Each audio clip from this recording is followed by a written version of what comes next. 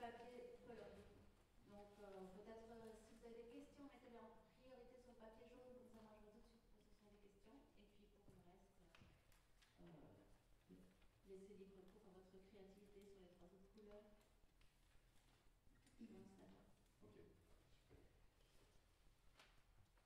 Donc bienvenue. donc cette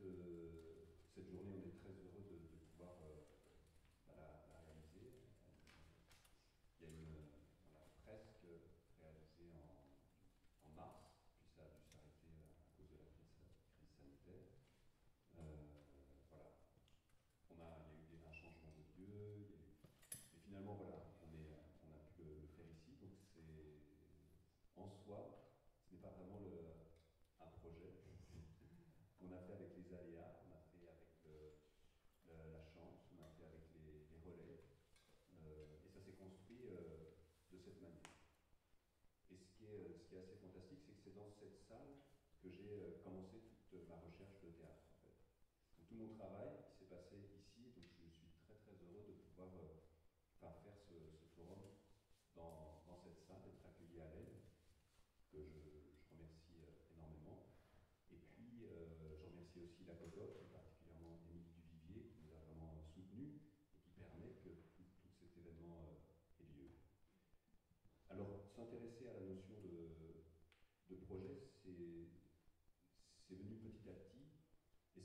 acteur, donc je passe beaucoup de temps sur un plateau, on ne peut pas réfléchir en termes de projet.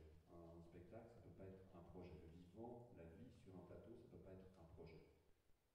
Et euh, on part d'indications, on part d'imaginaire, on part de, de, quelque chose de concret, mais à un moment,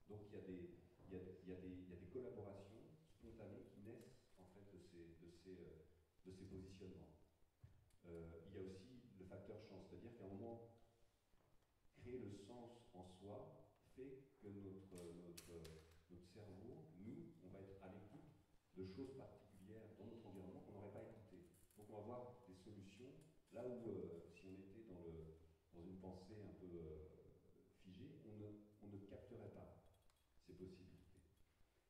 Et donc, le, le, spectacle se développe vraiment euh, de manière surprenante, de cette manière-là. Et, en prenant conscience un peu de ce fonctionnement, je me suis rendu compte que chacun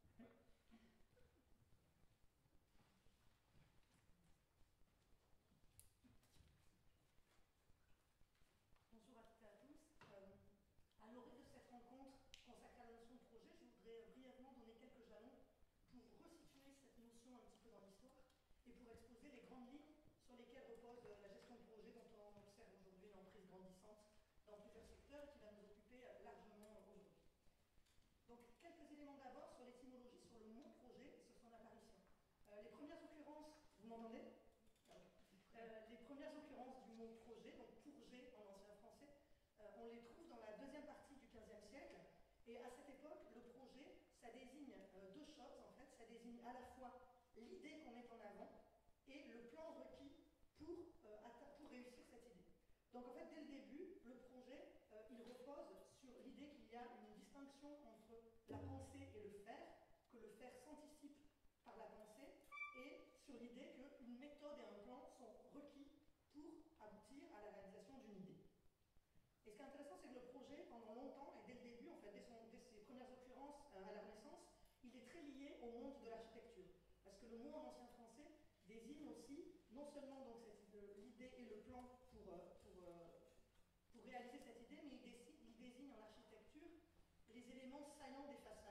comme les balcons.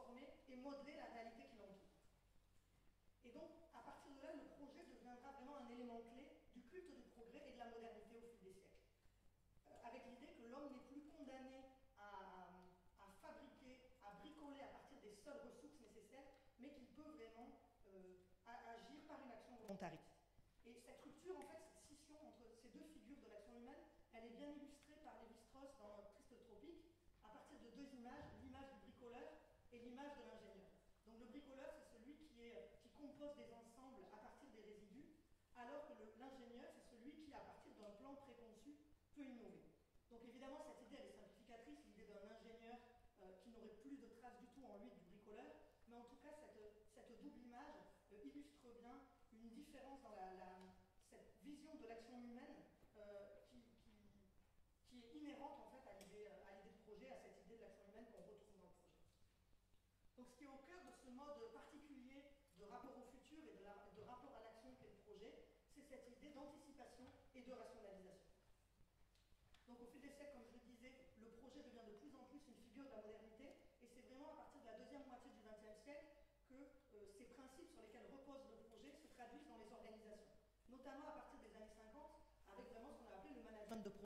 et la gestion de projet, qui apparaît d'abord euh, en Amérique du Nord, aux États-Unis, euh, dans le domaine industriel, dans le domaine de l'ingénierie, et dans de plus en plus de domaines, l'ingénierie militaire, l'ingénierie spatiale, industrielle, et puis petit à petit dans d'autres secteurs, l'immobilier, l'aménagement,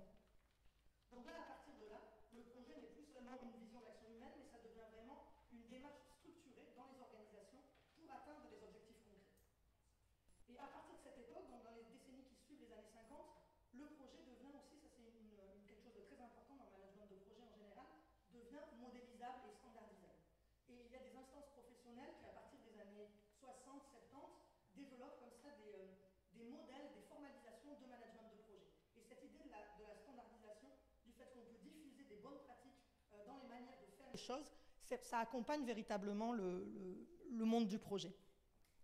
Donc on a notamment le Project Management Institute qui, à partir des années 70 aux États-Unis, diffuse et réédite vraiment des, modèles de management de projet euh, qui, ont encore cours aujourd'hui. Donc on a vraiment une méthode du projet à partir des années 50, 60 qui repose sur le modèle de l'ingénierie et qui repose sur quelque chose qui est aussi très important et qu'on va sûrement revoir aujourd'hui, l'idée que le, projet repose sur l'instrumentation de l'action. C'est-à-dire que euh, dans la manière, de, faire, dans le management de projet, dans le mode projet, il y a vraiment cette idée importante de l'outillage gestionnaire pour mener des actions. Euh, donc, c'est-à-dire que le projet va s'équiper d'outils de planification, d'outils d'évaluation, d'outils de suivi. J'imagine qu'on en reparlera aujourd'hui parce que ça accompagne vraiment le mode projet. Et avec cette, euh, avec cette, diffusion du monde projet à partir des années 60 euh, dans un nombre de secteurs de plus en plus variés, on a aussi des modèles de management qui se mettent en place et qui en fait commence à se diffuser et à se développer en dehors même de l'activité de projet. Euh, donc une grande rupture, c'est à la fin des années 80 le modèle issu de l'industrie automobile japonaise qui est fondé sur la transversalité, la réactivité, la place importante du chef de projet, le partage de l'information, et ça va devenir un mode de management qui se diffuse en dehors de la conception même de nouveaux produits et de nouveaux services. Ça, c'est en fait vraiment cette évolution qui est importante autour des, années peut-être oui 80, c'est qu'on passe du management de projet au management par projet. C'est-à-dire que ces méthodes, ces plans qui étaient requis dans le cadre de la conception de nouveaux services et de nouveaux produits, donc pour des, projets, en fait vont se généraliser dans les organisations en dehors même de ces activités. ça va devenir petit à petit la normalité d'un nombre croissant d'organisations, ce mode projet. Notamment à partir des années 80, on a une diffusion de plus en plus large de ce mode projet en dehors des secteurs qui étaient déjà acquis, comme l'industrie et beaucoup d'entreprises. Ça se diffuse beaucoup à partir des années 80 et petit à petit dans le secteur public. Euh, avec le nouveau management public dans les années 80, qui donc euh, introduit dans un, nombre important de pays les méthodes, les référentiels et les outils de l'entreprise privée, on a vraiment le mode projet qui va se diffuser dans des secteurs comme la santé, l'école, l'enseignement supérieur, la culture. Euh, et puis je, vais finir du coup cette introduction avec quelques mots sur le secteur culturel en général et le mode projet dans le secteur culturel, puisqu'on est quand même dans un lieu euh, consacré à la, recherche artistique. Donc là, je, vais parler de management de projet, et puis aussi vraiment de l'emprise gestionnaire, qui est, vraiment un, élément clé et un élément qui accompagne euh, l'essor du mode projet. Donc je, vais vraiment parler de euh, cette, emprise de la gestion et ce développement de l'outillage gestionnaire dans le secteur culturel. Le secteur culturel, il a longtemps résisté à la gestion, euh, au motif que les carcans gestionnaires brideraient la créativité, au motif aussi de la part des, acteurs culturels qu'en fait, les outils de gestion, donc les outils dont j'ai parlé, qui accompagnent le mode projet, euh, exprimeraient de manière beaucoup trop schématique la réalité d'organisation et d'acteurs et d'activités qui sont liées à l'irrationnel, euh, à la création, au symbolique et à l'imaginaire. et donc, ça serait incompatible avec la rationalisation standardisée euh, et au type de structuration propre au mode projet. Et puis cette résistance au mode projet dans la culture, euh, elle est aussi liée à une résistance, euh, à, une résistance au primat de la logique de rentabilité pour, pour évaluer les activités culturelles. Là encore, en, se fondant sur l'idée que cette, cette, évaluation par les données quantitatives et par les résultats chiffrés, donc, qui, qui, sont souvent un élément important de, du management de projet, avec l'idée que euh, ce type de données serait beaucoup trop schématique pour évaluer euh, la réalité d'organisations qui œuvrent dans le domaine du symbolique, de l'ineffable, de l'expérience subjective. Euh, toutefois, petit à petit, on s'est rendu compte, et beaucoup de chercheurs ont montré que les organisations culturelles, même a priori les plus rétives à la gestion, se sont, sont, petit à petit devenues beaucoup plus réceptives aux outils de gestion et au management de projet et à la logique gestionnaire.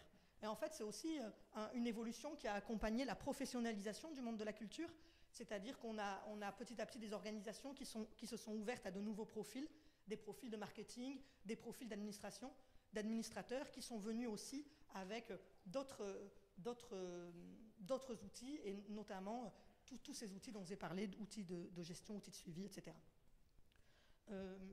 Donc même dans les organisations, en fait, beaucoup de chercheurs ont montré que même dans les organisations les plus alternatives, dans les friches, dans les squats, euh, on a de plus en plus des outils qui sont mis en place, des outils comptables, des outils d'organisation du travail, comme euh, les outils de GRH, les tableaux de bord, euh, les outils de remontée d'informations, qui sont caractéristiques aussi d'une manière de faire propre au projet. donc on a eu vraiment ce que j'appelais tout à l'heure une instrumentation de l'action qui s'est développée aussi dans le secteur culturel. et dans des contextes variés, donc comme je le disais, dans des organisations alternatives, évidemment dans des organisations beaucoup plus peut-être classiques, en tout cas anciennes, comme les théâtres, les musées, etc. ça traduit aussi donc une évolution propre au secteur culturel, comme je l'ai dit, une professionnalisation du secteur culturel, mais ça se développe aussi dans un contexte euh, d'évolution de l'action d'évolution du contexte plus largement, notamment du contexte de l'action publique, auquel sont souvent liées les organisations culturelles. C'est-à-dire que, comme je l'ai dit, à partir des années 80, l'action publique est elle aussi de plus en plus euh, euh, réceptive à la gestionnarisation. les tutelles, par exemple, des organisations culturelles sont de plus en plus sommées aussi de rendre des comptes.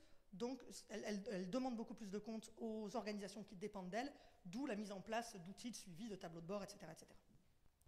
Euh, et puis, une autre chose aussi, ce, développement des outils de gestion et du mode projet dans la culture, ça traduit aussi, ça rend compte d'une évolution de la place donnée à la culture depuis, disons, peut-être une trentaine d'années, euh, avec une insertion de la culture et des projets culturels en particulier dans la logique de marketing urbain.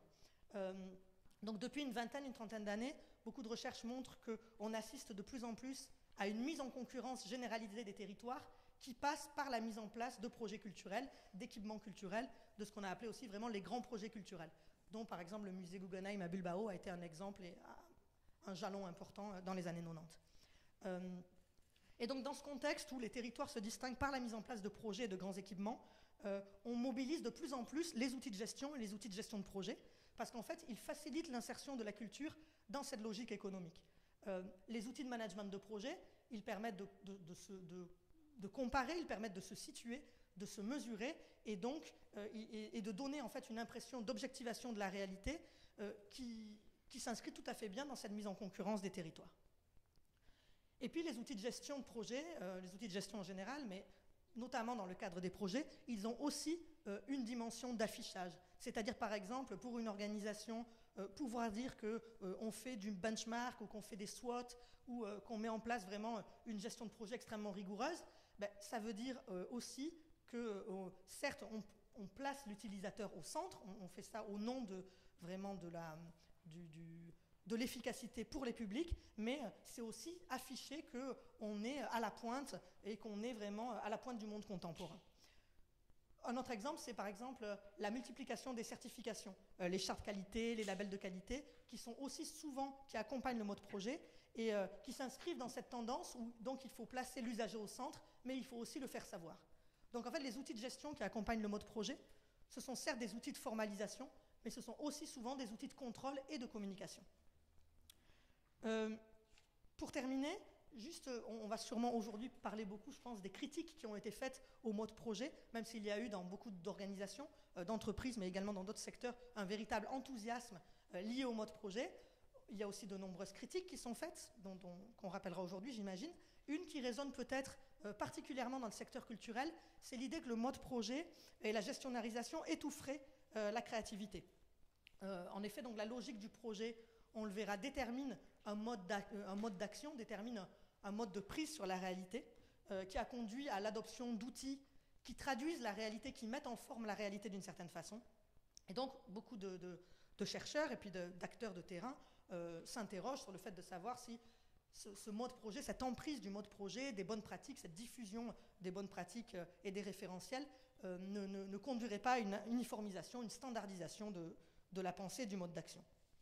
Dans le secteur culturel en particulier, euh, un chercheur, Emmanuel Négrier, qui travaille beaucoup sur les politiques culturelles, a montré que donc, depuis une vingtaine, une trentaine d'années, on a de plus en plus une très forte implication des territoires et des acteurs locaux euh, dans le secteur culturel, donc avec cette idée que vraiment on construit depuis la base.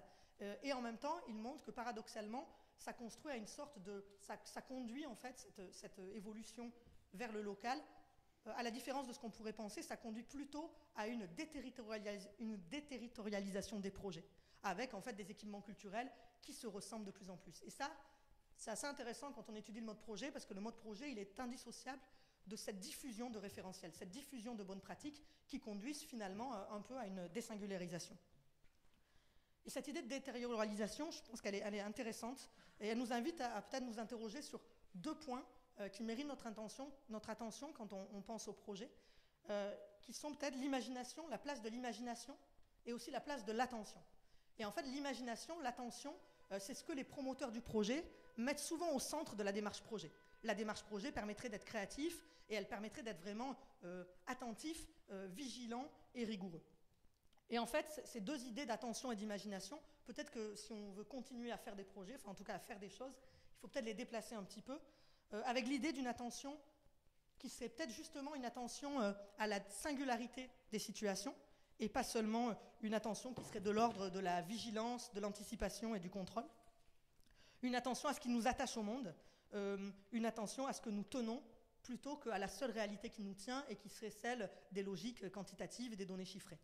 Et l'imagination, peut-être que la manière dont on peut repenser ou dont on peut réfléchir à, la façon de faire des projets, ça serait aussi de voir à quelles conditions et comment on peut, disons, euh, promouvoir, développer une imagination qui serait peut-être euh, détachée d'une injonction à l'innovation et d'une injonction à la créativité. Voilà un petit peu ce que je voulais dire pour donner quelques, quelques jalons sur, euh, historiques sur le, monde des projets, sur les principes sur lesquels euh, ils reposent. Merci. Merci, Émilie.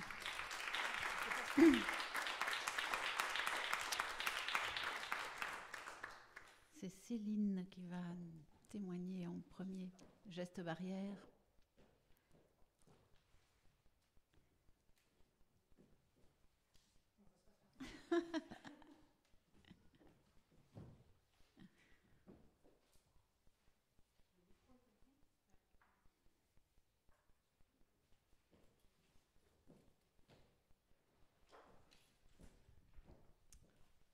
Bonjour. Bonjour, donc moi je, m'appelle Céline Cap, je suis chercheur, euh, chercheuse en neurosciences au Centre de recherche cerveau et cognition de Toulouse en France. Euh, je suis chercheur CNRS, donc Centre national de la recherche scientifique. Et euh, donc tout d'abord, avant de, commencer, je voulais remercier Yvain Juillard pour l'organisation de cette journée et tous les, toutes les personnes qui ont permis à cette journée de se réaliser. Donc, et puis euh, voilà, je, vais apporter mon, témoignage en fait sur la façon dont, euh, dont, on fonctionne dans la recherche et dont on subit aussi euh, ces, ces, appels à projets. mais avant ça, en fait, je voulais un petit peu vous expliquer en quoi ça consiste en fait d'être chercheur, qu'est-ce que c'est que ce, ce, métier de chercheur. donc en fait, la recherche scientifique, ça comprend des activités de recherche fondamentale notamment. Euh, en vue de euh, développer des connaissances. D'accord? Donc euh, les connaissances, elles peuvent être de différents types. et c'est très, très difficile en fait d'évaluer le bénéfice de cette production de connaissances. Et pourtant, dans nos sociétés où l'effort de la recherche est financé par l'État, à un moment donné, il est apparu la nécessité du gouvernement de vouloir évaluer cette recherche. Euh, c'est apparu à peu près dans les années 60, euh, si je ne me trompe pas. Euh, et donc, il y, a, donc, y a eu voilà, ce, problème de comment on évalue la recherche, étant donné que les bénéfices sont difficilement quantifiables, que les bénéfices ne sont pas forcément à court terme, euh, qu'en plus c'est beaucoup plus complexe que ça parce que les, bénéfices de la recherche, ils peuvent venir de connaissances de différents domaines. donc c'est voilà, c'est un petit peu compliqué. Euh, donc en fait, on est, on est évalué à travers différents critères. Un des critères, c'est euh, les publications scientifiques. Donc c'est de la, communication, l'écriture d'articles en fait dans des journaux euh, spécialisés. et donc tout ça, c'est très chiffré parce que ces journaux ont des facteurs d'impact. Donc il y, a une compétition énorme entre nous pour aller publier dans ces, dans ces journaux. Et on est aussi évalué au sein de nos, de, nos institutions par des, euh, par des conseils spécialisés. Alors en France, ça s'appelle le HCRS. En Belgique, je ne sais pas comment ça s'appelle, mais je suis sûre qu'il y en a un aussi. Enfin, je sais qu'il y en a un. Euh, et euh, donc c'est le Haut Conseil de l'évaluation de la recherche et de l'enseignement supérieur. Donc voilà. Et ce qui se passe en fait, c'est que donc ces financements, donc il y a quand même un financement en France en ce moment pour le CNRS et l'INSERM euh, euh, on, a, on a quand même des financements pérennes, donc qui sont reproduits, enfin qui sont conduits chaque année. Euh, mais ils, ils, sont de plus en plus faibles et ils permettent plus de mener une recherche correcte en fait. Donc c'est plus suffisant, on ne peut plus travailler avec ça. Donc voilà, on, répond à des appels à projets. Et il y a en fait eu la création d'une agence national de la recherche, donc l'ANR en France, ici aussi il y, a ça, pour en fait contrôler et distribuer l'argent de façon très ciblée. donc il y a des appels à projets qui sont qui sont, oui, voilà, qui sont édités chaque, chaque année. En France, ça date de 2005, la création de cette agence. Donc moi, je n'ai pas connu, en fait, euh, avant ça. Je ne sais, je sais pas vraiment comment ça se passait avant, si je sais, mais euh, d'autres vont en parler euh, sûrement. et donc en fait, ce qui se passe, c'est que donc on, est obligé de structurer.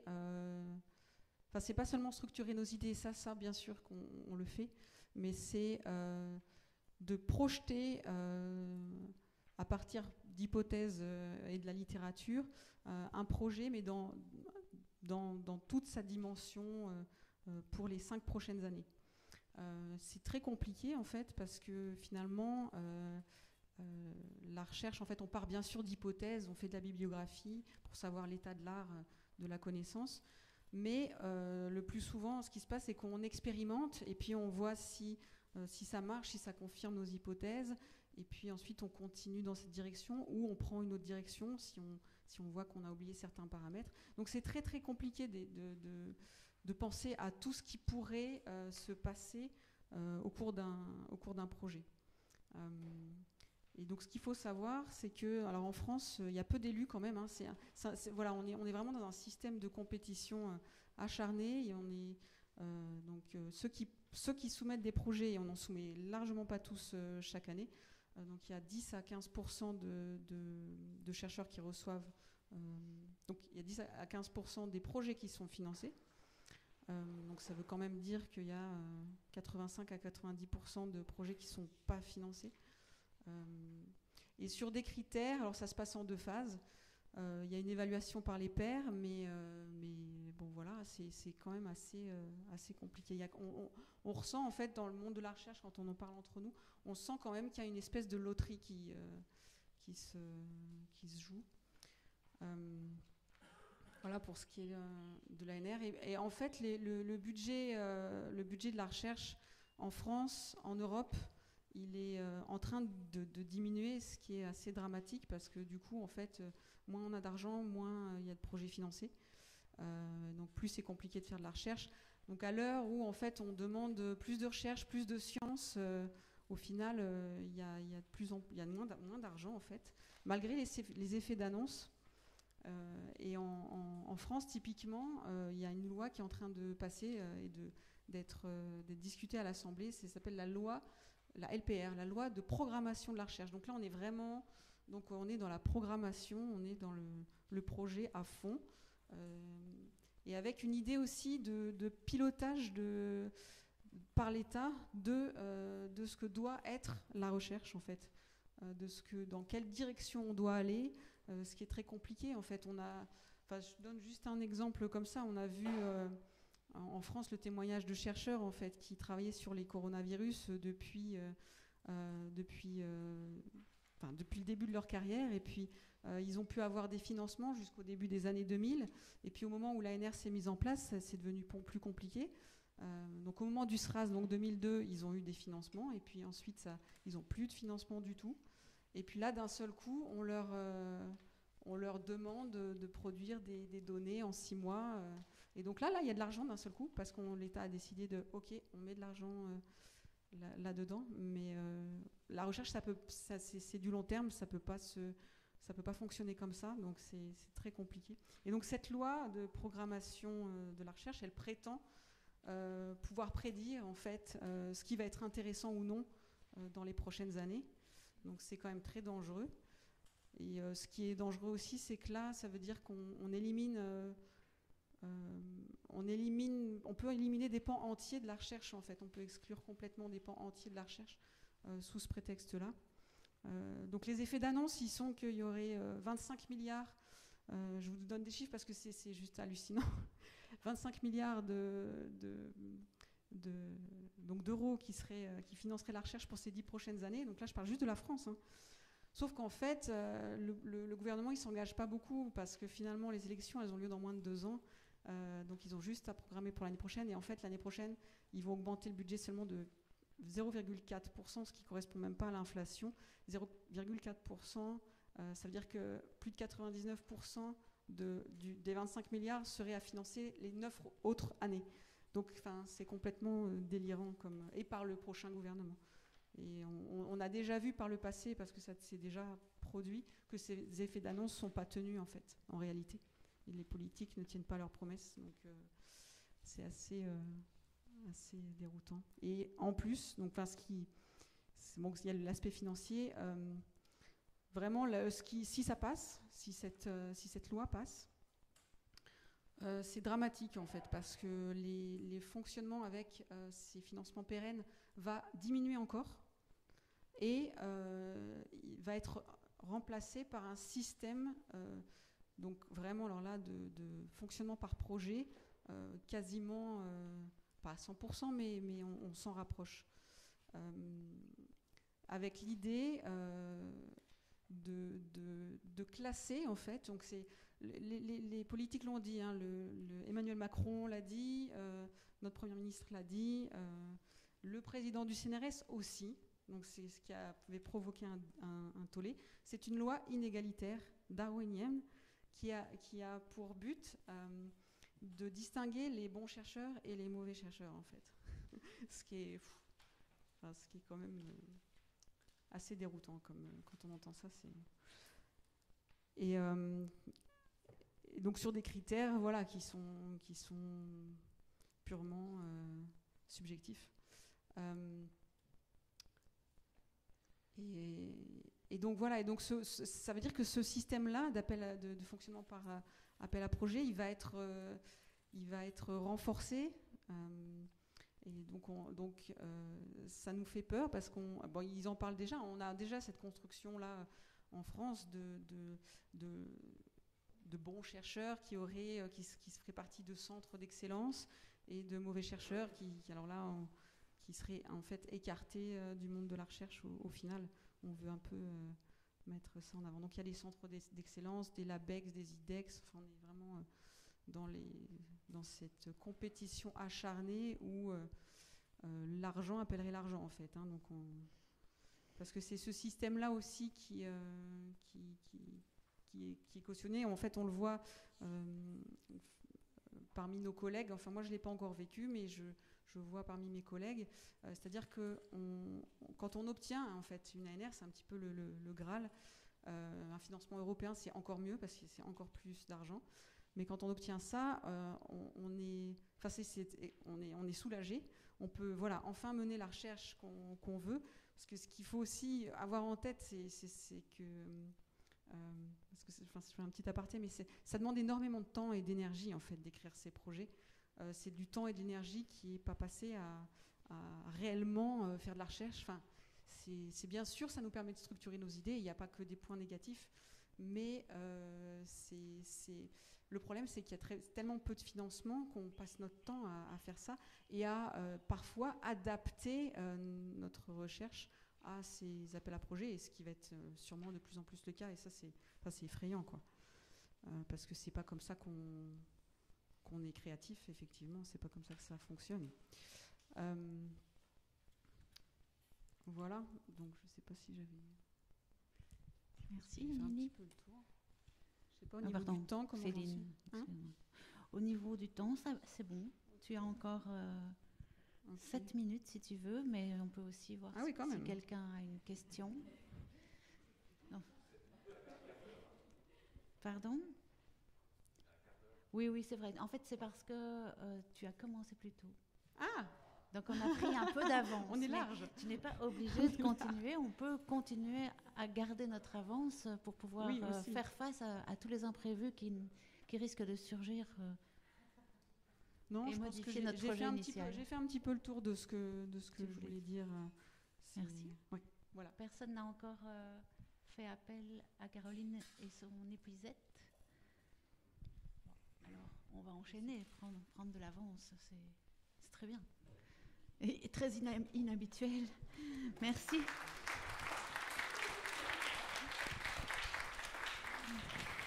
c'est Tatiana qui va enchaîner après les gestes barrières. Tatiana Josh. Bonjour. Alors moi je suis enseignante euh, à l'école primaire et je travaille dans un projet qui s'appelle le projet d'intégration, donc qui accueille des enfants issus de l'enseignement spécialisé au sein de l'enseignement ordinaire. Euh, j'y reviendrai plus tard. J'avais envie de commencer en vous disant ce pourquoi j'avais eu envie d'être enseignante, parce que ça n'a pas été ma voie directe. Mais ce qui m'a intéressée par-dessus tout, euh, j'avais fait la communication, puis j'ai travaillé en psychiatrie, mais j'avais envie par-dessus tout de travailler avec des enfants.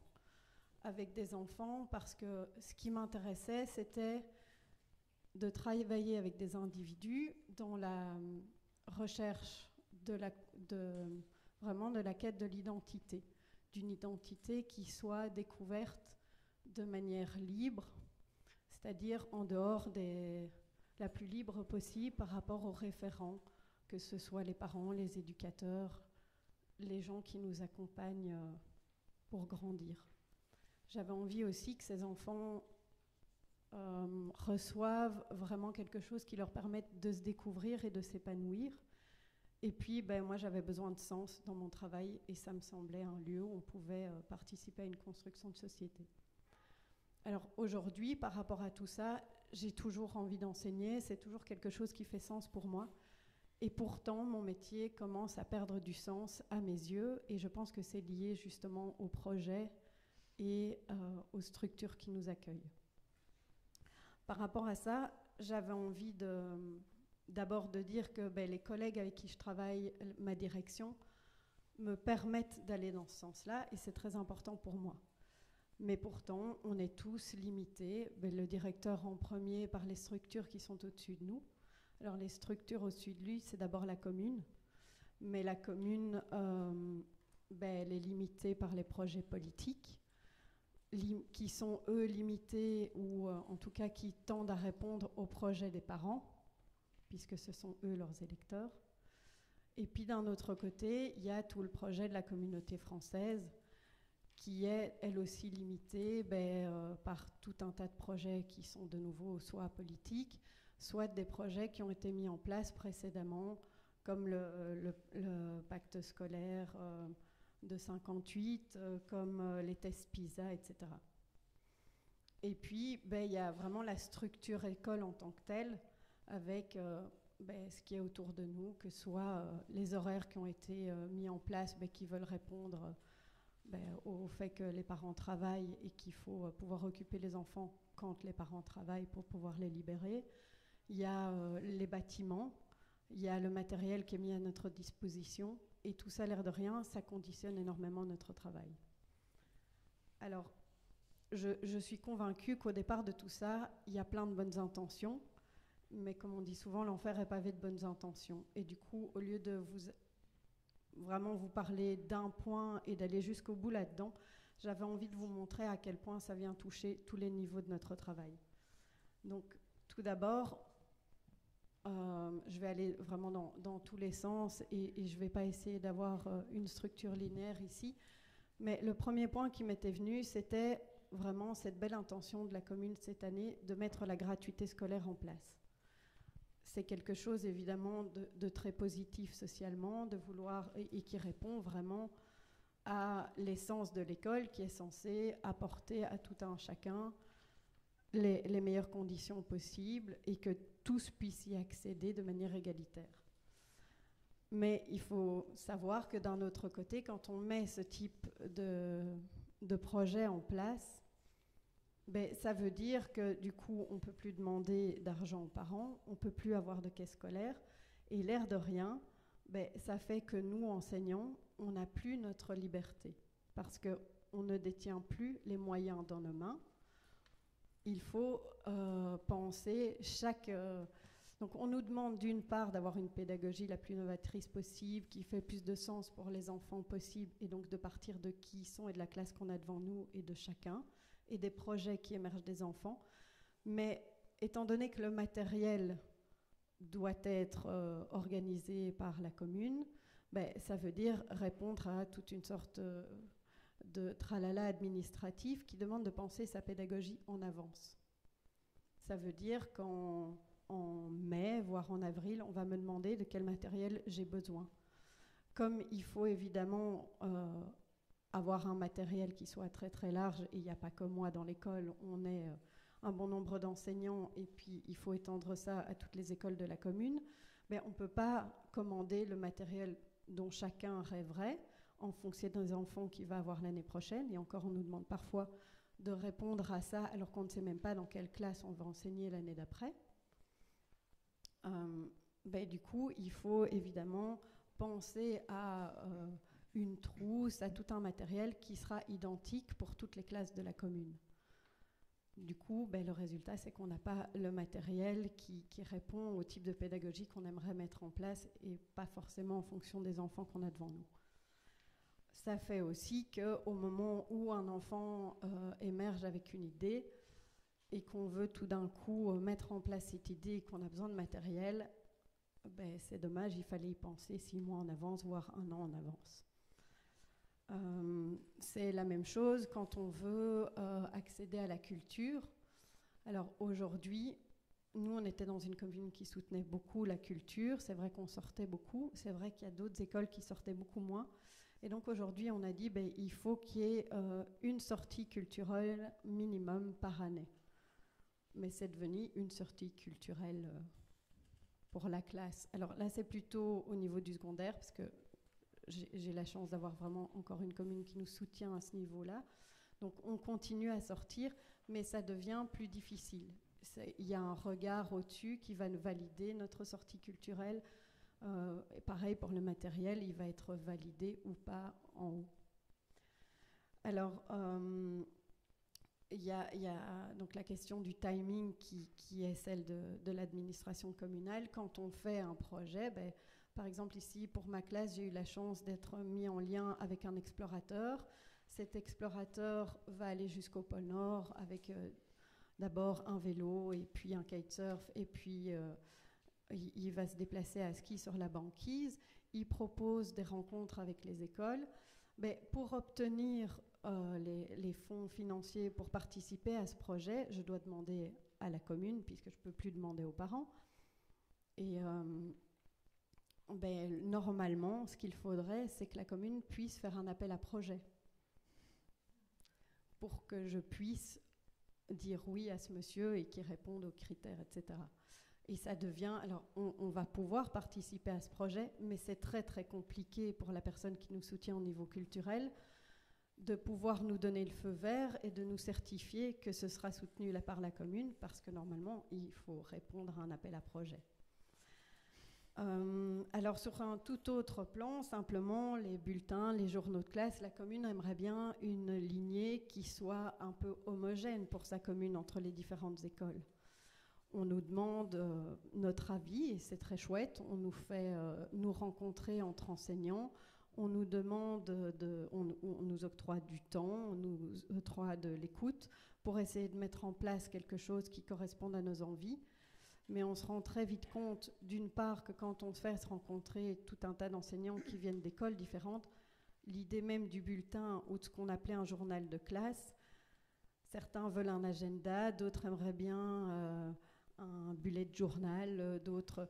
Voilà. Et on n'a pas du tout les mêmes idées de ce que ça peut représenter. Certains pensent que c'est un contact avec les parents et que donc il faut pouvoir y mettre euh, des commentaires liés au comportement. D'autres pensent que c'est pour planifier le, travail et la semaine des enfants et les aider à, eh bien, à, gérer leur temps et devenir euh, maîtres de leurs apprentissages.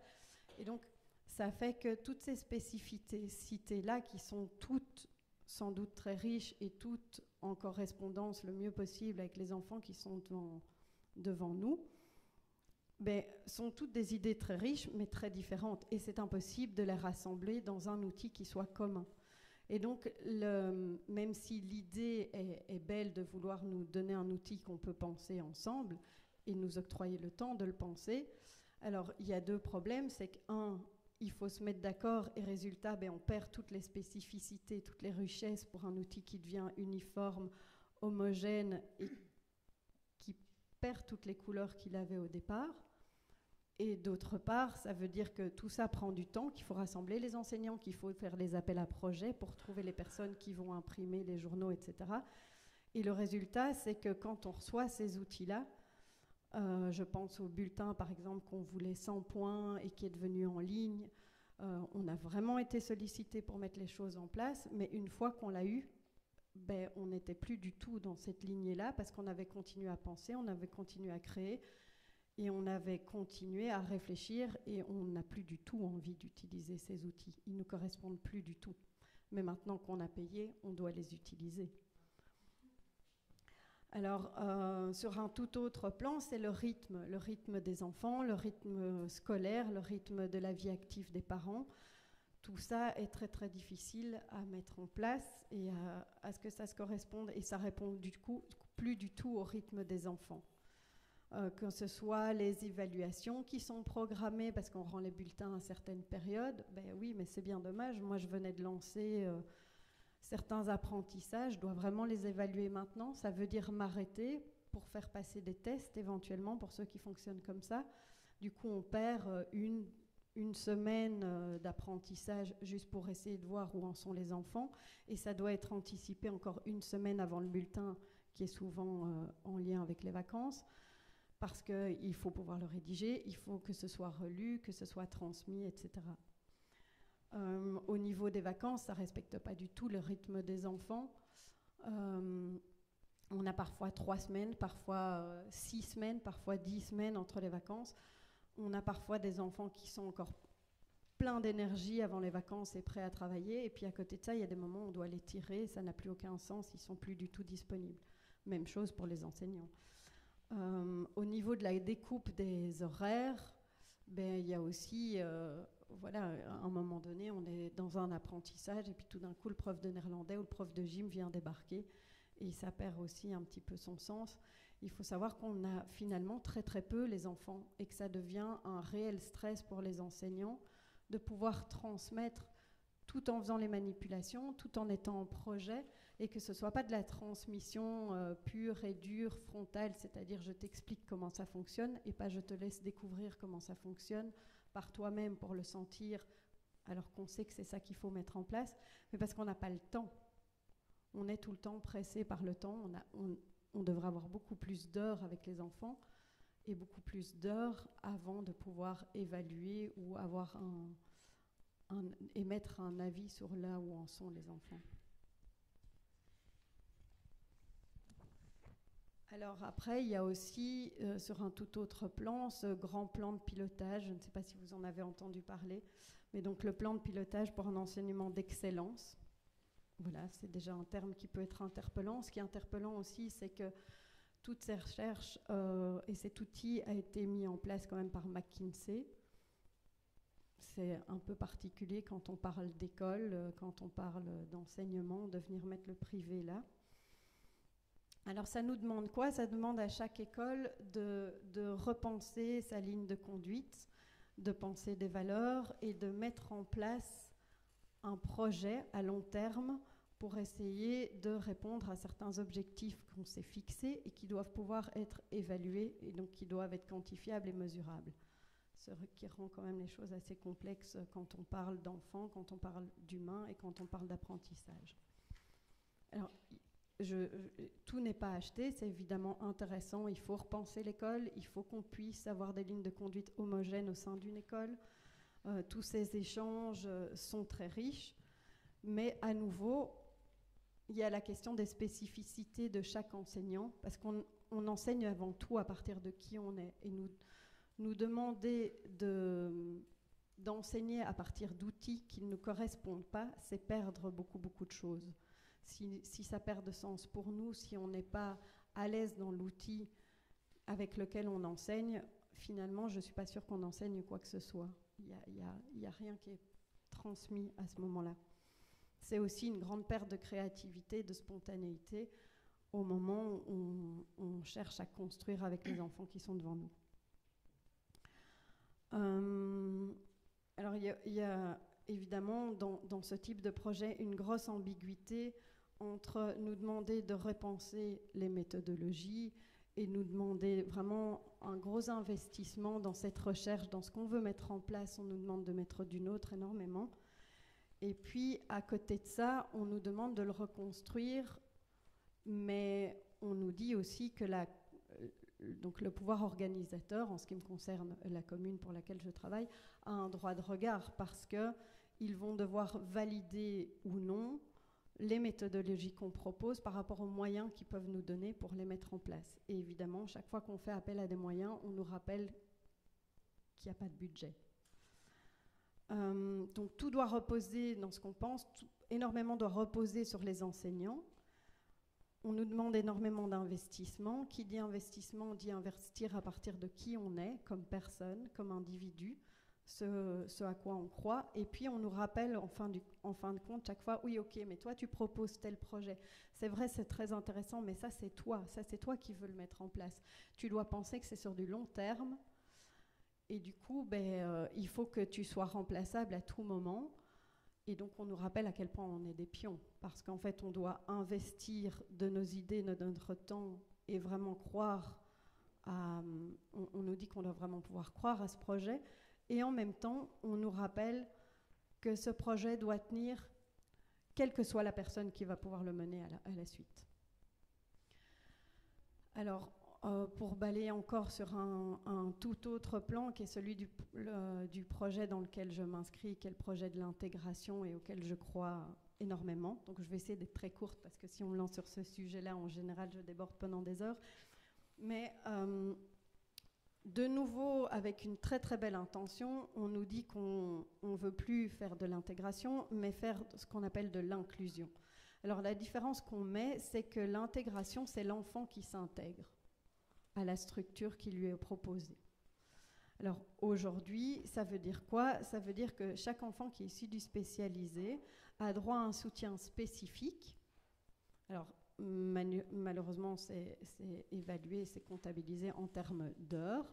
Et donc, chaque enfant a droit à 4 heures de soutien, que ce soit euh, d'un enseignant, d'une logopède, d'un kiné. Ça, c'est discuté en conseil de classe et c'est réparti en fonction des besoins des enfants. Alors, le grand intérêt dans la commune, euh, ce qu'on faisait aujourd'hui, et ça vient de, c'est un plan de pilotage qui a été mis en place par un Canadien, c'était d'essayer de rassembler les enfants qui avaient ces besoins spécifiques au sein d'une même classe pour rassembler ce nombre d'heures. Et donc, ça faisait qu'on avait deux adultes avant deux enseignants. L'année dernière, c'était magique, on avait une enseignante avec une logopède pour accompagner ces enfants. Ce qui fait que ben, chaque projet qui est mis en place peut être mis en place vraiment sur le long terme pour l'enfant, mais en réalité, toute la classe en bénéficie. Aujourd'hui, avec les plans de pilotage, avec la nouvelle façon de, penser l'école plutôt au niveau de la communauté française, on nous dit que c'est plus vers ça qu'il faut tendre, mais vers l'inclusion. L'inclusion sonne beaucoup mieux. Ce n'est plus l'enfant qui s'adapte à son milieu, c'est le milieu qui s'adapte à l'enfant. Évidemment, ça sonne très très bien, mais si c'est le milieu qui s'adapte à l'enfant, ça veut dire qu'on essaye en fait, en réalité, de diminuer les, entrées, enfin les, enfants qui sont inscrits dans l'enseignement spécialisé et en plus particulièrement dans l'enseignement spécialisé de type 8, c'est-à-dire l'enseignement qui accueille tous les enfants dyslexiques, dysorthographiques, euh, les, enfants qui ont l'hyperactivité, etc. Alors, il y, y, a un sens derrière tout ça, c'est qu'effectivement, l'école envoie beaucoup trop les, enfants issus de milieux socioculturels précaires dans ces enseignements-là, parce qu'ils n'ont pas les codes de l'école, parce qu'ils ils en sont distanciés. Et résultat, ben, euh, on pense souvent à la réorienter pour qu'ils bénéficient d'une plus petite structure. Mais c'est vrai qu'on ne leur donne pas toutes les chances de ce côté-là. D'un autre côté, s'il n'y a pas ce passage-là, parfois, et, aujourd'hui ça doit mettre beaucoup plus de temps, il faut vraiment montrer tout ce qui a été mis en place. Donc un enfant en première primaire ne peut plus être réorienté. Et quand on regarde ça à distance, c'est une bonne chose. Mais quand on regarde ça de l'intérieur, c'est très inquiétant, parce que ça veut dire que ces enfants-là ne bénéficieront d'aide qu'en deuxième primaire s'il y a vraiment, vraiment beaucoup de chance, sinon en troisième, quatrième primaire, parce qu'il faut montrer et démontrer qu'on a mis tout un tas de choses en place. Il faut passer par les centres PMS, mais pour ça, il faut que les parents aient été rechercher le PMS. Ce n'est pas le PMS qui va vers l'enfant ou vers les parents, c'est les parents qui doivent aller vers eux. Alors, le résultat, c'est que ça ne correspond pas du tout au rythme d'apprentissage de l'enfant.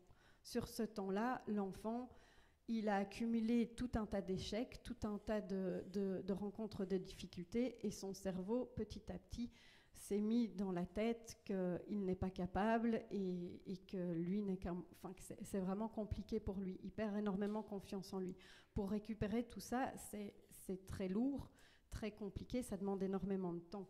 Tatiana Oui, il faut que j'écoute. Il faut que tu conclues. Ben, je vais conclure alors euh, avec ça, c'est que voilà, il y, a des questions de moyens derrière. Les idées sont très très belles, mais parfois quand on voit de l'intérieur, on se rend compte qu'au niveau des moyens et, du temps administratif qu'il y a derrière, ça rend les choses très très compliquées.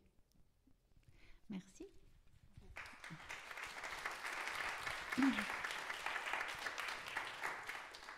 Alors avant de, passer à, à la structure fêtière de tout ça, c'est-à-dire le droit, la loi avec euh, Véronique, juste, euh, je vais vous demander les intervenants de réfléchir, d'avoir en tête une question qui est venue de la salle concernant le. j'ai besoin de l'attention de Céline, c'est pour ça que je. oui. Donc j'ai une question. Dans un monde idéal, quel euh, mode de financement pour la recherche? Je pense que c'est quelque chose euh, dont on va reparler aussi cet après-midi. Et sûrement que Mathieu, qui a disparu, aura des choses à en dire aussi. Bah, si tu le sens, pourquoi pas, oui, deux minutes. Mais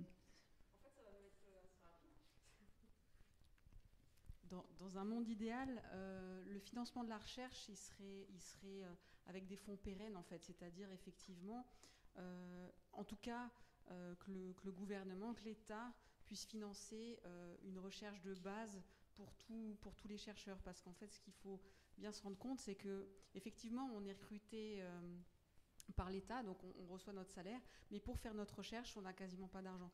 Donc, alors que c'était pas comme ça, hein, en fait. Hein, il y a très longtemps, très très longtemps.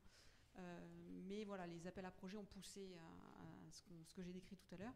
Et, donc, dans un monde idéal, il faudrait euh, pérenniser ces, financements, euh, disons, automatiques, en fait, pour les, différents laboratoires, pour que chaque chercheur puisse effectuer une recherche, sa, propre recherche, disons, de base.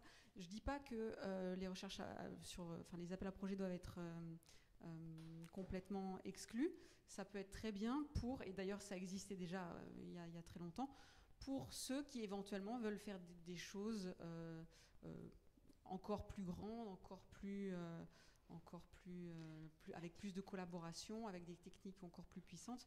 Mais le problème d'aujourd'hui, c'est qu'on n'arrive même plus, en fait, avec les fonds de base, à, faire de la recherche tout court. Donc on est, voilà. Merci Céline.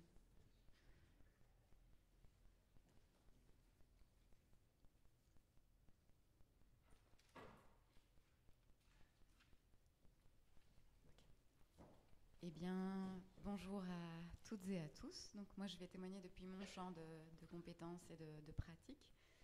Vous l'avez euh, compris, c'est le, droit. Euh, donc, un tout petit mot, donc moi, je suis spécialisée dans la défense des exilés. Donc, euh, j'ai consacré ma pratique professionnelle quasiment exclusivement à cette matière-là.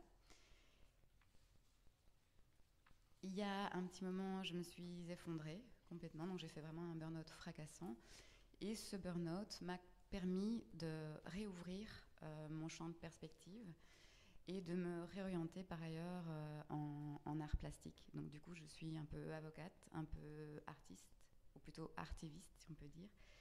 Voilà, mais donc ce que je vous invite à, faire aujourd'hui, maintenant, c'est euh, une petite plongée dans l'univers juridico-judiciaire. Et voilà, pour voir ensemble ce que le management par projet appliqué à la justice, mais qu'est-ce que ça fait à la, justice Donc pour commencer, Ah oui, c'est ça.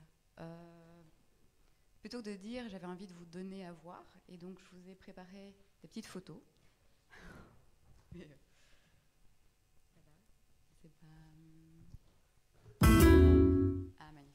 Merci.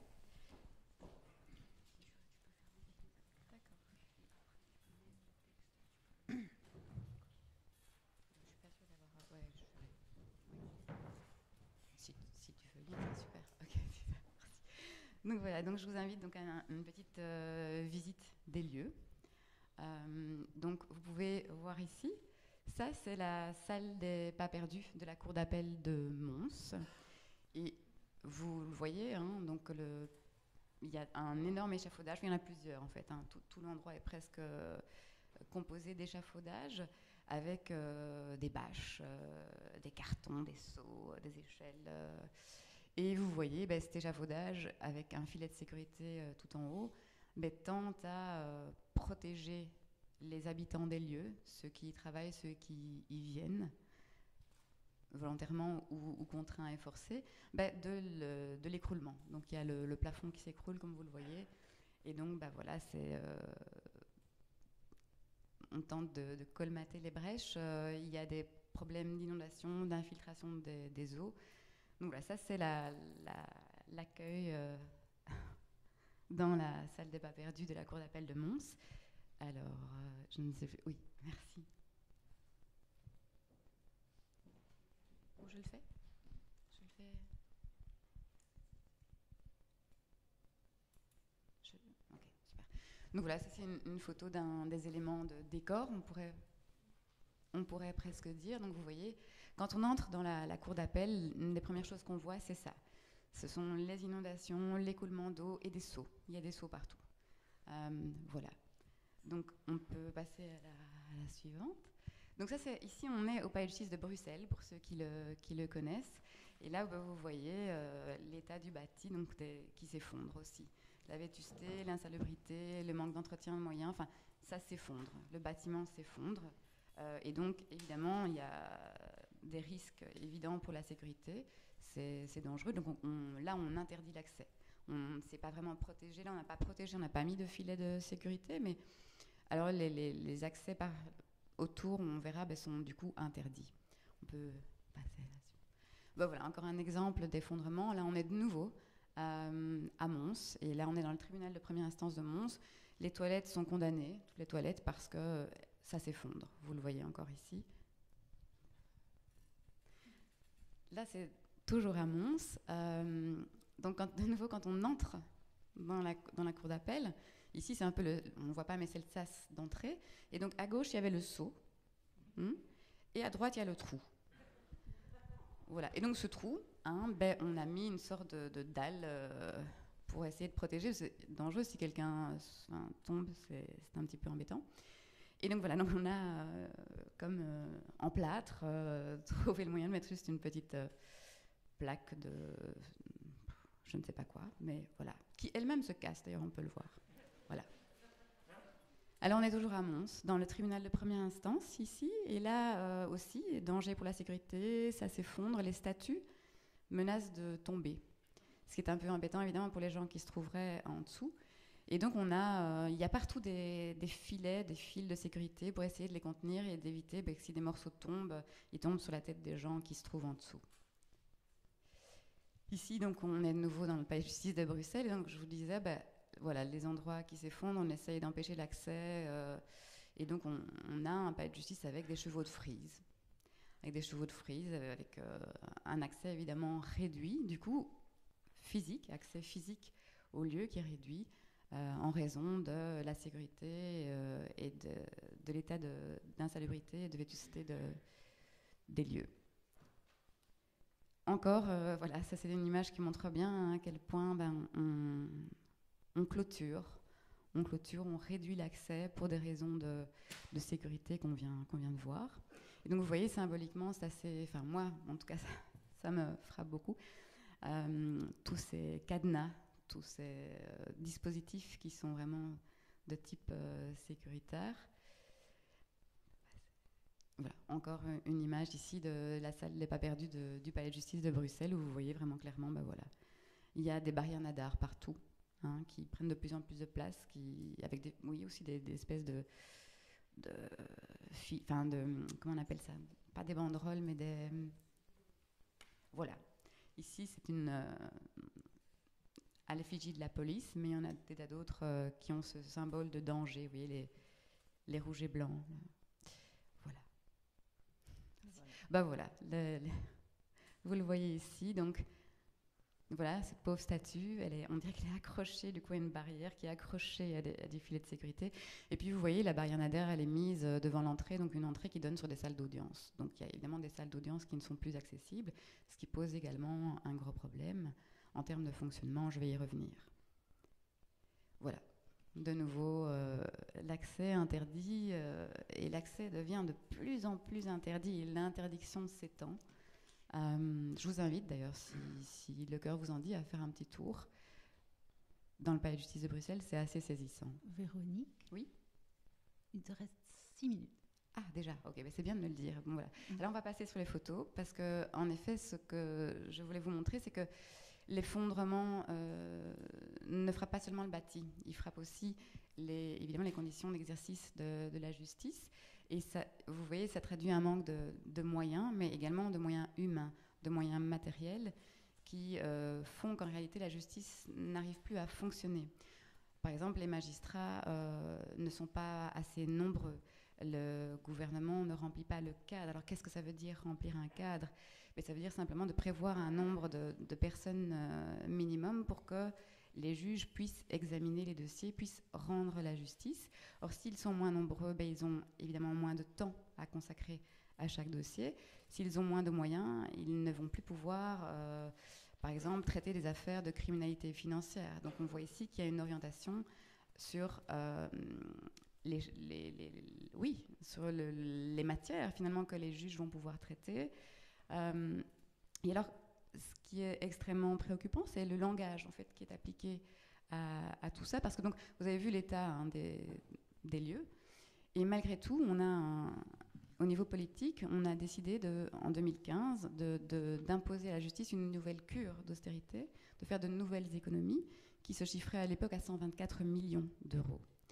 Et donc, comment tout ceci était justifié? Ben, Je vous ai, ici, je me suis amusée à reprendre en fait d'un, tout simplement du plan.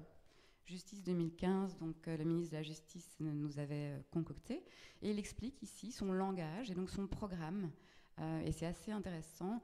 Donc vous pouvez le voir, hein, je vous invite à le lire par vous-même, je, dois réduire. Euh, voilà, ben, le droit doit être discuté dans des conditions responsables du point de vue économique, budgétaire. Donc là, on voit vraiment l'emprise du langage économique.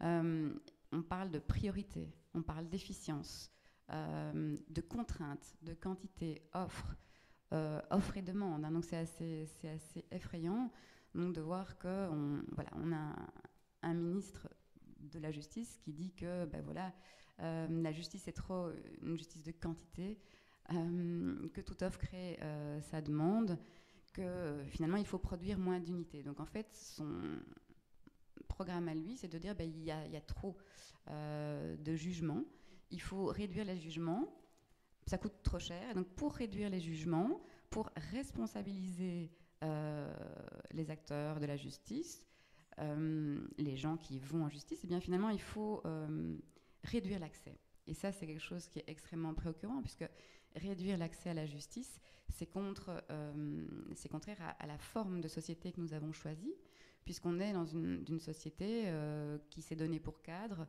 l'égalité, l'égalité de, l'égalité de tous et de toutes en droit, l'égalité aussi devant la loi.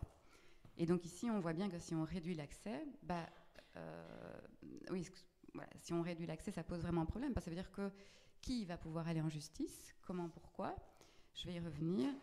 Une autre chose sur laquelle je voulais euh, insister, c'était la surconsommation. Donc tout le langage et tout le programme finalement politique qui est appliqué à la justice part d'un point de vue, donc il y aurait une surconsommation euh, des abus et qu'il faudrait donc euh, responsabiliser les gens. Sauf qu'en fait, cette surconsommation n'est absolument pas établie. Donc ici, ce qui est intéressant de voir aussi, c'est qu'on présente comme euh, évident et inévitable quelque chose qui ne l'est absolument pas. et que ce sont des dictats, des mots d'ordre qui viennent voilà, du management par projet, d'une logique d'efficience entendue comme rentabilité appliquée à la justice. Au niveau de l'accès à la justice, donc ici, vous voyez, la logique, c'est de euh, réduire l'accès à la justice pour finalement qu'il y ait moins d'input, c'est-à-dire qu'il y ait moins d'entrée, qu'il y moins de, de, personnes qui accèdent, donc de demandes qui sont euh, portées en justice, et donc moins de jugements. Donc voilà, on réduit les unités en réduisant l'accès, mais ce n'est pas n'importe quel accès.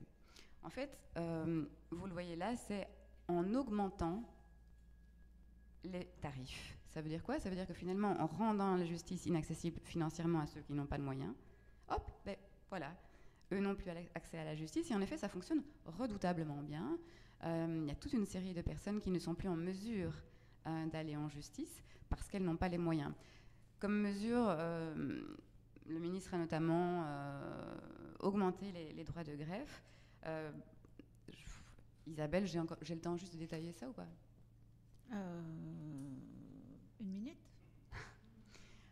Mais simplement pour vous dire, vous, devez aller en justice, tribunal de première instance, je pense qu'on en est à, je vais vous dire,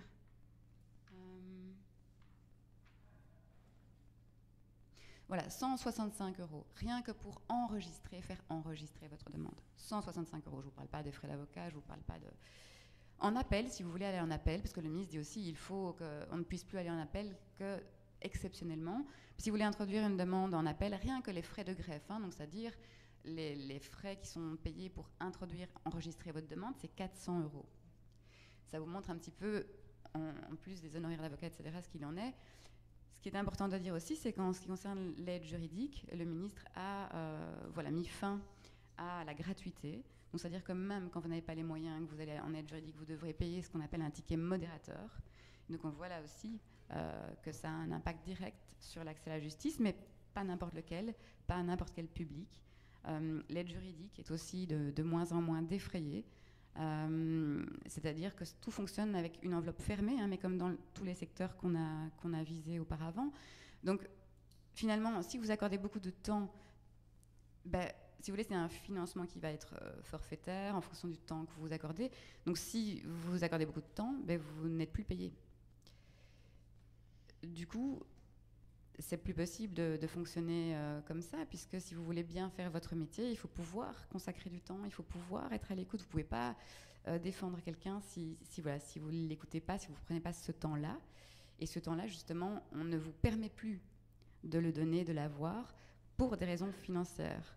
Et donc c'est assez grave, puisque du coup, en fait, on en arrive à une justice qui ne fonctionne plus je vous disais, les, magistrats sont soumis à cette pression-là aussi, ce qui pose un tas d'autres problèmes en termes d'état de, droit et de séparation des pouvoirs, qui sont quand même les bases de la société dans laquelle on a choisi de vivre, du régime politique, c'est-à-dire de la démocratie. J'y reviendrai cet après-midi. Mais donc on voit vraiment que c'est vraiment euh, les conséquences de cet état de fait, enfin de, non, de ce langage, euh, de cette idéologie, mais sont vraiment un danger pour la, pour la démocratie. Voilà. Quelle belle conclusion et joyeuse.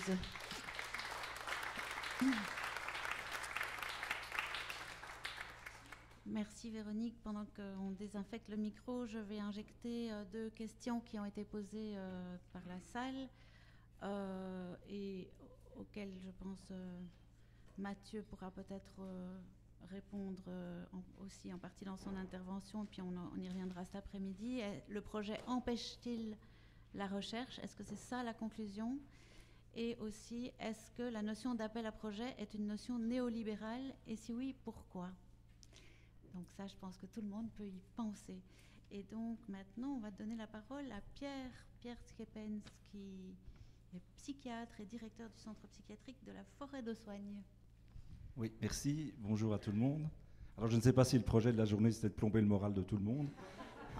Mais là, on a fait, l'école, la justice. Moi, je vais faire la santé et, je pense que je vais enfoncer un peu le clou. Rapidement, donc, euh, je ne vais pas passer beaucoup de temps sur moi parce qu'on n'a pas beaucoup de temps, mais je, dirige euh, pour l'instant l'hôpital psychiatrique de la, la, Forêt de Soigne, où cliniquement je m'occupe, et donc je suis très sensible à ce qui vient d'être dit avant, d'unité médico-légale où on accueille donc des patients internés, libérés à l'essai. Donc, patients internés, c'est des gens qui ont commis un délit, qui ont été jugés irresponsables Et, mais j'en reparlerai aussi tout à l'heure parce qu'il y a beaucoup de choses à dire sur la domination, la soumission, etc. Et, et donc qu'on a pour mission de réintégrer dans la société. On a aussi une équipe mobile. Et alors mon hôpital fait partie d'un groupe de trois hôpitaux, la clinique du, Bois de la Pierre à, à Wavre et la clinique de Boss à Bruxelles. Donc les, trois grands projets euh, de, notre structure hospitalière, c'est la psychiatrie, la gériatrie et la réadaptation. Ce qui est moins sexy que la chirurgie plastique, l'orthopédie, la cardiologie de pointe, etc. Ça, on peut en parler aussi dans la hiérarchie euh, médicale. Et donc, euh, il se fait que je vais, à partir de janvier, prendre la direction des trois hôpitaux. Donc, peut-être que dans un an ou deux, je reviendrai ici un peu moins fier parce que je n'aurai pas réussi à tenir compte de tout ce qui a été dit ici. J'espère que je le ferai. Mais je voulais d'abord, avant de commencer, vous lire un, un petit passage assez séduisant de tout ce qui résume un peu tout ce qu'on a dit aujourd'hui, un petit bijou de sagesse attribué à un capitaine de vaisseau sur euh, les gens qui pensent qu'il suffit de se baser sur le passé pour euh, euh, anticiper l'avenir. Alors ce capitaine de vaisseau dit, mais de toute ma carrière, je n'ai jamais connu d'accident d'aucune sorte qui vaille la peine d'être mentionné. Pendant toutes ces années passées en mer, je n'ai vu qu'un seul navire en détresse, je n'ai jamais vu de bateau échouer et je n'ai jamais échoué moi-même ni été dans une situation difficile qui menaçait de tourner au désastre. Ce capitaine, c'est le capitaine Smith qui était le capitaine du Titanic. Donc ça montre quand même que, voilà. Euh, tout à l'heure, on parlait de budget aussi euh, au niveau de l'école. Euh, je sais, pour l'avoir vécu, qu'en tout cas dans le budget prévisionnel de 2019, dans mon hôpital et comme les autres, on n'avait prévu aucun masque, aucune blouse, rien du tout, puisque personne n'imaginait ce qui, ce qui allait arriver maintenant. Et ce qui arrive maintenant crée aussi un chaos au niveau des scientifiques, puisque à peu près plus personne ne s'y retrouve. Et euh, autant euh, il était clair qu'on était au front au mois de mars-avril avec beaucoup de morts, notamment dans notre maison de repos, il y en a eu pas mal. Autant maintenant, on ne sait plus très bien et ça crée un climat d'incertitude assez généralisé que les modèles ici euh, mis en place ne permettent pas de, gérer. On, voit bien, il suffit de, enfin, c'est pas le sujet aujourd'hui. Peut-être que justement, si on passe une journée sans parler de Covid, ce serait pas mal. Toujours est-il qu'en psychiatrie, il y a euh, des modèles qui dominent, des modèles prévalents. C'est le modèle euh, actuellement du DSM, donc on est loin de la psychanalyse, c'est le euh, manuel diagnostic statistique des troubles mentaux. Le DSM-5 actuellement comprend 450 diagnostics, c'est-à-dire il il est plus difficile de ne pas être malade que d'être malade. et l'organisation des soins repose sur ce modèle. Pas encore à l'américaine, mais les choses arrivent tout doucement. Par exemple, et on revient à la même chose que la justice, une dépression majeure euh, correspondant aux, critères de la dépression doit être guérie en six mois. Sinon, euh, il n'y a plus de financement, il n'y a plus de choses pareilles.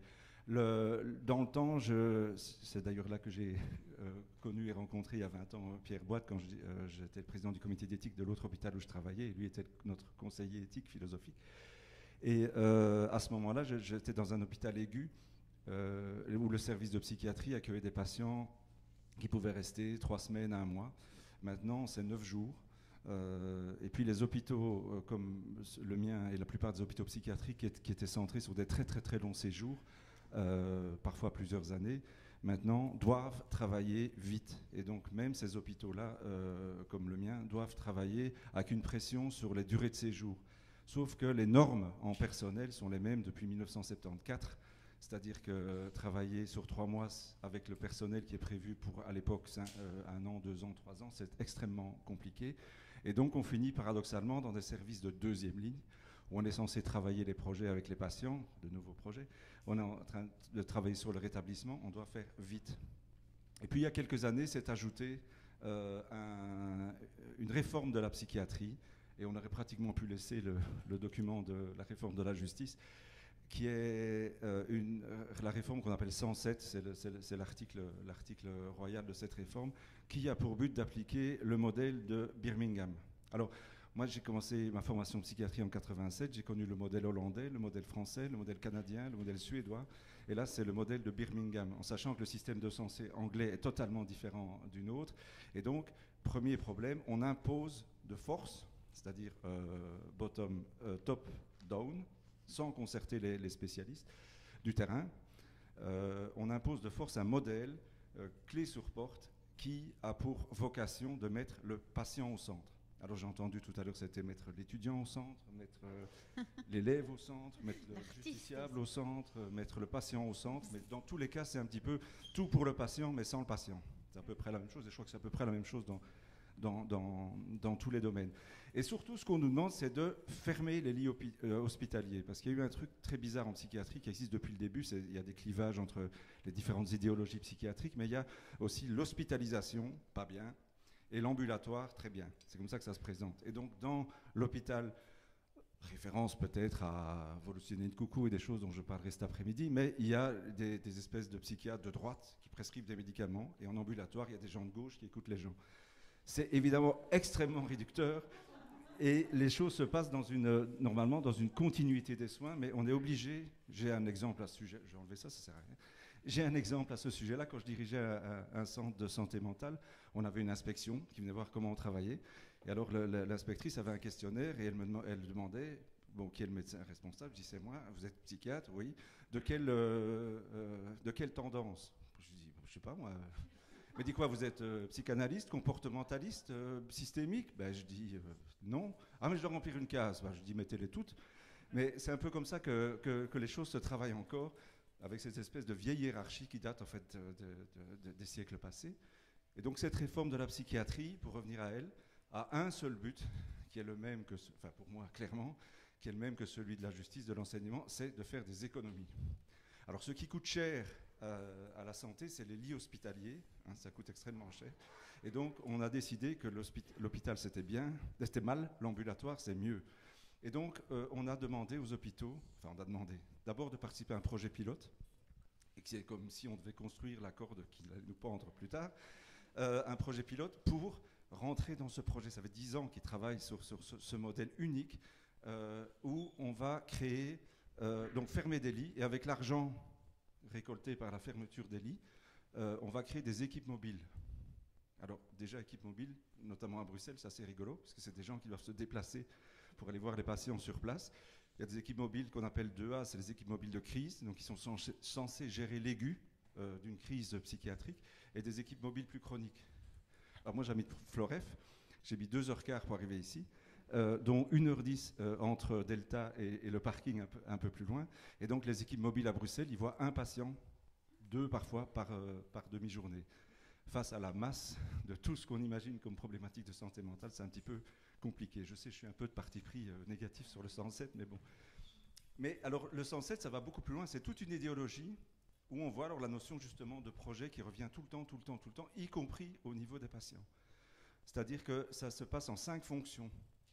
La fonction 1, c'est la première ligne, c'est les psychologues, les, médecins généralistes, etc., qui n'ont pas été informés d'ailleurs de l'existence de cette loi, encore moins que les psychiatres. La fonction 2, ce sont ces équipes mobiles, donc qui se déplacent, qui vont voir les gens.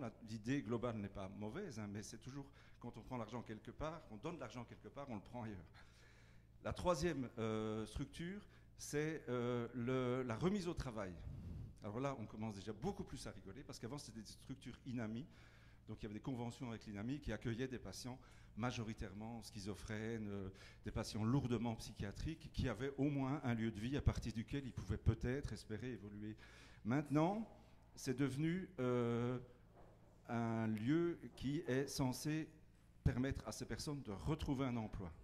Alors, vous imaginez déjà trouver un emploi en tant que supposé normalement constitué, c'est déjà pas triste, mais en tant que schizophrène chronique bourré de médicaments et de, préjugés autour de lui et dans tout son entourage, ça devient extrêmement compliqué. Mais ça veut dire aussi que euh, ces, structures, pour accueillir des gens, doivent d'abord rentrer, dans, les gens doivent rentrer dans une catégorie de diagnostic. Donc on va chercher dans le DSM un diagnostic qui est administrativement valable pour le faire rentrer. Ensuite, euh, il faut qu'il ait un projet donc vous avez un patient schizophrène qui, est, complètement déconnecté, qui est probablement, pour certains, n'ont jamais été vraiment intégrés ou insérés dans la société. On lui demande d'avoir un projet. Alors évidemment, un projet, c'est extrêmement compliqué. Euh, c'est un modèle. Alors déjà, avec des, individus, on va dire, névrosés moyens comme nous, c'est déjà compliqué, mais avec des patients borderline, schizophrènes et tout, c'est quasi impossible. Donc, euh, il y a quand même déjà une pression à ça, malgré tout, et même si les soignants ont de bonnes intentions, en fait, on est obligé d'essayer de, tenir compte du prescrit des soins et de, travailler comme, on a envie de le faire. Mais on se rend compte que le prescrit des soins finit par rejaillir directement sur la pratique et on arrive à un effet terrible qui est l'effet qui a été nommé partout de la standardisation des soins. C'est absolument horrible. Alors, euh, donc, il y a d'ailleurs dans cette structure une personne qui a été engagée pour être job coach. On a deux pour tout Bruxelles, il y en a une pour le Brabant Wallon, parce c'est les, les régions dont, je m'occupe, donc qui doit, avec les patients, leur trouver un projet de travail. Alors je pense qu'il y en a une qui est au bord du burn-out et, une autre qui a démissionné parce qu'elle se rend compte que sa propre fonction est un peu euh, ambiguë, disons, par rapport aux moyens dont elle dispose. Parce que même chose pour les équipes mobiles. Quand il y avait 10 patients euh, en équipe mobile, ça allait très bien. Quand il y en a eu 100, ça devenait compliqué. Quand il y en a plus de 200, ça devient extrêmement compliqué. Alors la, quatrième fonction sont les hôpitaux, qui sont uniquement considérés comme l'endroit où on doit mettre des gens quand on ne sait vraiment plus faire autrement. Donc c'est pas du tout dans ce sens-là que, j'ai fait toute ma carrière à, l'hôpital. Ça c'est la, troisième fonction. La, la, donc la quatrième. La cinquième, c'est le, logement. Alors le logement, c'est euh, toute personne doit pouvoir accéder à un logement. Alors, vous savez que la plupart des gens qui sont à Bruxelles, par exemple, quelqu'un qui vient se présenter pour un logement en disant j'ai pas d'argent, euh, je suis interné, je suis schizophrène, donnez-moi un logement, ça va être compliqué.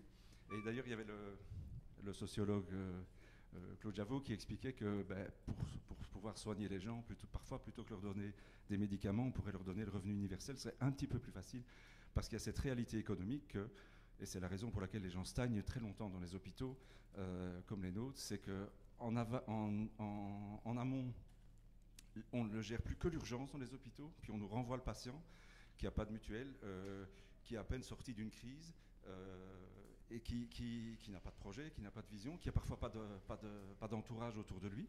Et puis on nous demande déjà de, construire un projet avec des structures en, aval qui sont complètement euh, saturées. Ça c'est l'exemple de choses. Et puis un autre effet secondaire, c'est que finalement, la, maladie mentale s'efface au profit d'un terme beaucoup plus banal qui est la santé mentale.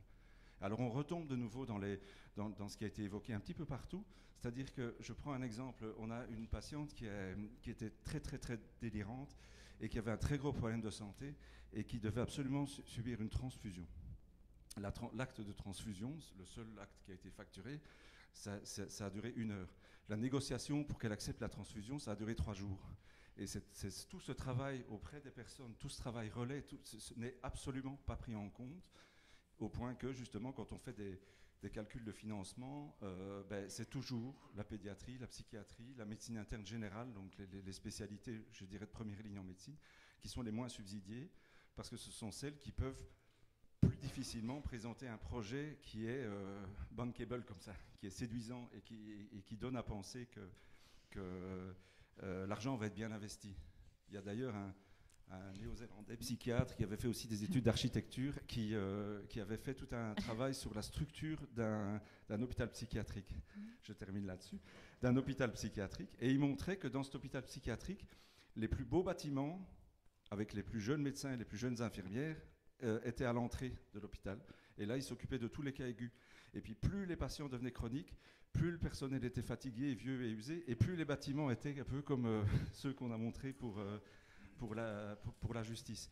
Et donc, ici aussi, en psychiatrie, donc je, répète, rajoute, je, rajoute une couche, mais j'entends qu'il y a quand même pas mal de gens motivés, enthousiastes, donc ça, c'est peut-être une, une, chance. Euh, ça ne veut pas dire que, la question était posée, ça ne veut pas dire qu'il ne faut pas avoir de projet, ça ne veut pas dire qu'il n'y a pas, on ne peut pas tenir compte de l'argent, mais ça veut dire que euh, il faut peut-être repenser les choses, mais vraiment euh, de manière éthique, je dirais, hein, et ça je laisserai la parole à, Pierre euh, pour parler de ça, mais vraiment d'un sens éthique et un souci aussi du long terme, alors qu'on est partout dans une espèce de court-termisme absolu. Et par rapport aux patients internés, là je, vous invite à revenir à deux heures, si mon exposé vous a pas saoulé, pour parler un petit peu de cette spécificité-là, et je pense qu'on pourra peut-être mm. échanger à ce sujet, sauf que j'ai comité de direction à 16h à l'hôpital à Bruxelles, donc je devrais vous quitter vers 15h30. Euh, je vous remercie. Merci.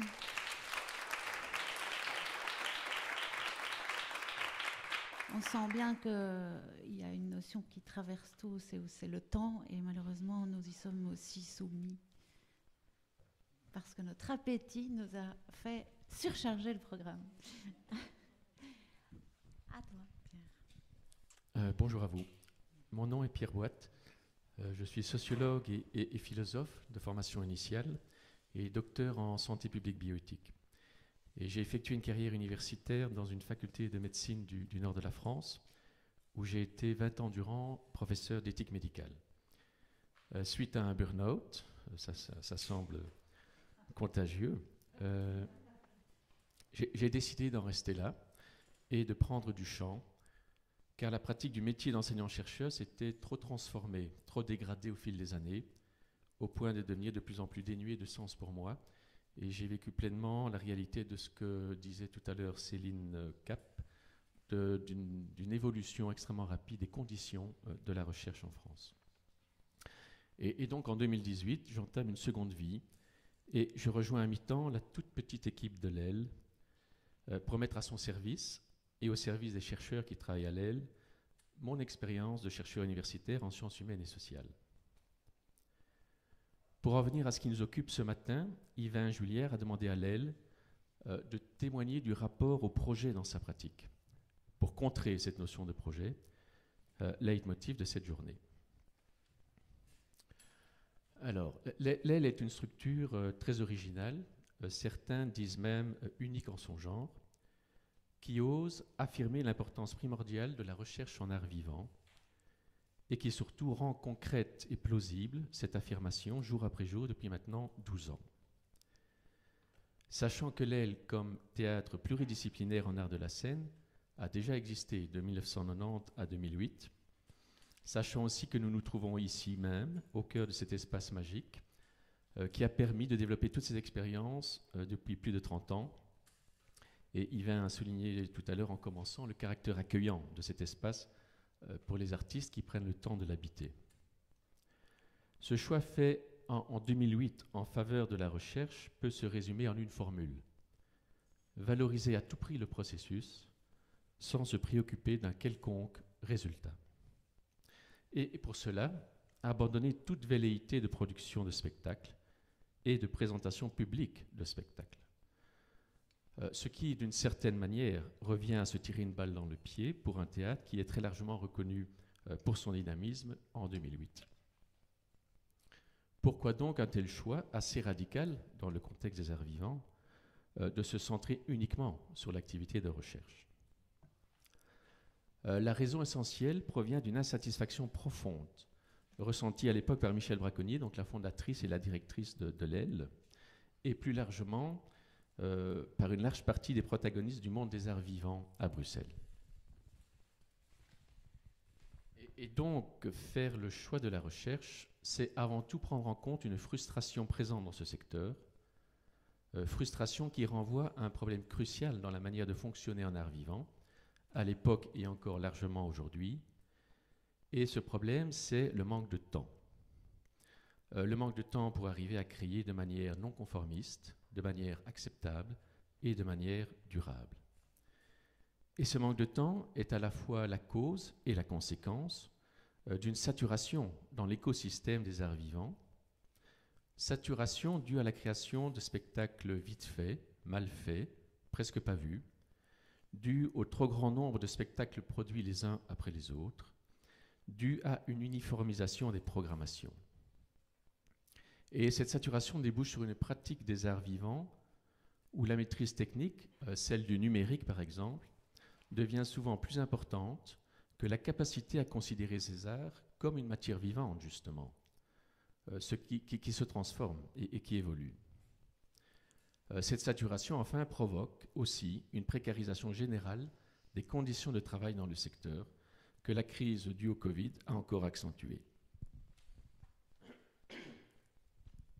Développer la recherche à l'aile a été une réponse concrète et pratique pour marquer un écart par rapport à une réalité de plus en plus globale, de plus en plus insensée aussi, à savoir une logique de production à tout va. Logique dans laquelle l'appel annuel à projet devient une manière de plus en plus répandue de financer les activités artistiques et joue un rôle majeur et négatif d'accélération permanente et sans fin du système de production de spectacles rendant très difficile toute perspective à moyen et à long terme. La réponse de l'AILE en 2008 provient donc du constat que l'environnement dans lequel travailler devenait tout simplement invivable et qu'il fallait envisager avec lucidité les conséquences, soit euh, de poursuivre plus encore dans la même logique un tantinet absurde, soit de faire un pas de côté, à la fois pour ne pas avoir à cautionner cette absurdité et pour arriver à rester suffisamment vivant dans un système plutôt mortifère. Et l'équipe de l'aile a fait le choix du pas de côté par rapport à son fonctionnement habituel, non sans un certain courage, pour approfondir en la transformant une pratique en art vivant dans laquelle un sens puisse venir s'enraciner. Comment cela? Eh bien tout simplement en s'attaquant à un problème concret, celui du temps, du temps à consacrer à la recherche en art vivant, la nécessité de disposer de temps pour créer étant de moins en moins reconnue. Nous sommes donc entrés dans un processus visant à essayer de résoudre ce problème, ce qui demande un apprentissage constant, lent, euh, souvent laborieux, inconfortable, déstabilisant, euh, très joyeux aussi à de nombreux moments. Et l'apprentissage concerne aussi bien les chercheurs qui travaillent à l'aile, en solitaire. C'est une des modalités de la recherche à l'aile, la solitude, que l'équipe de l'aile elle-même, en recherche permanente de sa propre pratique. Nous nous sommes de la sorte délibérément situés ailleurs que dans un monde régi par des projets, qui était le monde de l'aile avant 2008, et qui faisait que l'aile était en train de perdre de vue sa raison d'être initiale, accompagner la jeune création en art vivant. On l'a déjà dit et je le redis, euh, ces appels à projets fonctionnent comme de véritables injonctions à se donner des objectifs clairs, des étapes programmées pour réaliser ces objectifs dans des délais stricts, en anticipant dès le départ les prestations et les résultats attendus. Et donc on ne se trouve pas ici du tout dans un processus, mais plutôt dans une démarche où il s'agit de marcher au rythme du projet, euh, ce qui constitue un contresens total par rapport à l'expérience même de chercher, dont nous allons voir dans un moment en quoi elle consiste, en tout cas à l'aile. Par cohérence avec nous-mêmes, nous avons donc renoncé de poser la question de l'utilité des recherches et de l'utilisation des recherches qui se développent à l'aile, ainsi que celle de leur rentabilité éventuelle. Nous affirmons juste qu'en 2020, il y a plus que jamais urgence à préserver la bulle de liberté qu'est la possibilité de chercher, déliée de tout potentiel projet à faire aboutir, à terminer, à présenter à un public. Tel est notre positionnement, pour reprendre un terme euh, cher à Yvain. Vouloir autre chose que produire a débouché sur l'attitude qui nous semblait inverse et qui l'est de fait.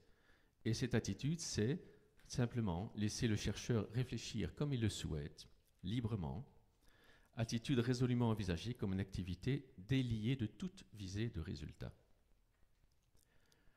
Dans une discussion à la fin de l'année dernière, Yvain affirmait que le projet, c'est une prise de contrôle. Et du coup, pourrait-on dire, ce qui ne relève pas du projet euh, pourrait être caractérisé comme une activité sauvage. Euh, non pas au sens de la sauvagerie, mais au sens justement d'une activité incontrôlable, d'une activité imprévisible. Je reprends ici les mots de Joël Zask, qui est une philosophe marseillaise aux réflexions très stimulantes, pour qui être sauvage, c'est réaliser sa personnalité et son individualité. C'est réaliser sa faculté d'être vivant, et on est vraiment au cœur de la question ici. C'est suivre des chemins qui ne sont pas prévus d'avance. Nous ne sommes pas des machines, dit-elle euh, dans cette interview au journal Le Monde.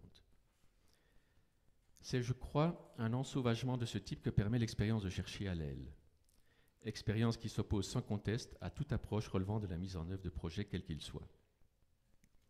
Il ne s'agit en aucun cas de trouver des solutions à des questions précises, mais bien plutôt de rendre sensible un problème, pour nous celui du manque de temps, nécessaire pour donner un sens à l'activité de créer en art vivant, et d'essayer en même temps d'avancer dans l'élaboration de réponses adéquates pour transformer ce problème, pas forcément le résoudre, tout en devenant attentif au problème suivant, qui va inévitablement surgir dans le processus de recherche qui se poursuit. Entamer une recherche à l'aile, c'est donc s'engager dans un processus mouvant, sans forme arrêtée et sans finalité clairement énoncée. On se trouve plutôt ici dans une approche de recherche fondamentale. On part de l'expérience de la personne concernée, on lui donne du temps, il n'y a pas de question de départ trop précise, juste un thème général qui peut se transformer au, fil du temps si besoin est. On va peut-être trouver quelque chose ou rien, et peu importe. J'aime beaucoup à cet égard l'idée défendue euh, dans une interview à la Libre Belgique par la nouvelle rectrice de l'ULB, Annemie Schoss, à savoir celle d'action blanche euh, en matière de recherche, qui consisterait à prendre des risques en finançant des équipes de recherche sans leur demander de compte pendant cinq ans. Une sorte de nirvana, je pense, pour le, chercheur universitaire. Et, quelqu'un qui entame une recherche à l'aile commence de fait une sorte d'action blanche, sans aucune obligation de résultat, qui constitue une vraie prise de risque, et pour le chercheur et pour l'aile. La période de cinq ans n'est pas loin de correspondre à la durée d'une recherche à l'aile, autour de 3-4 ans, même si certains la dépassent allègrement, et ce fut le cas pour Yvain à raison de quatre résidences par an, chacun de 15 à 21 jours. Euh, chacune de 15 à 21 jours. Le chercheur à l'aile étant rémunéré par l'équivalent d'une bourse de recherche universitaire, euh, chaque journée de travail étant payée. Un autre point important est que les artistes qui candidatent à l'aile ne doivent pas avoir plus de deux productions professionnelles à leur actif, propres. Euh, c'est pour nous une garantie à l'engagement en recherche d'artistes-chercheurs non encore intégrés à des structures existantes ou à des projets en cours.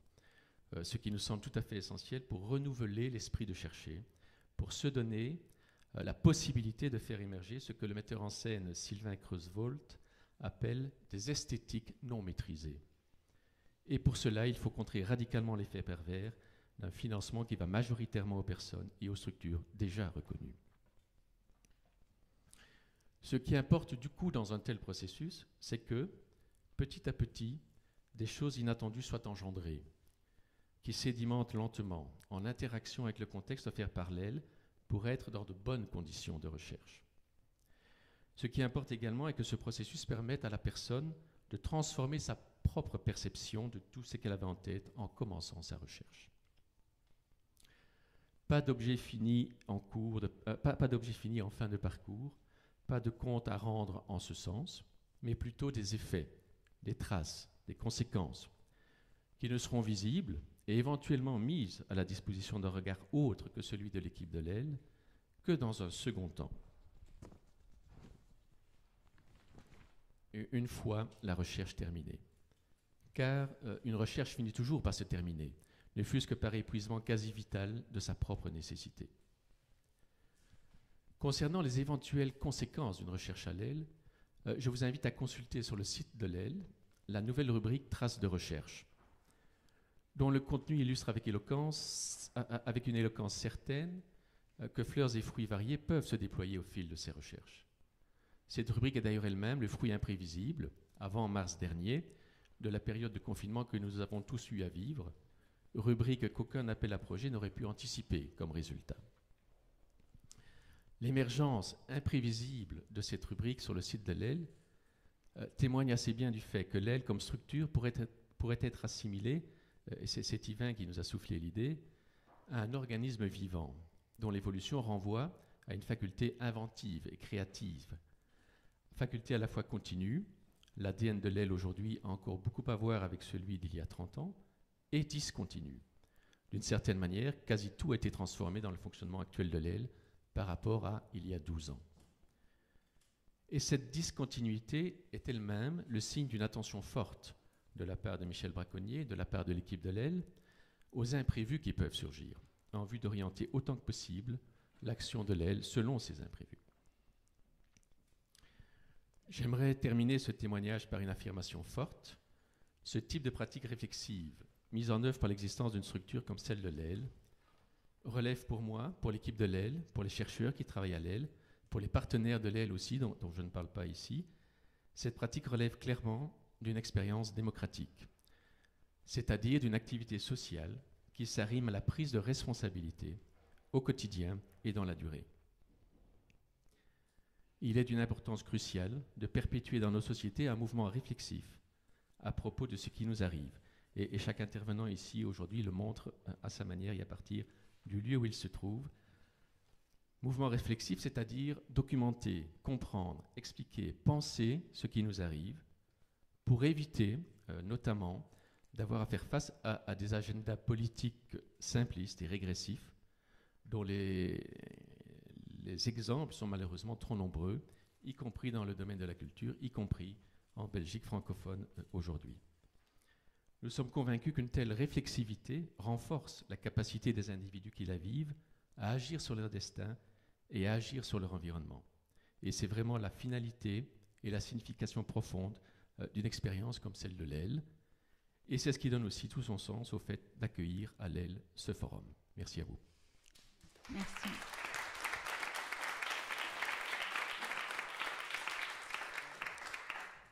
Juste encore un petit mot. Ceux qui le souhaitent pourront prendre sur le bar à la sortie un livre de Laurent Ancion qui s'appelle À la recherche, qui a été publié à l'occasion des 25 ans de l'AILE, il y a maintenant 5 ans, et qui reste extrêmement intéressant pour comprendre, même si les choses ont évolué en 5 ans, euh, pour comprendre ce qu'il en est euh, de l'AILE. Ce livre est distribué gratuitement parce qu'il nous semble aussi essentiel euh, de transmettre ce qu'il en est de cette expérience et, faire en sorte qu'elle puisse éventuellement germer ailleurs. Ok, merci Pierre. Ça me donne l'occasion de remarquer que le positionnement divin qui a permis à ce forum de rebondir et de quitter les martyrs pour arriver à l'aile est quand même euh, euh, fantastique en termes de sens. Et maintenant, j'accueille Mathieu Van Kriekingen, chercheur, enseignant à l'ULB et membre du collectif Les Des Excellents. Bonjour à, toutes et à tous. Oui, donc euh, je suis tout seul, mais je parle au nom d'un groupe, un collectif, le collectif donc des des excellents et des excellentes. Donc on n'est pas nombreux, on est une vingtaine. Euh, profs euh, à l'ULB essentiellement, mais aussi ou dans d'autres universités belges francophones. On est tous occupés à temps plein, on est tous nommés à, titre définitif, donc on n'est pas un collectif de, statut précaire. Hein on a cette chance-là. Et euh, ce qui, euh, on existe depuis une dizaine d'années environ.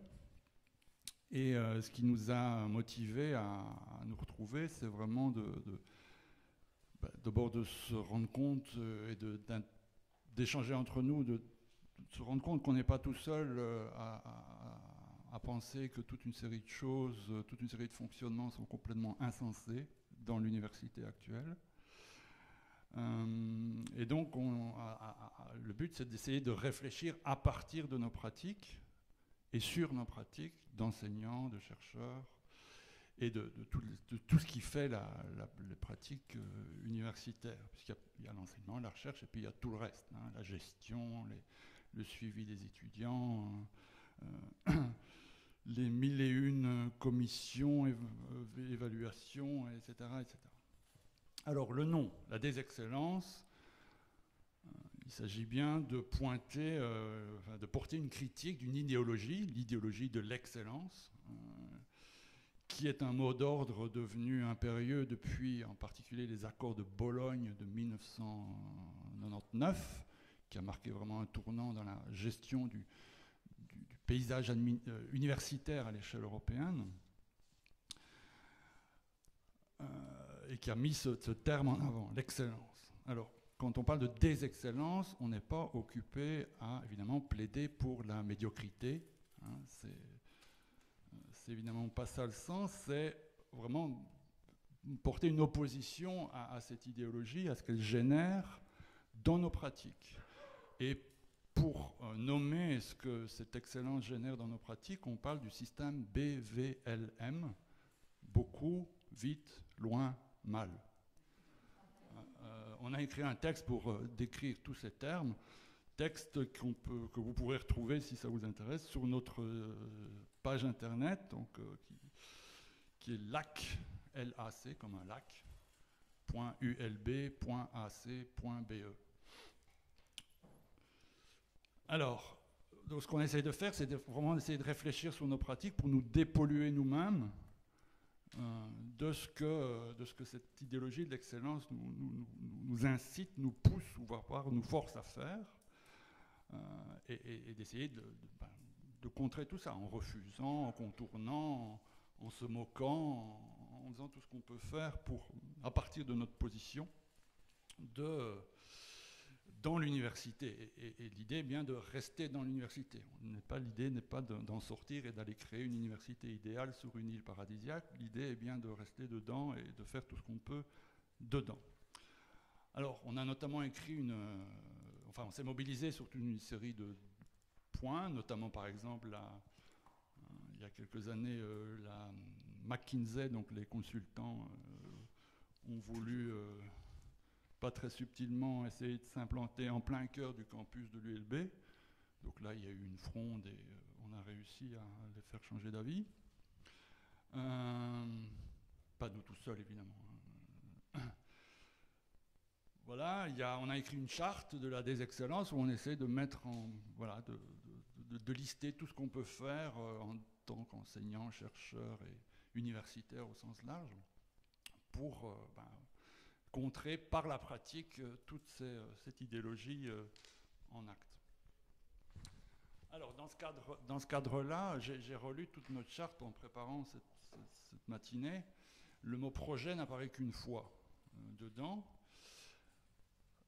Parce que je dis, et c'est pas, pas tout à fait étonnant.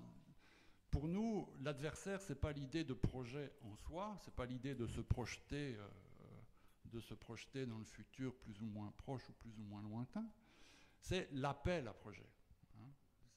Et c'est plus que l'appel à projet, c'est le principe qui sous-tend l'appel à projet, c'est-à-dire le principe d'allocation compétitive des ressources. Allocation compétitive des ressources, euh, c'est-à-dire le financement par la mise en compétition des chercheurs, des universitaires entre eux, entre elles. Donc, comme ça a déjà été dit euh, pour le cas français, mais c'est très similaire en Belgique, il y a des financements pérennes, des financements sur projet, donc compétitifs. Le constat est que les financements compétitifs sur projet ne font qu'augmenter, leur part en fait ne fait qu'augmenter, tandis que la part du pérenne ne fait que diminuer.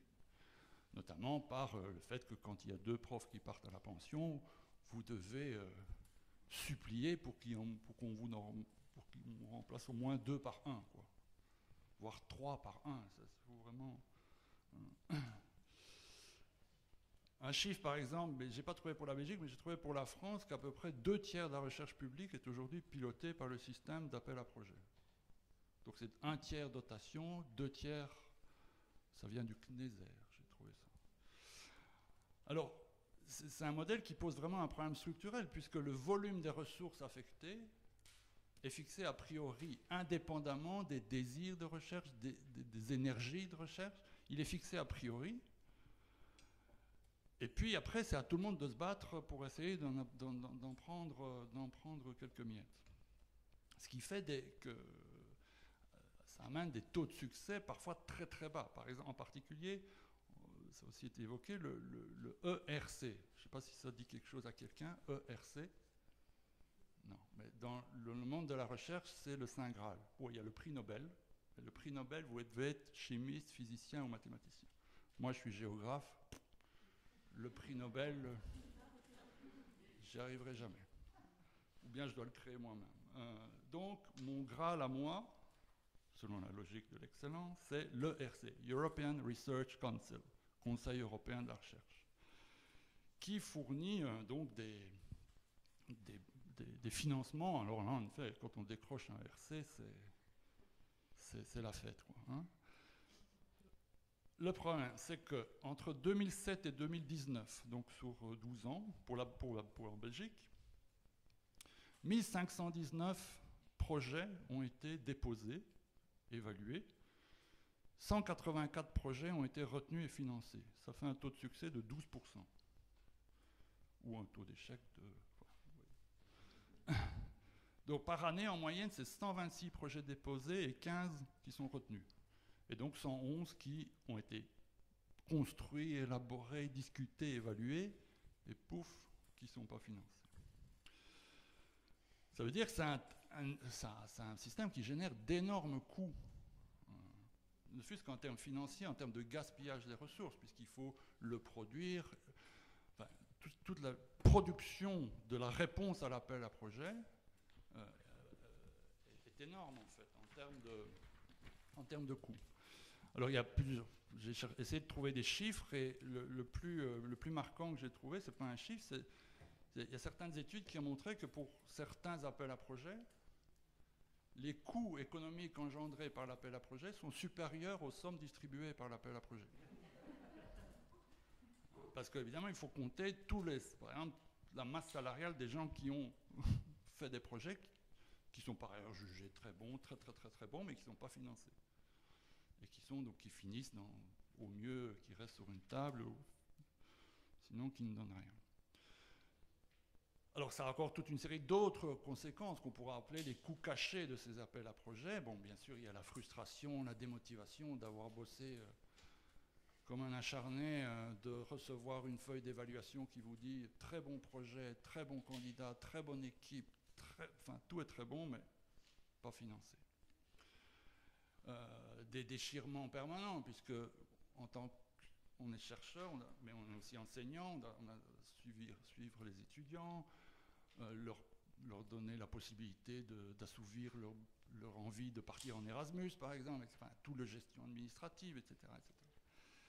Plus, et donc ça peut aussi mener euh, à des burn-out qui ne sont pas si, rares que ça, même s'ils sont n'y a aucun chiffre, il n'y a aucun chiffre sur les burn-out à l'université, mais croyez-moi, ils ne sont pas si rares que ça.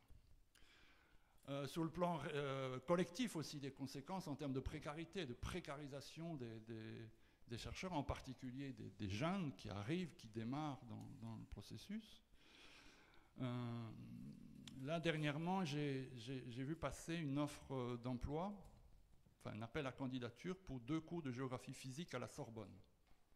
Sorbonne, ça a quand même un certain prestige.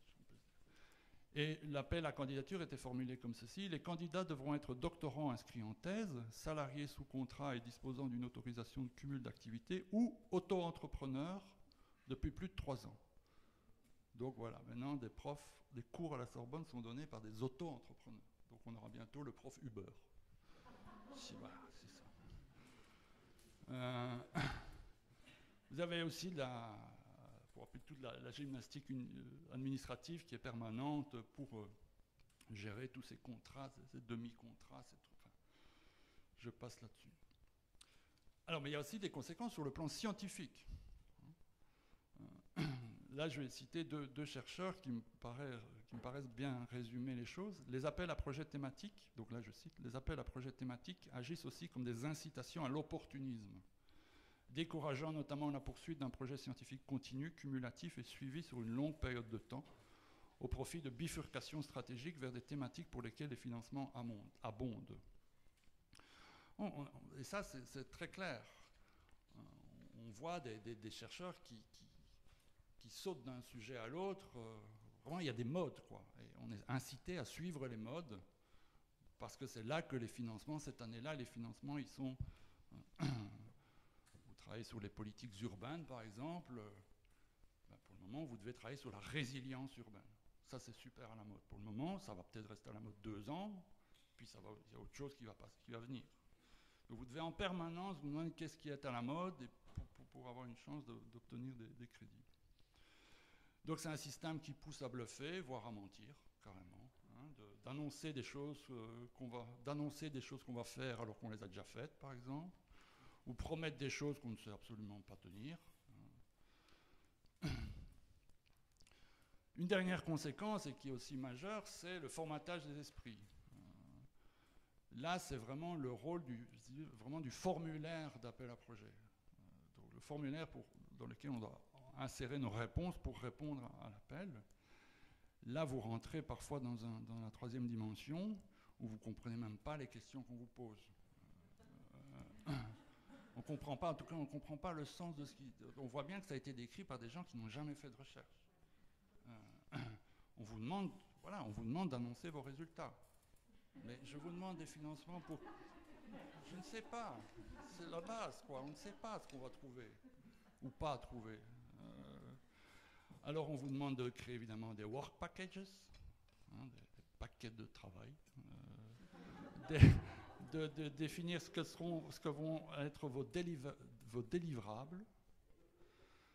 Et alors, euh, plus pernicieux, c'est euh, la valorisation sociétale. Parce que là, évidemment, il faut que votre recherche ait une valeur sociétale, une valeur scientifique, mais aussi une valeur sociétale. C'est-à-dire, comment vos résultats vont-ils rendre service à la société? Euh, Comment vont-ils créer de la valeur pour les Bruxellois Ici, c'est un, formulaire bruxellois. On ne sait pas de quel Bruxellois on parle. Hein. on parle de créer de la valeur pour le Bruxellois. Euh, ou bien comment vos résultats vont contribuer au développement socio-économique de la région de Bruxelles-Capitale. Donc en fait, en, lisant tout ça, on a quand même souvent l'impression que ce qu'on doit faire, c'est en quelque sorte soulager les angoisses des bailleurs de fonds, qui nous disent, ah, on va vous donner, mais vraiment, vraiment, rassurez-nous, quoi, que vous allez vraiment faire quelque chose de sérieux, etc., etc., etc. Donc, pour, pour, pour, terminer et peut-être répondre à une des questions que j'ai entendu passer, quel est, quel est le sens de tout ça, en fait? À notre avis, euh, le, sens de, ce, pilotage par l'allocation compétitive des ressources, c'est vraiment amener la recherche publique à adhérer aux logiques et aux valeurs de la compétition marchande. De se définir soi-même en tant que chercheur en compétition avec les autres chercheurs.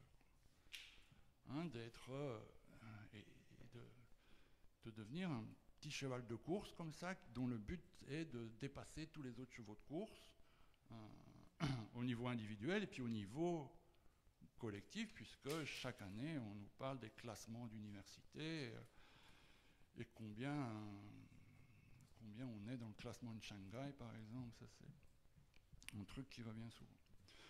Et donc il ne s'agit pas d'empêcher la recherche, il s'agit de l'orienter selon ce principe de la compétition, de la formater selon ce principe de la compétition, avec tous les effets euh, dont, je viens, de parler. Et, donc la, réponse qu'on essaie d'apporter en termes du collectif des, excellences, c'est que ben, d'abord c'est de dire on n'est pas obligé d'adhérer. On n'est pas obligé d'adhérer. On peut, on peut penser que c'est débile de, de, se penser en termes de compétition les uns avec les autres. Et que, déjà ça, ça peut déjà être, enfin déjà ça c'est un, premier pas vers, euh, après se poser toutes les autres questions, de comment peut-on faire dans, nos pratiques euh, journalières, je dirais, habituelles, euh, comment, ben, comment contrer tout ça et ne pas reproduire, ne pas, ou, essayer en tout cas de limiter les, effets, même si bien sûr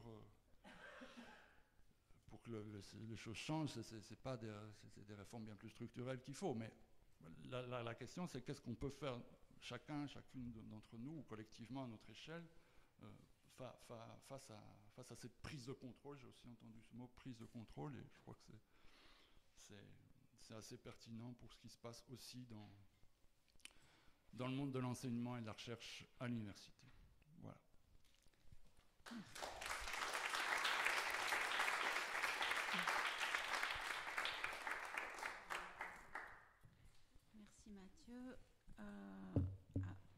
Passer maintenant à une intervenante qui est sur Skype. Euh, j'injecte une petite question pour l'aile euh, sur euh, parce qu'en fait il y a aussi quelque part une compétition pour accéder à ce Graal d'être chercheur à l'aile et donc sur la question de, de l'évaluation des demandes et du choix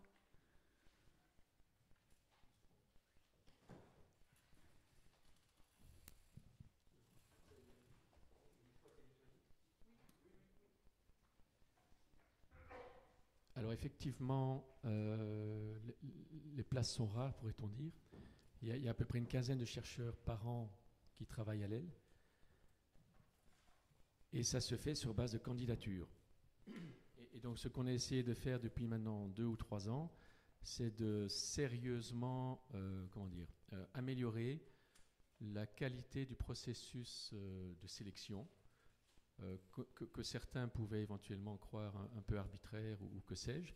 Et donc, il y a un formulaire de candidature qui est mis en ligne d'ailleurs sur le site, vous pouvez aller le, lire si vous voulez.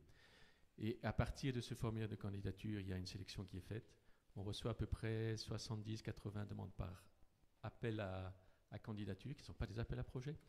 Euh, par appel à candidature, il y en a quelques-uns, 3, 4, 5 en fonction des, des, années, peut-être 10 parfois, qui sont retenus. Et parfois moins parce qu'il parce qu'il n'y a pas suffisamment, les, les, dossiers ne sont pas suffisamment intéressants. Donc voilà, c'est un peu un, effectivement une contradiction, mais qui est relativement inévitable dans la mesure où les moyens sont, sont limités aussi euh, euh, pour nous. Merci.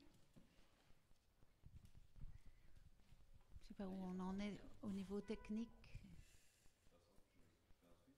Est-ce que je peux encore injecter une question?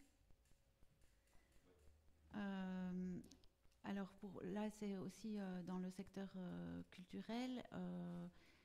Euh, une question et peut-être que Paul Bourveur qui, qui, qui, euh, euh, qui, qui, fera partie des artistes qui vont conclure cette journée pourra peut-être aussi l'avoir en tête, c'est comment réfléchir à d'autres pratiques de subventionnement afin d'être réellement à l'écoute du secteur. Pardon?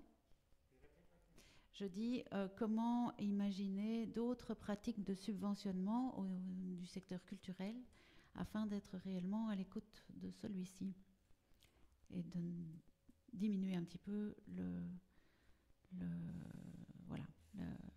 les tensions dont, on parle pour l'instant, sachant qu'évidemment euh, la culture est toujours soumise aux politiques culturelles, en tout cas en partie, en grande partie.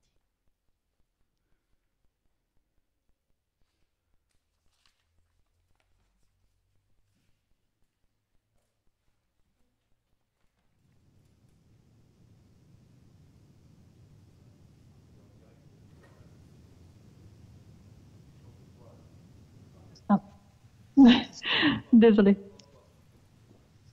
Ok, super. Bonjour tout le monde. Ah. Malheureusement, je ne vous vois pas, mais je vais essayer de m'imaginer ce qui se passe. Donc, ça, va. Euh, merci Yvan de m'avoir euh, invité pour cette intervention. Euh, je m'appelle Ioana Matei, je suis en charge de l'innovation euh, chez Procter Gamble, qui est euh, la plus grosse boîte multinationale de euh, consumer goods. Désolée, je vais alterner en français anglais. Mon français, n'est pas génial. Et je suis en charge de l'innovation dans le domaine de la réalité virtuelle, la réalité augmentée. en plus de ça, je suis réalisatrice et productrice de films et aussi d'expériences virtuelles. J'ai une ONG qui s'appelle euh, Women in Immersive Technology qui euh, supporte euh, les, les, femmes dans le domaine de, de, de l'entreprise immersive. Et je fais part de jury et je coach des startups et j'ai aussi mon festival de réalité virtuelle dans ce domaine immersif. J'ai préparé quelques petits points sur le sujet que Yvan avait et je pense que euh, ce que je peux vous donner comme perspective, c'est euh, un, comment l'innovation se passe dans une grosse boîte multinationale et je fais partie de ce groupe d'innovation aussi. Euh, deux, si les gens sont intéressés, je veux parler aussi comment les startups approchent l'innovation et comment ce monde-là se manifeste. J'ai aussi beaucoup de contacts avec le monde des startups technologie et euh, par mon, mon NGO aussi. Et j'ai aussi eu l'expérience d'appel de projet mais intéressant d'appel de projet créatif, mais avec un côté euh, technologique assez innovant, euh, qui remet en question un petit peu euh, comment on s'organise dans ce monde où la technologie évolue très très vite. Donc, je vais partager ces points-là. Et s'il y a possibilité d'un dialogue, ce serait génial. Mais je vais aller par, par, ces, trois points. Donc, pour dans le domaine de l'entreprise, et euh, je parle ici de grosses boîtes multinationales, euh, je pense qu'il y a eu une évolution euh, justement d'adaptation du process créatif de l'innovation individuelle et en équipe avec euh, les euh, moyens et les process euh, de l'innovation. Je m'explique, par exemple, dans le domaine de l'information, information technology, avant, quand on construisait des projets, il y avait une méthodologie. Donc, on avait le process créatif, donc tout ce qui est comprendre le projet, qu'est-ce qui se passe, euh, quelle est l'idée et comment on veut le faire évoluer et l'implémenter. Et ce process-là était très linéaire. On l'appelait un waterfall approach, donc euh, comme une cascade. Donc on partait d'une idée et puis jusqu'à la fin, on ne s'arrêtait pas jusqu'à ce qu'on avait un produit implémenté à présenter aux utilisateurs.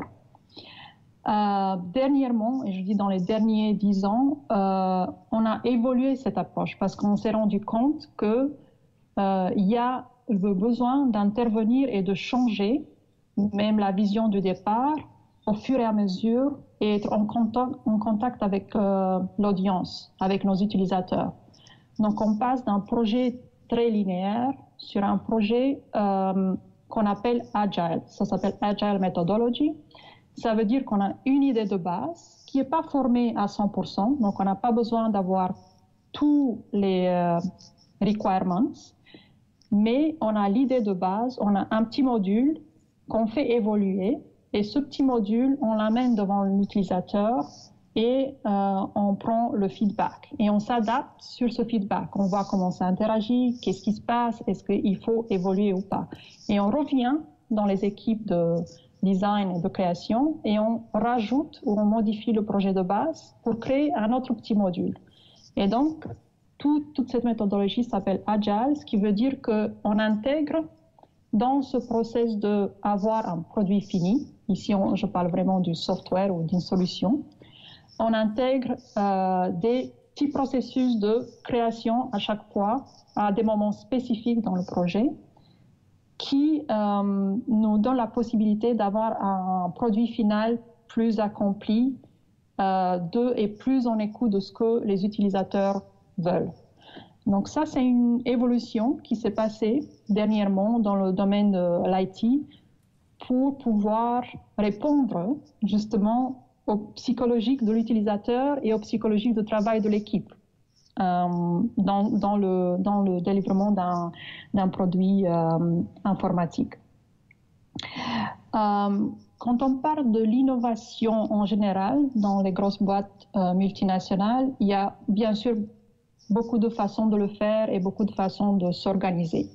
Donc ça dépend vraiment de la culture de la boîte en termes d'innovation et de la flexibilité qu'on veut rendre aux équipes pour réaliser ces innovations. Euh, si vous voulez, d'après moi, il y a trois moyens, d'après ce que j'ai vu dans plusieurs autres boîtes, et je parle ici encore de grosses boîtes multinationales, on va revenir sur les startups. Euh, donc, il y a euh, des boîtes qui s'organisent et d'avoir des groupes d'innovation avec, bien sûr, des projets sur un service ou un business process existant. Euh, par exemple, si je prends l'exemple du théâtre, j'essaie de, de faire une connexion avec le milieu du théâtre.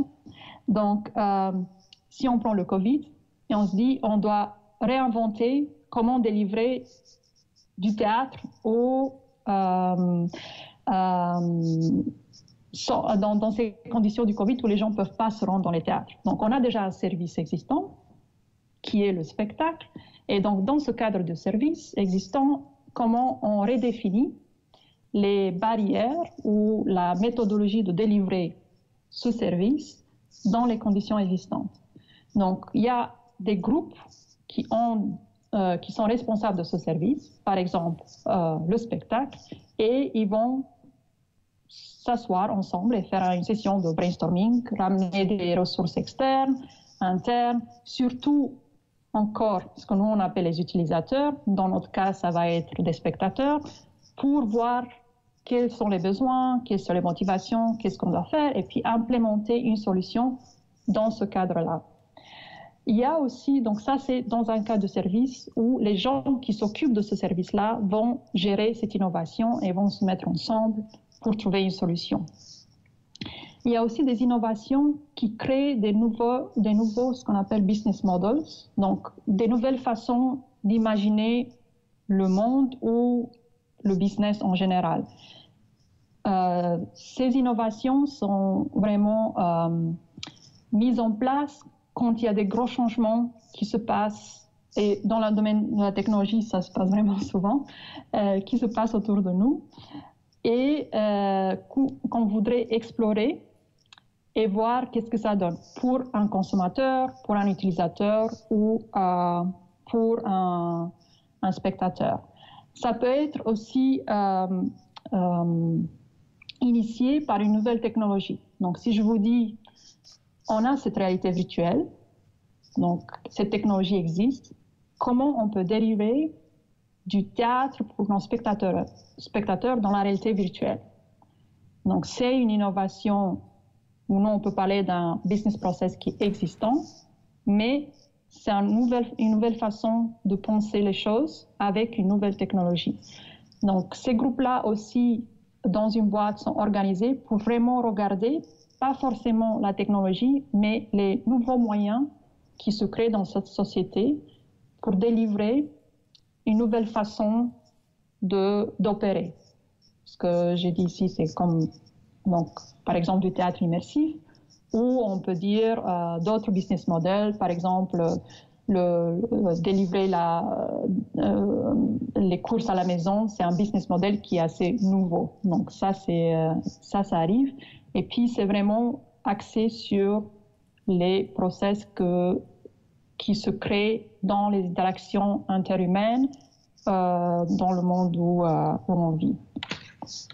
Et euh, il y a un troisième, si vous voulez, euh, moyen de, euh, de concevoir l'innovation, nous on appelle upstream innovation c'est vraiment euh, regarder toutes les nouvelles technologies, encore de mon point de vue technologique, mais ça peut être dans n'importe quel domaine, mais qui sont d'ici 10 ans, par exemple. On sait qu'il y a une recherche et pour cela, on collabore beaucoup avec les universités, justement, parce que les universités ont cette flexibilité et euh, cette liberté de regarder vraiment très, très loin, de se dire, ben, dans 10 ans, euh, on sait que euh, porter des lunettes et voir la réalité augmentée, ça va être un fait.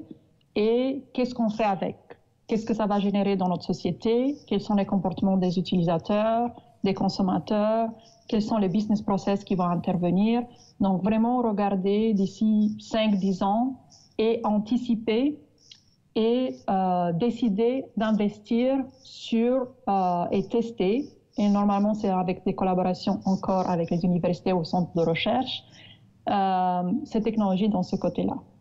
Donc, si, je, si on revient sur cet aspect projet-innovation, il faut se dire que l'innovation, c'est un, bien sûr, c'est un terme assez complexe, mais euh, il peut être cadré d'une façon plus ou moins restrictive en fonction de ce qu'on essaie de concevoir. Ça va ou? Oui. Parfait. Merci. euh, pour les startups, euh, l'innovation est différente parce qu'en elle-même, c'est une innovation. Donc, normalement, les startups, par définition, c'est un cœur innovatif. Elles, sont là pour une idée très, très, très spécifique et euh, elles, sont, euh, ont beaucoup plus de flexibilité euh, d'aller voir et d'aller chercher des idées innovatives. Une fois qu'ils ont cette idée, elles vont aller vendre cette idée pour avoir des fonds. Et donc, ça se passe euh, dans des venture capitalist meetings et tout ça. Donc, c'est assez euh, intéressant de voir les évolutions de start-up. Et une fois qu'elles ont atteint un, une maturité, euh, il y a trois options pour les startups. Ou elles deviennent une compagnie à part, donc elles peuvent poursuivre leurs idées innovatives et la pousser plus loin pour devenir un service restant, ou elles peuvent être achetées ou pour leurs idées innovatives ou juste pour l'équipe qui, qui a mené ces innovations parce qu'ils ont des connaissances assez spécifiques. voilà, je vais m'arrêter ici pour l'instant. C'est un petit peu très, technique. Super. Est-ce que on attend des questions, Yvan. D'accord. Ok, je.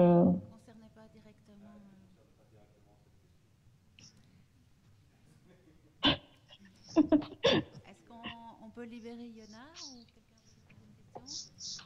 Ah, on a une question ici. Tu, tu, peux la dire à Yvan.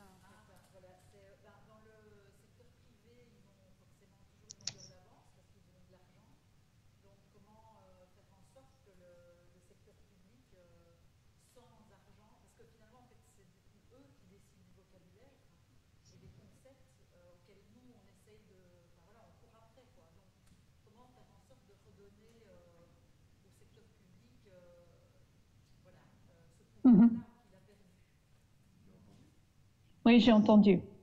Euh, je pense qu'il y a deux dynamiques euh, et je reviens à mon exemple d'appel de, fonds aussi pour des projets de création. Donc, on est passé par un appel de fonds pour des projets, projets de création dans la réalité virtuelle.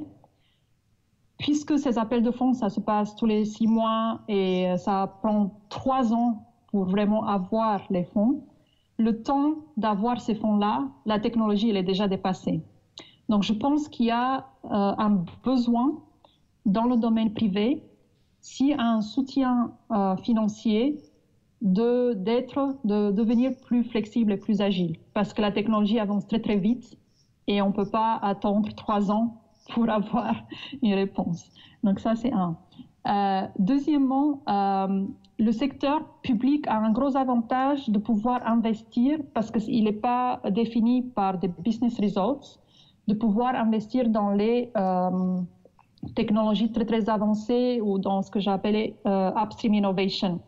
Parce qu'on a la liberté de penser vraiment très très stratégiquement de ce qui se passe dans le futur et collaborer avec l'industrie privée qui a de l'argent et qui est capable d'investir là-dedans on, parle ici d'une contrainte de manque de fonds.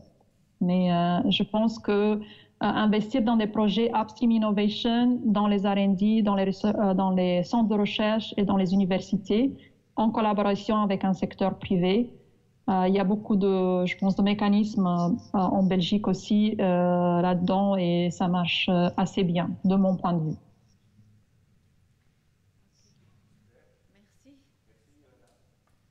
Merci à vous. Je vous suis sur YouTube, mais euh, pour.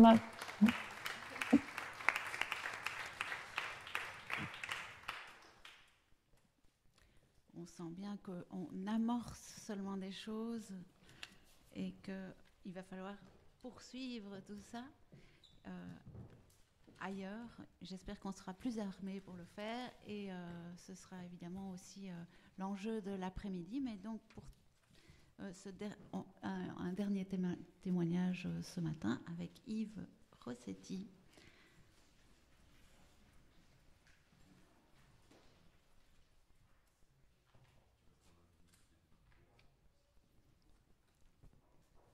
Dernier témoignage, et puis après on aura une conclusion de la matinée par Émilie qui l'avait entamée. Comme je suis le, comme je suis le troisième euh, chercheur à, parler, je vais pouvoir être plus bref que ce que j'avais prévu. Ça tombe bien pour le petit retard qu'on a. Euh, J'étais euh, très impressionné par le professionnalisme des, excellents, par leur excellence, on va dire. Et donc, il y a des tas de choses qui me venaient à l'esprit de dire que je, que, je, que je, ne mentionnerai pas et je me, je me limiterai simplement à approuver ce qu'il vient de dire et d'applaudir à ça. Il y, a, il y a simplement quelques petites remarques que, j'aimerais ajouter moi personnellement, c'est euh, par rapport à cette notion de, compétition, distribution compétitive, ça entraîne, c'est pas que la distribution qui est compétitive, c'est la compétition entre les gens. On voit d'ailleurs, pour, reprendre toujours le, le thème préféré d'actualité, la Covid, qui a plus de compétition entre les pays, les structures, même parfois à l'intérieur d'un pays pour développer des vaccins, etc., que de collaboration internationale, ce qui est effarant, humainement parlant. Et, cette compétition, elle va induire euh, différentes choses. Elle va induire une pression entre les gens, donc euh, cette compétition pression. Donc il y a des gens, ça, amène une, augmentation croissante du nombre de falsifications dans le domaine scientifique, parce que euh, comment on fait pour être sélectionné dans les appels d'offres? On est sélectionné parce qu'on a des publications, et donc il faut publier. Et donc il faut publier pour certains, à tout prix, ça veut dire être prêt à euh, éliminer les choses qui ne marchent pas dans l'expérience pour garder que ce qui marche, etc. etc. Il, y a, de multiples façons plus ou moins, euh, on va dire, plus ou moins passives ou plus ou moins actives de, falsifier les données. Euh, ça va induire également une sélection de thèmes qui vont de, réaliser des expériences, des expérimentations, des projets de recherche à court terme et des projets qui vont donner des résultats. C'est-à-dire on va faire des choses dont on est sûr qu'elles marchent parce qu'au bout du compte, on aura une publication et ça va permettre de rentabiliser l'effort et d'augmenter son dossier pour obtenir plus de choses. Et quand on fait des choses dont on est sûr qu'elles marchent, c'est plus de la recherche. Puisque c'est comme si on savait déjà ce qui va se passer. J'exagère un petit peu, mais, mais la tendance est, beaucoup plus dans cette confirmation. C'est-à-dire une fois qu'on a fait une expérience qui marche dans telle condition, on peut l'essayer dans une condition un petit peu différente, puis dans une autre condition un petit peu différente. On peut regarder ici un centimètre en arrière dans le cerveau, ça fait pareil.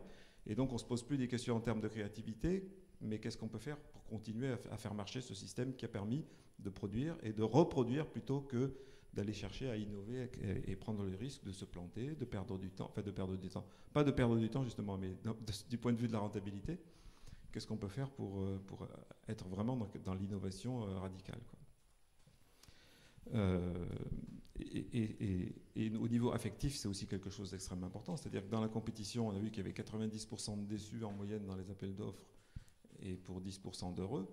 Alors que lorsqu'on est dans un réel processus de créativité, normalement tout le monde doit être heureux et, avoir du plaisir à participer à ce processus de créativité. Donc je pense que ça contribue aussi à, déterminer vraiment une humeur de l'ensemble du corps des chercheurs qui va être fondamentalement différente selon les deux modèles. Et en bref, euh, cette notion de compétitivité, elle nous rapproche euh, du coup du modèle industriel, bien sûr. Et on nous incite d'ailleurs, scientifiques, à développer le plus possible des collaborations, d'essayer de, de, déposer des brevets, des startups, des machins, même si ça ne sert pas à grand-chose. On sait que, je ne sais pas combien par contre, de startups se cassent la figure au bout de, trois ans. Mais on nous incite à aller toujours vers ce modèle de la compétitivité, vers ce modèle de la productivité, vers ce modèle industriel. Voilà.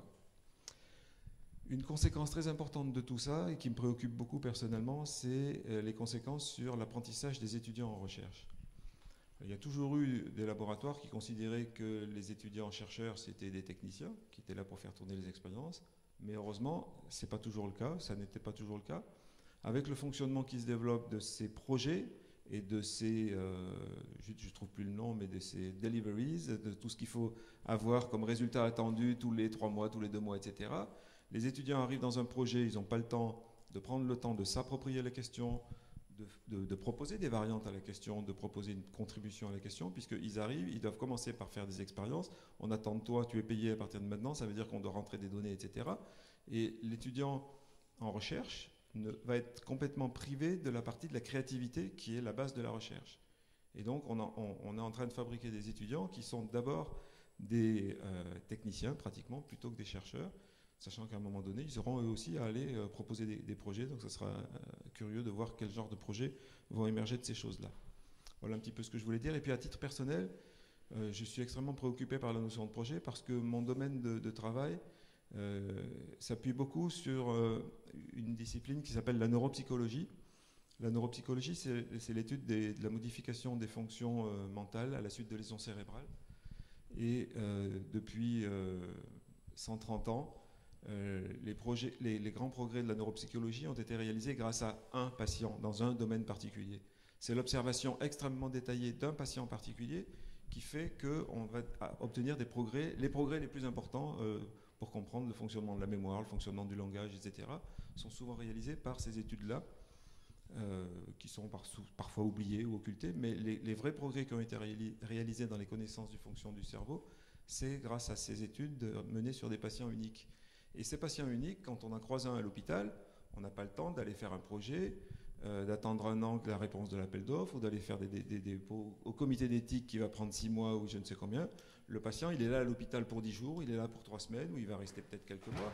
Euh, et, si on veut voir dans l'état où il est à l'instant T, qu'est-ce qui se passe, on est bien obligé d'improviser, d'innover tout de suite et d'être réactif à sa façon de, se comporter dans un test et de dire ah tiens il a fait ça, et ben demain je vais lui proposer de, regarder dans telles conditions comment ça va se passer, etc.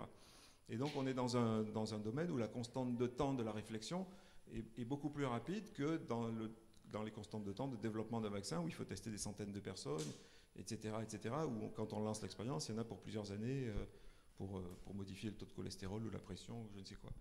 Donc ça, personnellement, du coup, je, alors j'ai la chance que dans ce domaine de la neuropsychologie, très souvent, l'expérimentation est pas chère, donc je peux me contenter de travailler essentiellement avec des fonds récurrents.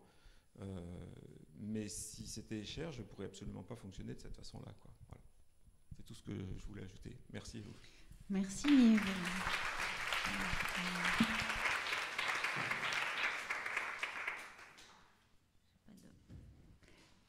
Émilie, une petite conclusion de cette matinée?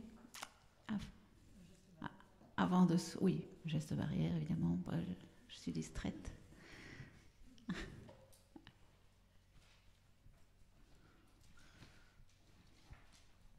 Bonjour.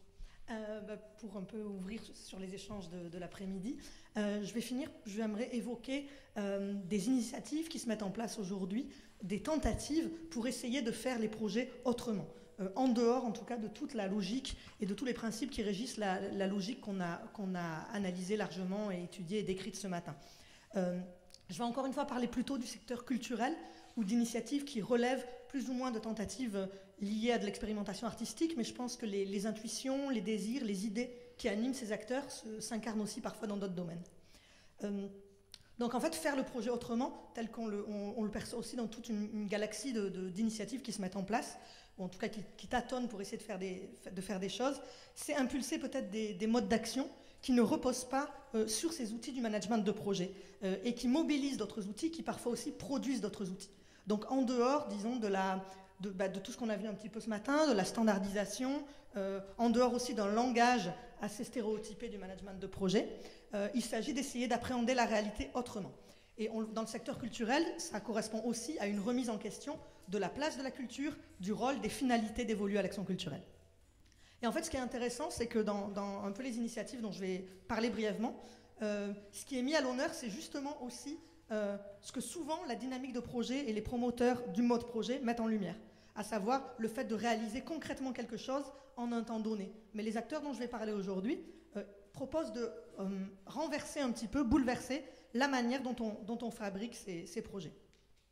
Donc c'est une, galaxie d'initiatives qui est extrêmement diverse et hétérogène, euh, mais qui se nourrissent souvent euh, à des sources d'inspiration et des univers et des pratiques qui parfois s'entrecroisent et qu'on n'imaginerait pas forcément se, se, rencontrer, et qui vont qui, déplace un petit peu les, sources d'inspiration et les univers qu'on a vus à l'œuvre aujourd'hui dans les, types de projets qui ont été pensés, qui sont donc des, imaginaires qui relèvent par exemple de la start-up, comme on l'a vu, ou de, ou de, l'entreprise privée, euh, de l'ingénierie, etc.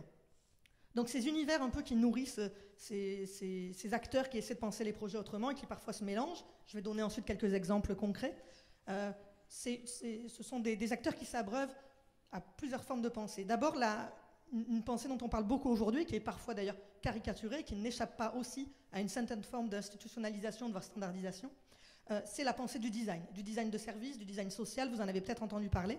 Donc l'idée en fait des, designers de service, c'est de s'inspirer euh, du mode de pensée euh, du design, donc du design à l'origine d'objets, pour penser des, pour, pour comment dire, pour faire des projets, pour accompagner des projets autrement, en s'inspirant du mode de pensée des designers qui consiste non pas à donner des solutions et à résoudre des problèmes, mais à déplacer les questions. Donc une image qui est souvent utilisée par ces, agences de design, de service, c'est qu'en gros, si le commanditaire, son, projet, c'est de faire un canapé, bah, le designer de service, il ne va pas venir et faire un canapé, il va essayer de voir ce qu'il y a derrière, de, déplacer les questions et d'essayer de comprendre ce qu'il y a, le, désir de faire un canapé, pour essayer de voir qu'en fait, le besoin, c'est peut-être pas faire un canapé, mais c'est peut-être s'asseoir. Et s'asseoir, qu'est-ce qu'il y a derrière s'asseoir, qu'est-ce que ça veut dire, etc.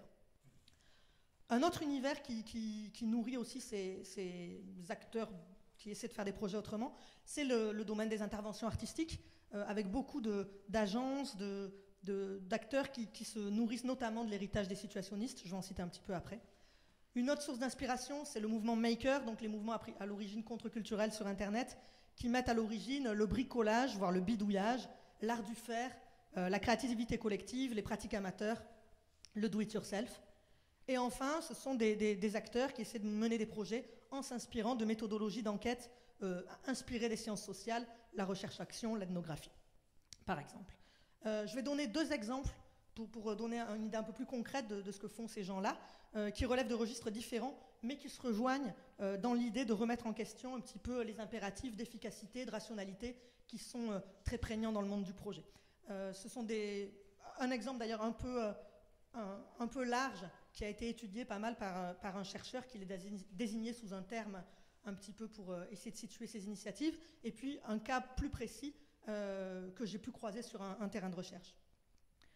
D'abord, une, galaxie que le chercheur Luc Gwadzenski, qui est un chercheur sociologue à Grenoble, appelle les géoartistes. Donc en fait, les géoartistes, ce sont ce qu'il appelle les géoartistes, ce sont des collectifs d'artistes, souvent interdisciplinaires, qui sont mobilisés pour mener des projets, pour concevoir des projets euh, notamment des projets d'aménagement, des projets urbains. Donc il donne plusieurs exemples. On a eu par exemple les ZAT, donc les zones artistiques temporaires à Montpellier, où des, artistes investissaient la ville pour réinterroger un petit peu la ville de manière, euh, en l'investissant de manière inventive. Donc on en a, on en a plusieurs. On a l'agence Polo par exemple qui fonctionne par résidence et qui mène des activités d'études, mais aussi euh, des, missions d'assistance à maîtrise d'ouvrage. Donc en fait toute une galerie d'acteurs comme ça qui essaient d'accompagner des projets parce qu'on est dans un monde où des projets se mettent de beaucoup plus en place et qui répondent à des appels à projets, mais en essayant de déplacer la logique de la prestation et du consulting. Euh, et qui, ont parfois une dimension, euh, qui utilisent parfois une dimension parodique et qui, qui, en appellent à la performance artistique. Je pense par exemple à l'Agence nationale de psychanalyse urbaine qui fait des, sortes de diagnostics inspirés de la psychanalyse sur des villes euh, avec une, une dimension parodique fortement assumée. Je crois qu'ils étaient intervenus à Charleroi il y a quelques années. Et en fait, donc souvent, ces acteurs se rejoignent euh, sur, leur volonté d'échapper aux logiques gestionnaires, euh, en assumant une position parfois militante. Je, parle je vais parler d'un collectif à Grenoble que je cite brièvement, juste pour montrer qu'en fait, ça passe aussi, comme on l'a vu, cette manière de repenser les projets par une mobilisation peut-être différente du langage. On a vu un petit peu le, langage utilisé euh, dans la justice, dans la santé, dans, l'université ce matin. Le, collectif ici même à Grenoble, ils, ils se décrivent comme ça sur leur site. Donc, ici même avance par glissement de l'exploration à la construction de dispositifs. La question du déplacement, spatial et intime, déplacement de soi vécu à plusieurs, partagé, est une problématique fondamentale de notre démarche. Comment échapper aux enclavements de pensée et de territoire Donc eux, c'est une agence qui travaille beaucoup sur l'aménagement urbain. Donc je trouve que c'est intéressant de citer ça parce qu'on voit évidemment que parler de glissement et de déplacement, c'est quand même autre chose que le type de langage qu'on a vu ce matin. Évidemment, ça ne veut pas dire qu'il n'y a pas de contradiction parmi tous ces acteurs. Euh, j'en parlerai un petit peu brièvement ensuite. Et un autre exemple que je voulais citer, c'est un exemple précis, c'est une agence précise. Euh, je vais en parler parce que je les ai vus un peu travailler sur un, projet de lieu culturel. Euh, c'est une, association française qui s'appelle la 27e Région et qui se conçoit comme un laboratoire de transformation des politiques publiques. Et en fait, ils ont pour partenaires ce qu'on appelle en France des collectivités territoriales, donc des communes, des régions, des départements, qui sont l'équivalent des provinces, mais ils travaillent aussi parfois avec des, organismes privés. Et en fait, ils accompagnent ces acteurs-là dans leurs projets. Et eux, ce qui est intéressant dans leur manière de faire, c'est qu'ils ne se conçoivent pas comme des consultants et ils essaient de déplacer les méthodes euh, de, la consultance et, des prestataires qui interviennent de plus en plus aussi en lien avec les acteurs publics. Et ils se présentent comme un projet d'intérêt général. Alors on peut penser aussi que c'est du pur marketing et du pur langage formaté, mais je vais essayer de voir comment ils ont travaillé sur un terrain précis. Euh, donc leur idée, c'est pas former et fournir des solutions et des recettes toutes faites, mais réinterroger les politiques publiques en se fondant sur l'expérience vécue par les usagers. Là aussi, c'est intéressant parce qu'on voit que c'est aussi des choses qu'on retrouve dans le management de projet euh, qui, est, extrêmement euh, rationnel et, rationaliste presque. Donc, on essaie donc il y, a parfois des langages qui se recoupent. Je vais essayer de voir comment ils, essaient de faire autrement. Euh, ils le disent, voilà, encore pour les citer, on se voit comme une alternative à l'ingénierie bureaucratique des politiques publiques, et ils s'appuient sur la recherche-action pour inventer de nouvelles méthodes. concrètement, euh, ils organisent des résidences qui sont inspirées par des résidences d'artistes, et ils restent plusieurs semaines dans les organisations au, sein desquelles euh, ils, montent des projets, ou en tout cas qu'ils aident à monter des projets. Je pense que là, il y a une première chose, c'est qu'en fait, ils restent longtemps sur place. Et ils sont intervenus dans le, secteur culturel, notamment, donc là c'est le, terrain un tout petit peu dont je veux parler, parce que j'ai pu discuter avec les, gens qui ont travaillé avec eux. Ils sont intervenus dans un projet de médiathèque en France, dans une toute petite ville euh, vers Clermont-Ferrand, euh, qui était donc une, création de bibliothèque qui était pensée par un, département, donc l'équivalent d'une province, non, une communauté de communes. Euh, ils ne savaient pas trop comment faire, mais ils savaient qu'ils voulaient créer un lieu culturel, et ils ont fait appel à la 27e région pour venir aider le, chef de projet à concevoir ce projet. Et euh, ce qui est intéressant, j'ai pu discuter avec le, chef de projet qui m'a expliqué comment ils avaient travaillé. Et en fait, lui, il me dit, euh, ce qu'ont fait les designers de, la 27e région, donc les designers, c'est un, mot plutôt global pour désigner les acteurs de cette agence, parce qu'en fait, à l'intérieur, il y a des designers, il y a des chercheurs, il y a des artistes. Et en fait, il dit, ce qu'ils ont fait, la première chose qu'ils ont fait en venant sur les lieux pour essayer de concevoir ce projet, me dit le chef de projet, c'est aller voir. Ils ont sorti des tables, des chaises, des fauteuils sur le trottoir et ils ont interpellé les gens dans leur quotidien. Et à partir de là, à partir de, toute une, série de rencontres qui se sont faites comme ça un petit peu au hasard et qui ont duré longtemps parce qu'ils sont venus, je crois, pendant un an à raison d'une semaine par mois, quelque chose comme ça, à partir de là sont nés des échanges, euh, des soirées de discussion à partir de ce que les gens amenaient et de ce qui a été recueilli lors de ces échanges. Par exemple, ils ont organisé des soirées sur la pertinence ou pas d'avoir un travailleur social à la médiathèque, sur le, jeu vidéo, sur la place du jeu vidéo en bibliothèque, euh, sur le, droit d'auteur, etc., etc. Et en fait, donc, il se passait des soirées comme ça dans cette future bibliothèque, mais en fait, les, pouvoirs publics ne voyaient pas grand-chose. Et les pouvoirs publics disaient aux chefs de projet et aux designers, OK, c'est bien, visiblement vous discutez, mais ils demandaient donc des livrables. C'est le mot bien que m'a donné le, chef de projet. Ils attendaient du concret, du rendu, des rapports, ils attendaient, me dit le chef de projet, un modèle modélisable. Mais lui m'explique, en fait, les designers, ils ont tenu bon. Et il leur a dit, ben, nous, en fait, on ne va pas vous fournir quelque chose de, modélisable, mais par contre, il va se passer des choses ici. Et donc, le, chef de projet, je le cite encore, me dit, c'était des échanges, il n'y a pas de préconisation, il n'y a pas de méthode en tant que telle. Et lui, qui vient de l'éducation populaire, donc, euh, me, dit que lui s'y reconnaissait précisément. Euh, ce qui lui a parlé, justement, dans l'approche proposée par la 27e région, euh, c'était précisément le caractère bricolé, le caractère tâtonnant, ouvert et risqué. Tout l'inverse, en fait, de ce qu'énonce le management de projet. Et en fait, la manière dont il parle de lui-même, le, chef de projet que j'ai rencontré, c'est presque euh, l'image d'un manager en négatif. Il me dit j'ai pas le côté rigoureux, j'ai pas le côté fonctionnel, j'ai pas le côté procédurier, j'ai pas le côté objectif. Donc vraiment, a priori, on se demande un peu pourquoi on l'a pris pour euh, mener un projet, vu que c'est aussi une manière de se présenter qui est assez différente. Et finalement, parce que je parlais de la production d'outils qui jalonnent les projets, en fait, bon, au bout de quelques mois, les designers, ils ont fini par dire, OK, on va vous fournir, pour rassurer aussi les pouvoirs publics, les décideurs, ils ont dit, on va vous fournir un livrable, on va vous fournir un rendu et quelque chose de concret. Et en fait, ils ont conçu quelque chose, un plan des usages de la médiathèque. Donc en fait, ce qui est intéressant, c'est que c'est pas du je ne l'ai pas ici, mais c'est pas vraiment un plan, c'est une carte, enfin une sorte de dessin qui matérialise des relations entre le futur établissement et son environnement, qui matérialise en fait des cheminements, des possibilités, des envies. En fait, ce plan des usages, ce n'est pas du tout une anticipation, c'est plutôt une, représentation du vécu actuel et de l'hétérogénéité d'un territoire, de ses rythmes et de ses liens. Euh, c'est un plan qui ne communique pas sur des, réalisations, pas non plus sur des prévisions. C'est-à-dire que dedans, il y a des idées. Par exemple, là, on pourrait faire un, je ne sais plus ce qu'ils avaient comme idée, un, un, endroit où on échangerait des livres, par exemple, dans cette médiathèque, il pourrait y avoir un coin comme ça d'échange. Et en fait, il y a des idées qui figurent sur le plan qui n'ont pas du tout été intégrées dans la bibliothèque et d'autres qui, n'y sont pas figurées et qui sont intervenues. Et euh, ce que m'explique le chef de projet, c'est que ce n'était pas grave. Il me dit qu'en fait, le, le, plan, il servait à rendre lisibles des idées, des possibles. Il n'est pas à l'échelle, il est naturellement exagéré et il n'a rien à voir avec un plan d'architecte. Donc je trouve que c'était intéressant de, parler un petit peu de, de ces autres manières de produire et de, des autres manières de faire des projets qui produisent aussi des formes et des représentations différentes, qui font appel euh, à l'expérience.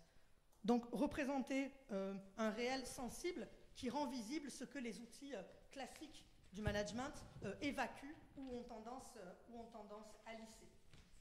Et pour terminer, donc voilà, donc ce sont des initiatives qui prennent des formes différentes, qui sont plus ou moins institutionnalisées, mais qui se recoupent en fait par quelques caractéristiques le souci d'ancrage local, euh, l'attention au contexte et aux singularités, où en fait la rationalité est quelque peu euh, mise à l'écart et en, tout cas on essaie de, rendre plus, de donner plus de place à l'expérience sensible, au ressenti, à l'improvisation. Et aussi en essayant d'avoir un rapport à l'usager, donc ce fameux utilisateur un peu différent, avec l'idée que cet acteur non plus, cet acteur singulier n'est pas modélisable et que c'est euh, une personne qui, vit des expériences et que cette expérience a de la valeur. En même temps, donc très brièvement, comme l'explique euh, Luc Wadzinski, il y a plein de tentatives d'institutionnalisation, de, de risques de récupération de toutes ces initiatives, notamment parce qu'elles fournissent des outils qui sont parfois des outils très euh, Instagrammables. Le plan des usages de la médiathèque de Lezou, euh, il est très beau, très joli, il a été largement diffusé, donc il y a tout aussi ce risque d'institutionnalisation et de standardisation euh, auquel n'échappent pas ces acteurs qui essaient de faire autrement. Trois questions peut-être en forme de piste de réflexion pour essayer justement de, bah, de, réfléchir à un déplacement de regard sur les projets. donc des questions auxquelles je n'ai pas de réponse, hein, mais en tout cas qui, me semblent intéressantes.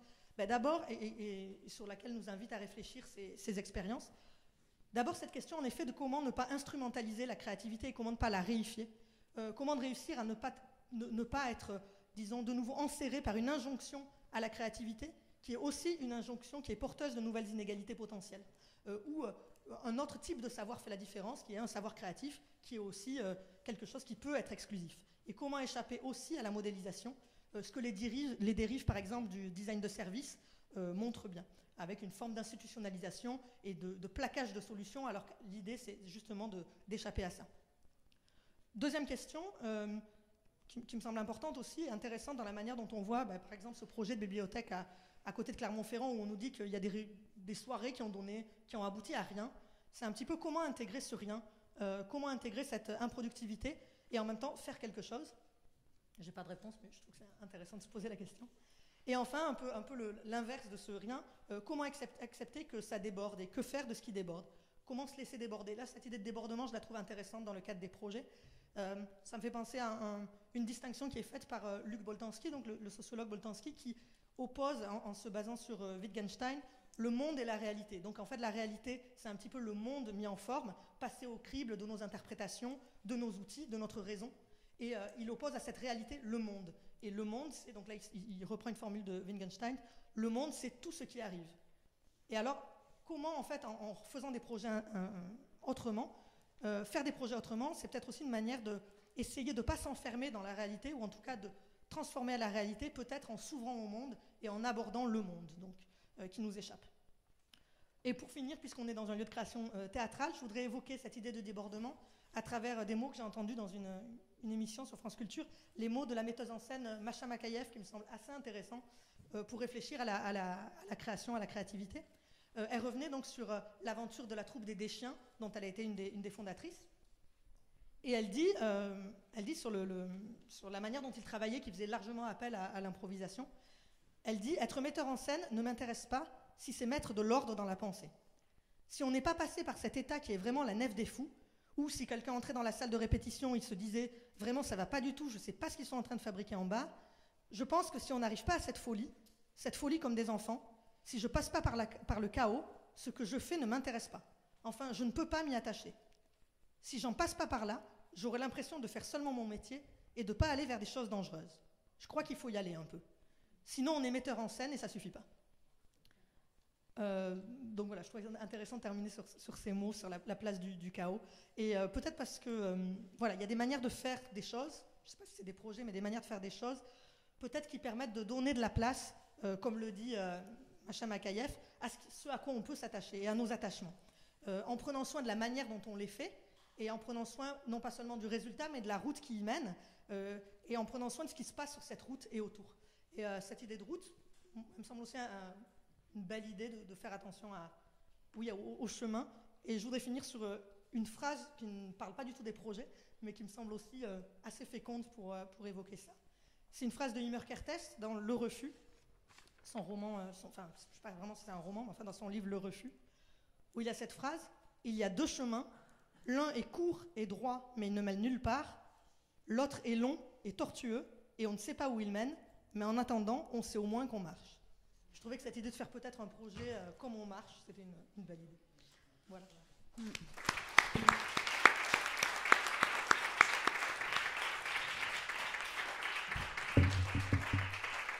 Merci Émilie. Et on va, c'est très inspirant. Tu as réussi, je trouve, à, à nous remettre dans une dynamique positive avec des pistes de solutions à nos problèmes. Et euh, le, premier problème que j'ai, moi, c'est que j'ai faim, donc on va pouvoir manger. Mais euh, sinon, c'est ce qui était aussi très parlant, je trouve, euh, c'est tout le sens que, que, que, ça a, tout ça, que ce soit Yvain, homme de théâtre, qui, qui soit animé par ces questions et qui propose ce forum, parce que le théâtre, entre art de l'improvisation, art vivant et aussi euh, art de la dramaturgie, c'est-à-dire de, mettre du sens dans un peu tout, y compris les processus, ben, je pense que le théâtre peut être un moteur de certaines solutions. Bon, je vous souhaite un bon appétit. Et attention au geste barrière. Hein. On reprend à 14h.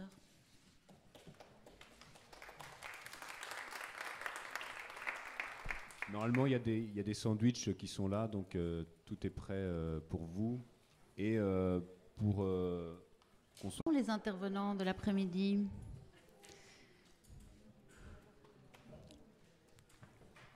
On demande Pierre Skepen à la table.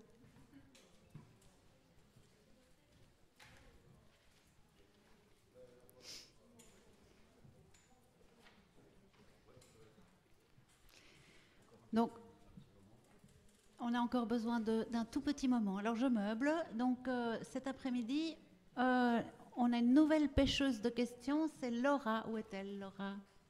Elle est là avec son filet.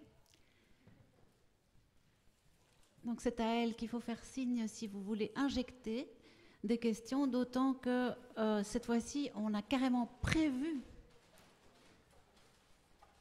un mini-échange entre après chaque intervention, et puis on aura aussi, après la pause, on aura du temps pour construire euh, les discussions et discuter de manière un peu plus euh, horizontale de tout ça.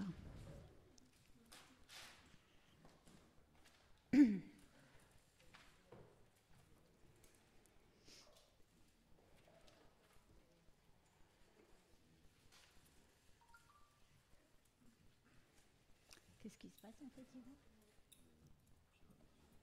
Ah, ok.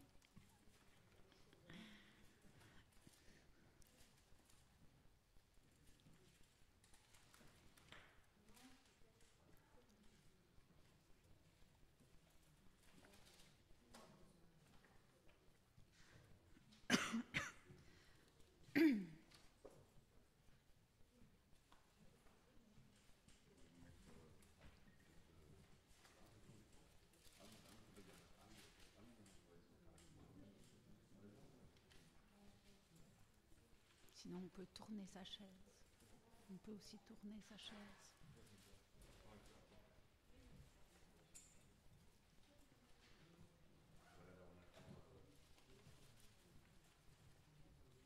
Pierre va, va arriver d'un moment à l'autre. Euh, donc voilà, il y a des allées-venues. Donc bienvenue au, au nouveau. Donc ce matin, on a, on a surtout euh, puis écouter des témoignages sur comment on vivait la notion de, projet dans différents, dans différents domaines de la société. On voit qu'on est tous touchés en fait par une certaine logique où le temps est compressé. Du coup, notre, notre façon de, vivre est aussi euh, stressée. Et on, met en place des, des, des, modes de, fonctionnement euh, qui deviennent violents les uns envers les autres. Euh, donc on, est en train de s'enfermer dans cette réalité qui n'est pas, pas le monde. Et cet après-midi, on va essayer de comprendre en fait comment euh, émerge une réalité, parce que la réalité, elle émerge de, quelque chose.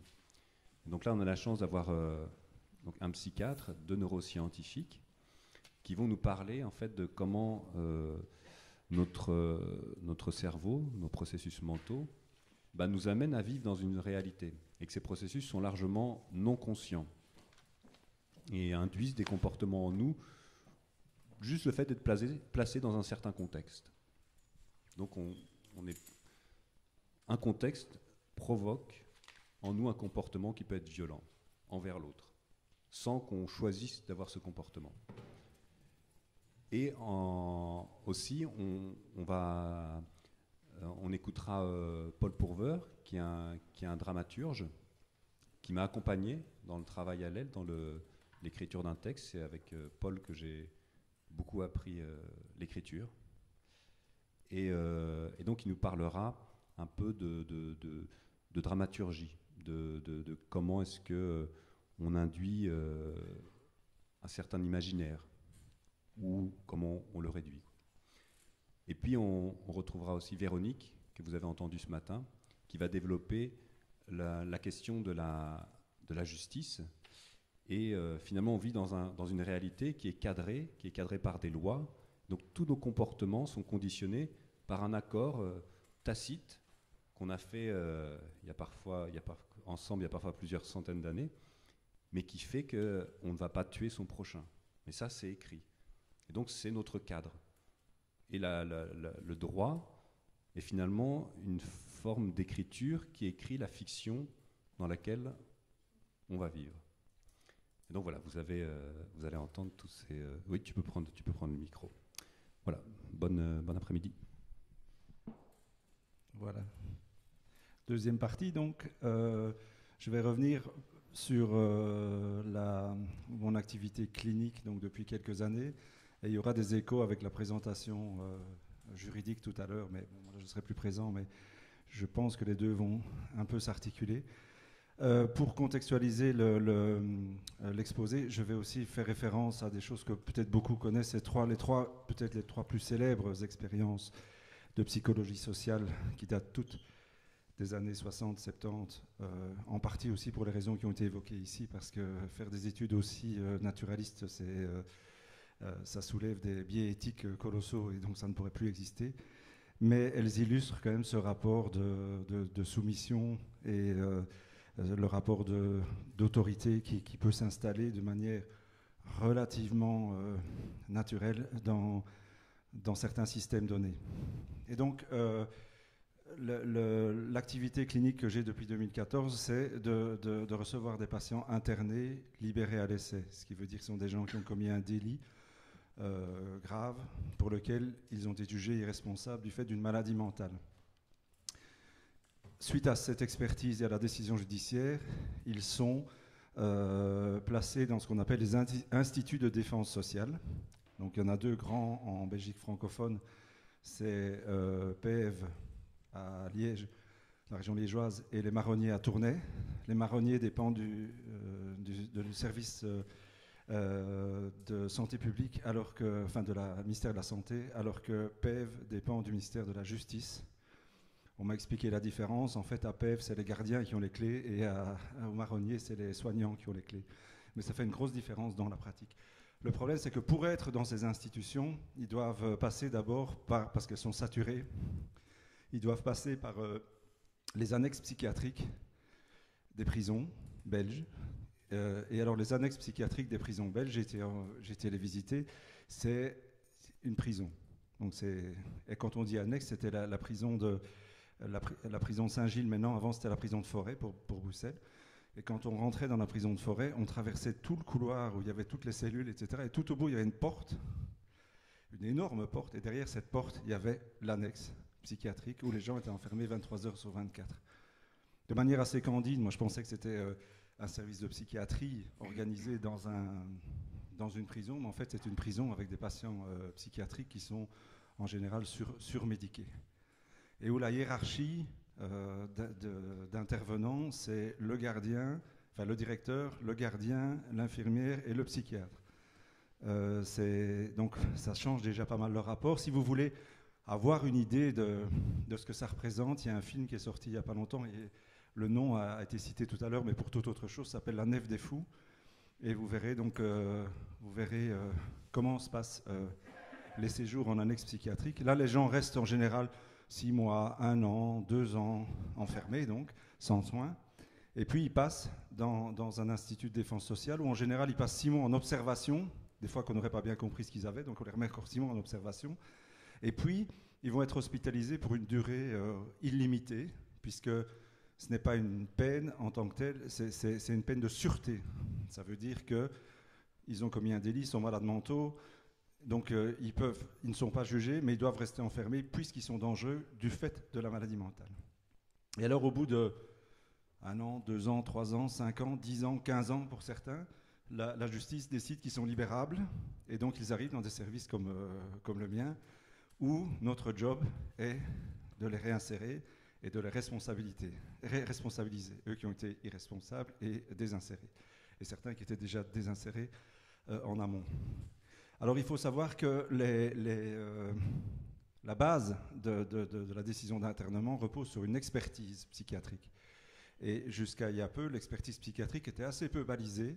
J'expliquais tout à l'heure euh, dans, la discussion que le record du monde de vitesse d'une expertise euh, en Belgique, c'est un psychiatre dont je tairai le nom, qui, entre l'entrée en prison, puisqu'on le fiche, et la sortie de prison, donc y compris le trajet et rencontrer le patient, a duré 17 minutes. Et donc en 17 minutes, tout compris, le sort d'un humain a été, a été décidé. Et puis alors, une fois qu'un diagnostic a été coulé, dans, hein, schizophrénie, euh, par exemple, eh bien, il est schizophrène un jour, schizophrène toujours. Et donc tous ces comportements vont être euh, évalués en fonction de, de son supposé euh, diagnostic. Alors il y a des choses un peu particulières. Donc il y a des patients qui ont, enfin des, plutôt des, justiciables, à ce stade-là ils sont justiciables, qui ont commis des délits et se sont dit, bah, si, je, si je plaide la maladie mentale, je vais peut-être échapper à la prison mal renseigné. Donc il y en a, j'en un qui est chez nous pour l'instant, il n'aurait pu en sortir.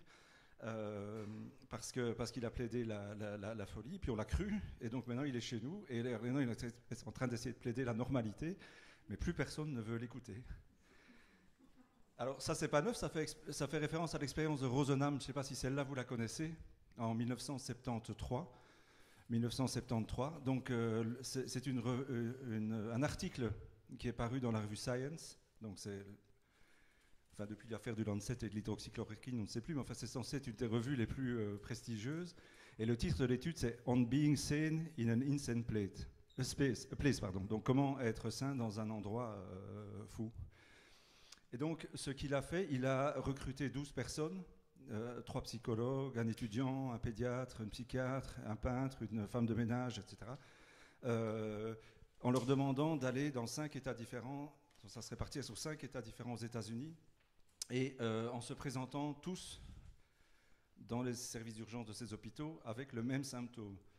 Se plaindre d'avoir des hallucinations qui étaient du type sentiment de vide, de, bruit sourd, euh, de, creux, d'inutilité, enfin un discours comme ça. Et le lendemain matin, ils devaient redevenir strictement normaux. Strictement normaux. Eh bien, euh, mal leur en a pris parce qu'ils ont même dû faire un moment intervenir des avocats, les avocats de l'étude, pour pouvoir faire sortir les gens parce que la durée de séjour a été de 7 à 52 jours avec une moyenne de 19 jours. Euh, en effet, le lendemain matin, quand ils ont dit qu'ils allaient mieux, les médecins se sont méfiés. Ils se sont dit, euh, il veut foutre le camp alors qu'il est malade. Donc on le surveille, donc on le garde en place. Et ils avaient quand même une autre consigne, c'était que pendant les réunions de patients en groupe, parce que les États-Unis font beaucoup de réunions de groupe, ils devaient prendre des notes.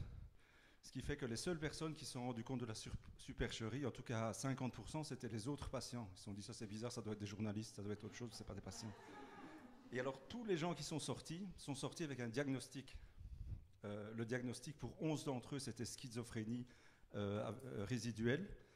Et le, le 12e, c'était psychose maniaco-dépressive. Aujourd'hui, on dirait trouble bipolaire de type 1.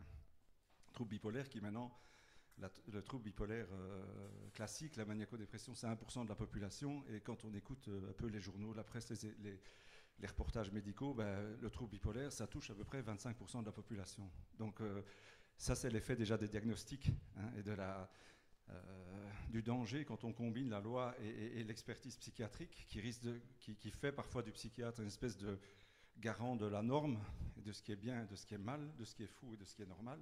On peut arriver à des, des histoires assez tragiques. Alors, ces gens qui sont sortis avec une moyenne de 19 jours, avec euh, donc en gros un diagnostic de schizophrénie en rémission. Euh, ça a fait scandale évidemment. Alors euh, tous les hôpitaux vexés, parce que les, psychiatres en général c'est des personnes qui, qui, ont une estime d'eux-mêmes ça va quoi. Et ils, étaient très très très vexés, ils ne pas trop qu'on les contredise. Donc c'était dans les années 70 aussi, donc c'est avant au début des médicaments, il y avait encore l'asile, il y avait, tout le début de, la slavique, la communication, il y avait, c'est la guerre du Vietnam, c'est après mai 68, c'est toute cette période-là. Hein. Et donc, il y a eu de longs débats euh, avec euh, les, intervenants de ces, cinq de, ces 12 centres psychiatriques qui sont révoltés, etc. Et alors Rosenham a dit à un de ces centres, le plus virulent d'entre eux, ben, écoutez, on va faire une deuxième, étude. Je vous préviens cette fois-ci, vous ne pouvez pas dire que vous ne serez pas prévenu. Je vais vous envoyer pendant trois mois des patients et vous devez me dire euh, si vous les avez repérés, quand et combien, etc. Et donc trois mois après, il y a, dans ce CHU, il y a eu 193 patients qui ont été admis aux urgences. Et euh, les gens du service de psychiatrie ont considéré qu'il y avait 41 euh, patients qui étaient clairement des faux patients et 42 pour qui ils avaient un doute sur 193. Et alors Rosenham leur a expliqué qu'il avait envoyé personne. Et donc, c'est un peu suite à ce genre d'études-là qu'a été créé le DSM, donc dont j'ai parlé tout à l'heure, mais qui était un manuel de classification simplement botanique comme ça on reprend toute une série de symptômes et quand on a au moins six critères de celui-là, des choses qui n'ont rien à voir, ça peut être l'appétit, le sommeil, des troubles cognitifs, autre chose, on a cette pathologie-là. Et un peu en réaction à cette absence d'uniformisation des diagnostics est arrivé le DSM. Mais maintenant, le DSM, il fonctionne tellement bien que, euh, au début, quand j'étais dans mon nouvel hôpital, je, recevais un patient avec l'infirmière et l'infirmière explique, ben, là, euh, c'est la psychologue, c'est elle qui va vous écouter. Là, c'est l'assistante sociale, c'est elle qui va vous aider. Moi, je vous suivrai dans le quotidien. Et lui, c'est le psychiatre, c'est lui qui donne les médicaments. Et en fait, euh, depuis euh, la psychiatrie lacanienne que j'ai quittée depuis très longtemps et qui a bercé mon enfance de psychiatre, va bercer si, quand on ne comprend pas, on s'endort plus facilement. Mais euh, maintenant, on est redevenu des, prescripteurs de médicaments, des prescripteurs de normes, et, on, lutte évidemment, on lutte évidemment contre ça.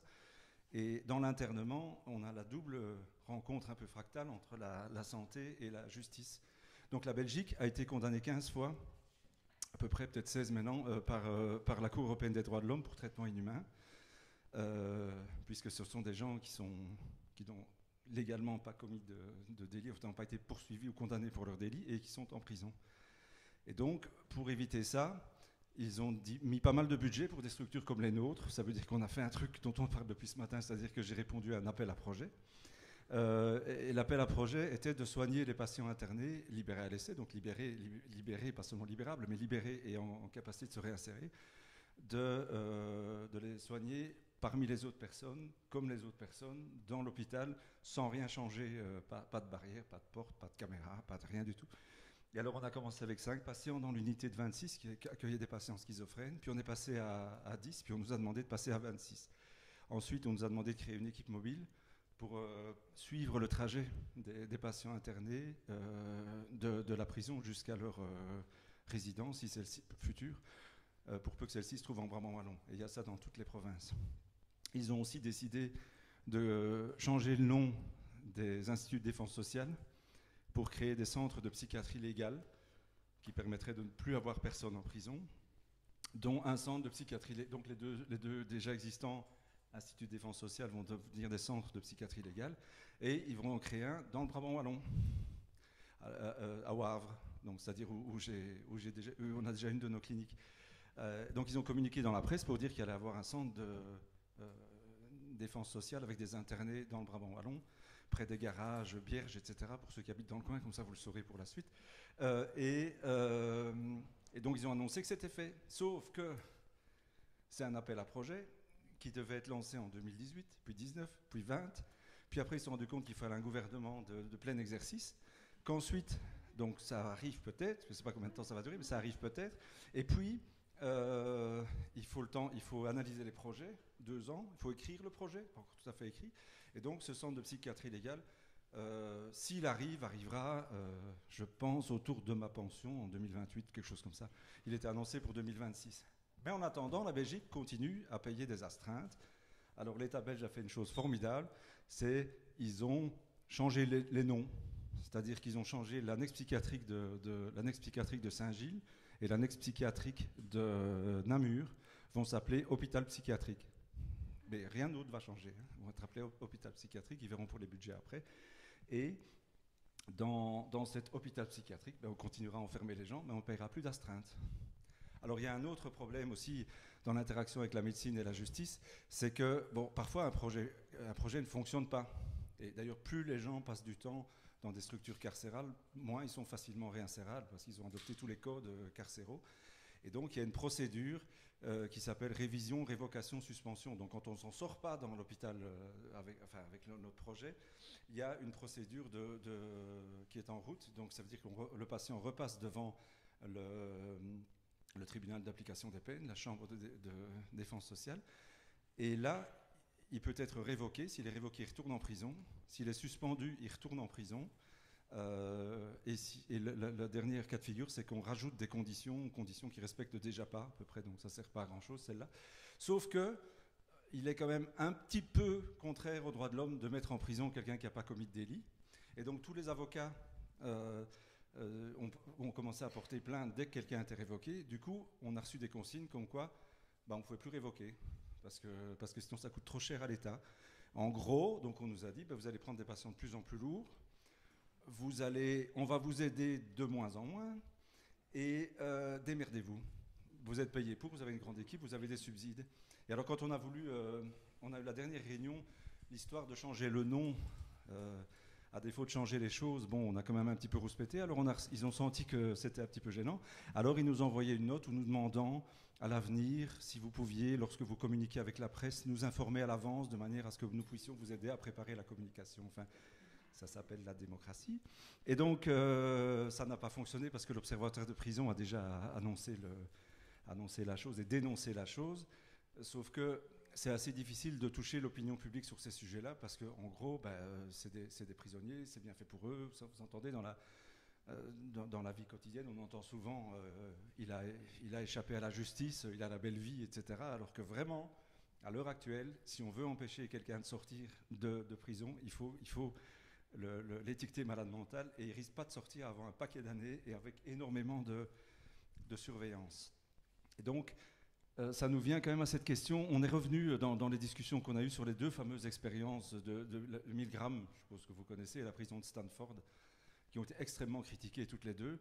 Euh, Milgram, c'est sur l'obéissance, ça date de 1963. 1963, c'est le, le, procès d'Eichmann, Anna Arendt, euh, la banalité du mal, etc. On n'est pas quand même très très loin des séquelles de la guerre mondiale on n'est pas très loin des séquelles de la, guerre mondiale. Et donc, il a fait cette fameuse étude qui a été très euh, médiatisée, puisqu'il y a un film avec Yves Montand, Ico Micard, d'Henri Verneuil, où on voit l'expérience. Donc, en gros, c'est l'université de Yale. Il y a eu plein d'expériences, mais la plus connue, c'est l'expérience numéro 5. Donc, il y a un élève, un expérimentateur et, un enseignant.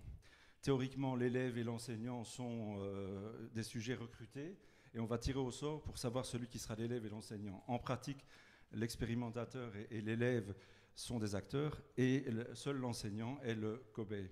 Et euh, on va lui demander, après avoir exercé, après l'avoir fait sur lui, on va lui, on va lui demander, de, donc c'est une procédure d'enseignement, hein.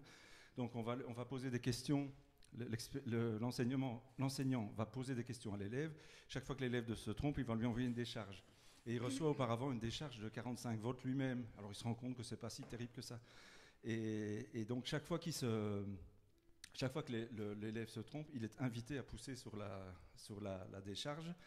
Et lorsqu'il refuse, il y a quatre injonctions de l'expérimentateur qui est en tablier blanc, qui explique que c'est pour la science, que c'est important. Donc il dit d'abord veuillez continuer, puis après vous devez continuer, puis après euh, vous devez absolument continuer, et après de toute façon vous n'avez pas le choix, vous devez continuer. Et ils arrêtent l'épreuve, soit quand euh, on a atteint le voltage maximum qui était je crois 450 volts, soit quand la personne au bout de ses injonctions refuse de le faire. Alors évidemment, c'était tout, un, tout un, montage, il n'y avait pas de volt, il n'y avait rien du tout, c'était un acteur qui simulait, etc. Et assez étonnamment, euh, par rapport à, l'attente qu'on pouvait avoir, avant de faire l'étude, Milgram avait contacté des psychiatres et demandé combien de personnes vont envoyer des décharges. En plus, le type était assis sur des chaises pratiquement électriques, puisqu'il était attaché, etc. Euh, les gens ont dit 1%, 2%. Et en fait, le résultat a été de 63,5%, donc pratiquement 65% de gens qui ont été au bout de, de l'étude. Après, il y a eu une déclinaison de ces études euh, suivant, suivant le, fait que, par exemple, il y avait deux expérimentateurs qui n'étaient pas d'accord entre eux, ce qui amenait du doute chez l'enseignant. Euh, un expérimentateur qui était plutôt incitateur de, calmer l'enseignant dans, ses, envois, un autre qui était très très très très très normatif et qu'il était très insistant pour le faire. Ils ont aussi changé la distanciation. Alors ça, on voit aussi que plus, plus le, contact euh, entre euh, l'enseignant et l'élève est, éloigné, il y a même une, formule où l'élève ne le voit pas, ne l'entend pas, etc., plus il monte haut dans les, tours, je dirais. Et depuis, alors c'est une expérience qui a, été, qui a eu beaucoup de critiques, c'est elle qui a fait connaître un peu la psychologie sociale dans une époque euh, où, on, était dans ce contexte intellectuel des années 60, euh, l'hégémonie aussi de la psychanalyse aux États-Unis et l'inscription vraiment de la, de la psychiatrie sociale et du, du, contexte, l'idée que le contexte change totalement les individus. Ça a fait écho avec euh, l'histoire d'Eichmann, le procès Eichmann, à, Jérusalem, où Anna Arendt, parlant de la banalité du mal, a dit que ben voilà, c'était juste un, exécutant docile d'un système euh, euh, oppressif. L'histoire a montré que c'était plus compliqué et donc on a vu en fait avec Milgram que le, curseur est passé du singulier de la psychanalyse au collectif où c'est la, société euh, bourgeoise singulièrement, communiste pour d'autres, enfin, qui, impacte le fonctionnement des gens. Mais ce qui est certain, c'est que certaines conditions peuvent, peuvent influencer, peuvent jouer sur sur ce qu'on devient, sur notre supposé libre arbitre. Hein, on le voit bien. Alors cette expérience a été faite à la télé aussi. Je pense que c'était sur France 2 et en télé, la télé suisse avec Ondelat, je ne sais pas si vous voyez, hein, qui est la modération par excellence, donc qui, qui, a, qui, a, euh, qui, a, fait monter un peu, un peu la sauce.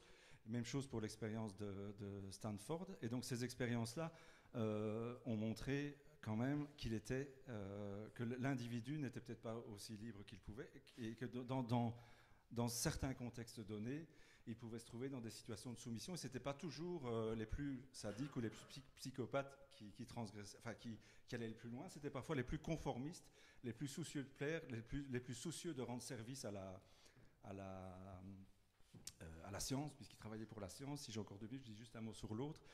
Un peu plus tard, donc c'est euh, Stanford, Zimbardo, alors cette étude-là, elle a été désinguée partout. Euh, c'était plus un happening qu'une étude, puisqu'il a, c'était commandé par la, US Navy et les Marines. Euh, c'est une expérience qui devait durer deux semaines.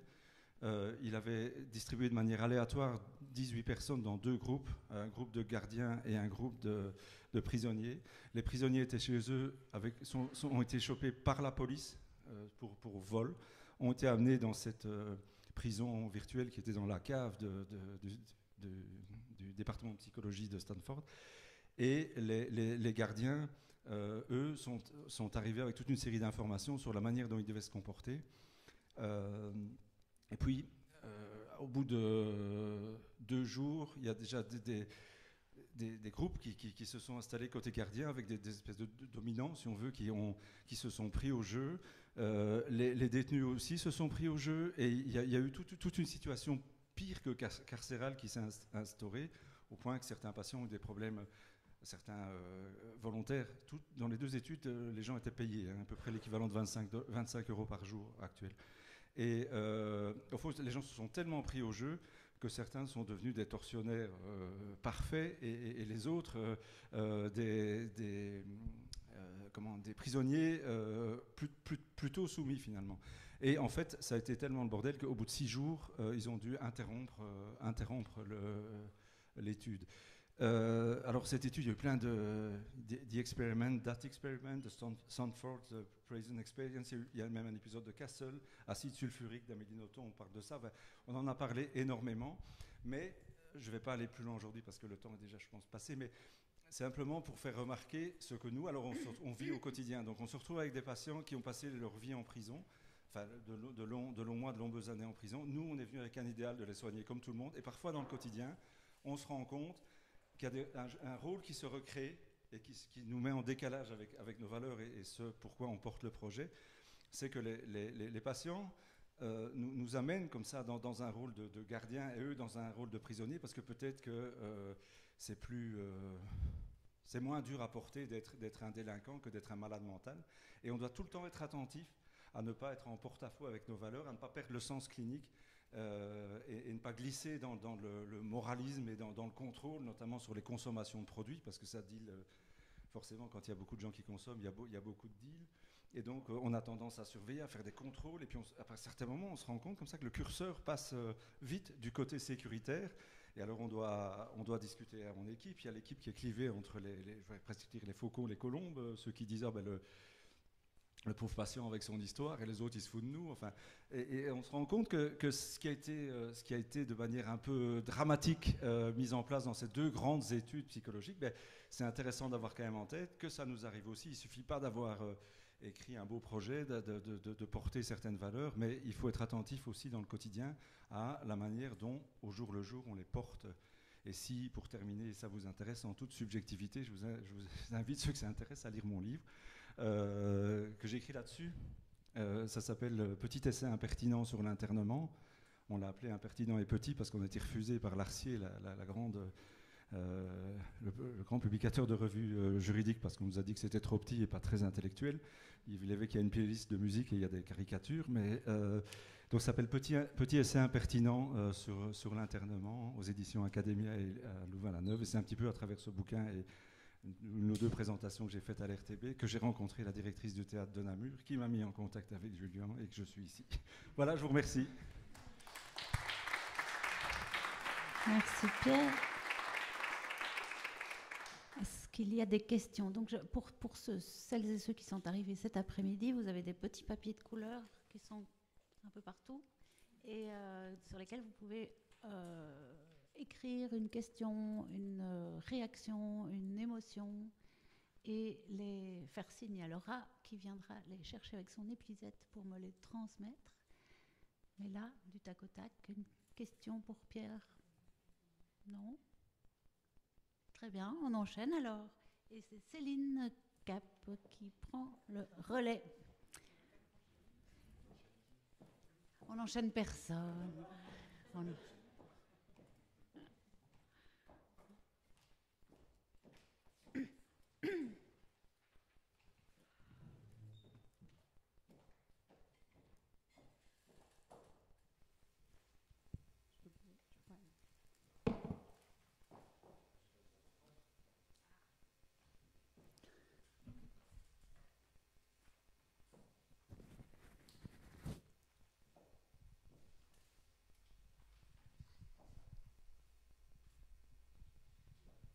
bonjour à ceux qui n'étaient pas là euh, ce matin.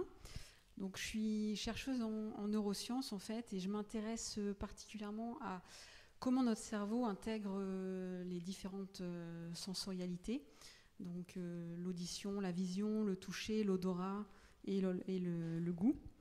Et donc aujourd'hui, je vais vous parler de comment nos sens guident nos perceptions, enfin nos choix, pardon. Et dans un deuxième temps, je vais vous parler de neuromarketing. Mais d'abord, je voudrais commencer par euh, une petite expérience et je voudrais aussi euh, vous dire que euh, dans toute la première partie, ça va être quand même assez neurosciences. J'ai essayé d'adapter. Je ne suis pas très habituée en fait à donner des, des, conférences de ce type. donc d'habitude, je, parle à, des, conférenciers comme moi qui parlent de neurosciences. Donc il faut vraiment pas, je sais que normalement il y a le, système de questions, mais il faut vraiment pas hésiter à lever la main pour me faire comprendre qu'il y a quelque chose qui ne passe pas. si vous ne comprenez pas, l'idée c'est vraiment que vous compreniez ce que, j'essaie de vous, raconter. Donc, euh, on va commencer par une petite expérience. Donc, je vais vous demander d'être un, peu actif en fait. Euh, je vais vous faire euh, écouter quelque chose et vous allez me dire ce que vous comprenez.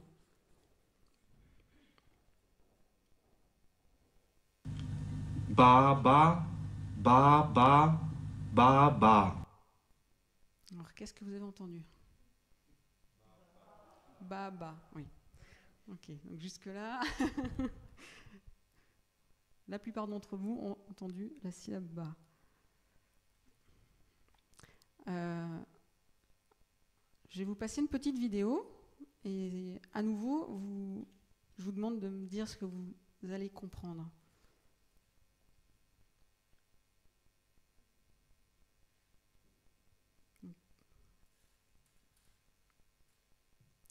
Qu'est-ce que vous avez perçu comme syllabe?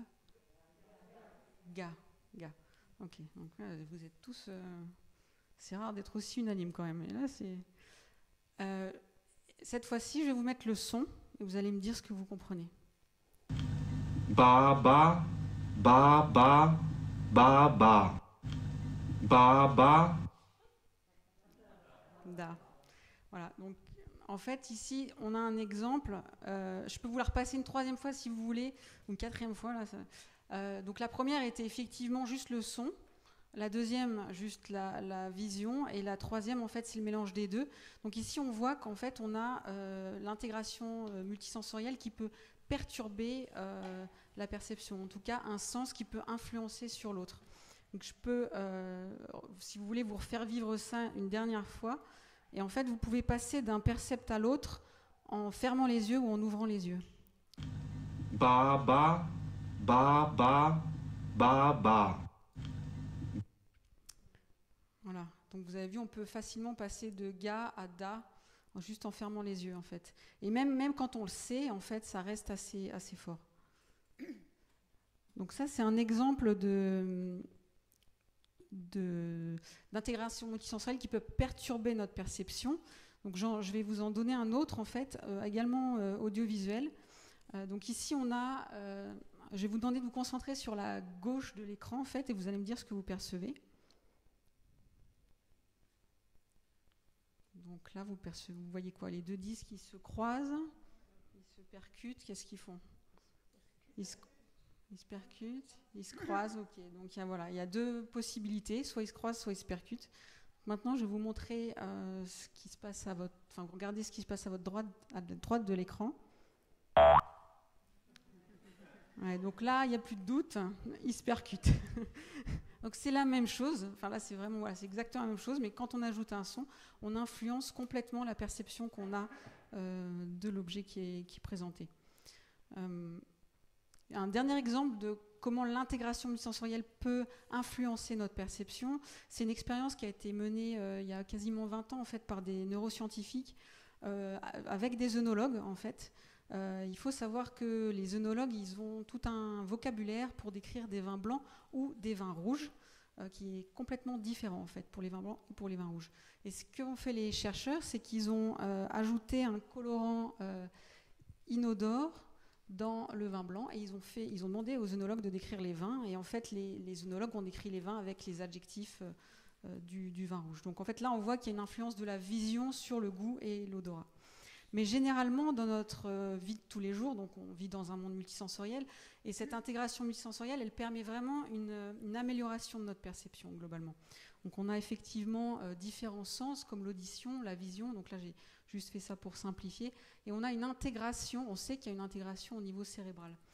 Et euh, enfin, beaucoup d'études que j'ai menées, mais beaucoup d'autres chercheurs à travers le monde, ont montré que cette amélioration perceptive, elle passe notamment par une euh, augmentation des réponses correctes quand on doit détecter ces stimuli-là.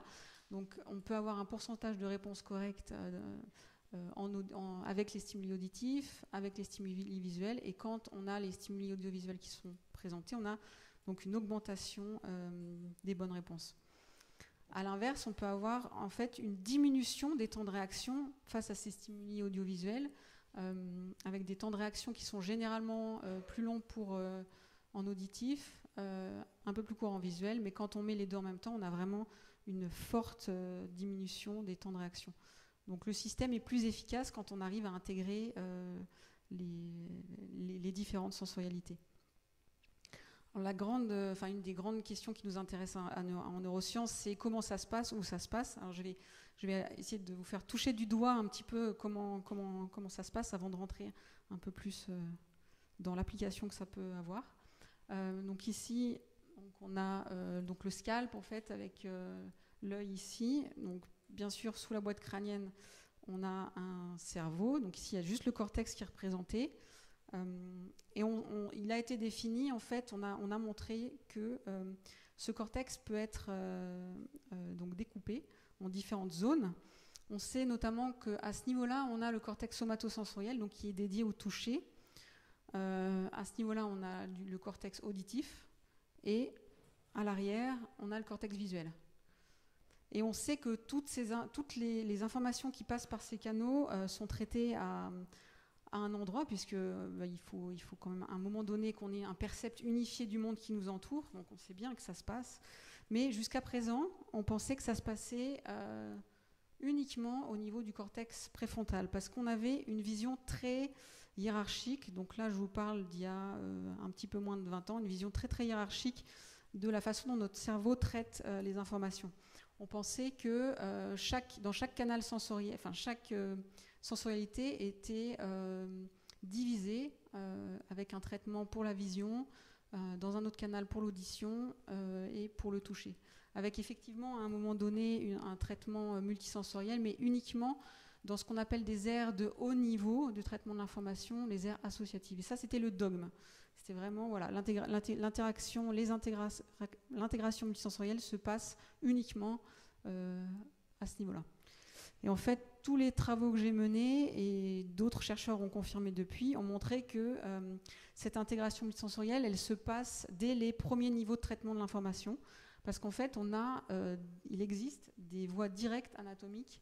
Euh, donc vraiment, hein, là on parle de, connexion entre aires de sensorialité différentes, enfin qui étaient considérées comme différentes. Voilà. Alors en fait, c'est un petit peu plus complexe. Bon là, c'est déjà très schématique, mais c'est un petit peu plus complexe que ça parce que sous le cortex, il y a le thalamus, euh, donc qui est une, autre zone euh, du cerveau. Et en fait, le thalamus pourrait être aussi un, lieu d'intégration. En fait, il est un lieu d'intégration euh, multisensoriel et pourrait être le relais entre tout ce qui est perception et action. Et on sait que les connexions qu'on appelle donc cortico-thalamo-corticales sont encore plus rapides que les connexions euh, cortico-cortical. Mais jusqu'à présent, les neuroscientifiques ils se sont beaucoup plus intéressés au cortex qu'à ce qu'il y a dessous. Donc pour l'instant, on connaît euh, surtout cette partie-là, en fait. Voilà. Alors, d'un point de vue fonctionnel, alors je vais rentrer un petit peu plus dans le, dans le dur, mais ça va être juste deux, deux slides après. Je vous promets, ça va être beaucoup plus, enfin, je pense, un peu plus euh, facile à suivre. Mais j'espère que là, là, pour l'instant, vous. Ouais, je, sens que c'est bon. Euh, donc, d'un point de vue fonctionnel, quand on regarde au niveau neuronal, comment ça se traduit en fait?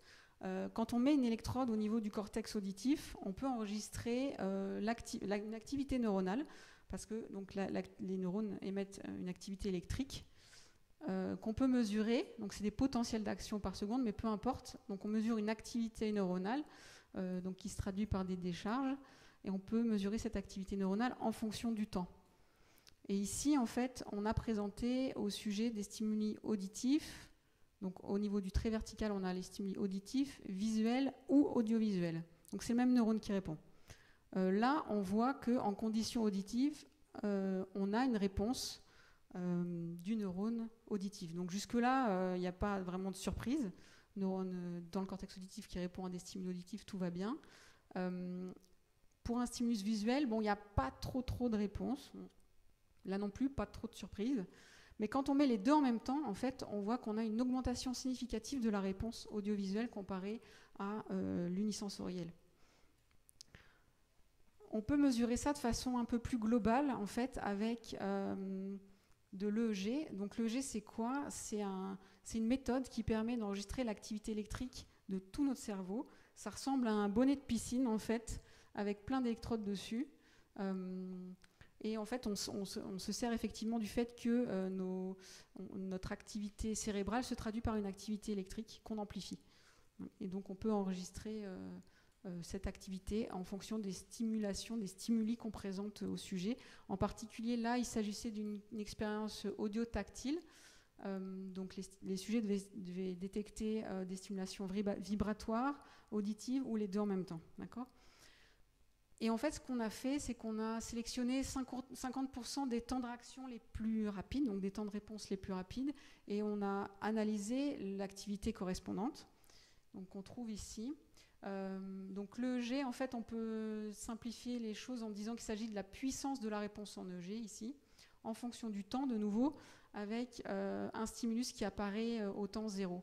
Et en fait, on voit qu'on a une différence entre l'activité au stimuli multisensoriel, donc audio-tactile, et la somme des, des activités des réponses unisensorielles dès 40 millisecondes. C'est extrêmement court. C'est extrêmement court. Et si on regarde à l'aide de l'analyse de source où, d'où provient cette différence, et eh ben en fait, ça se situe dans ce cas-là au niveau du cortex auditif gauche. Donc de nouveau, un cortex qui est normalement unisensoriel, mais pourtant le siège de convergence multisensorielle, donc d'une facilitation quand on présente différentes sensorialités. Donc ici, on a un exemple de lien très fort entre le comportement et la neurophysiologie, euh, puisque la facilitation multisensorielle, ici, elle a lieu que pour des temps de réaction les plus courts. Elle est localisée à bas niveau, puisque c'est le cortex auditif, et précocement dès 40 millisecondes.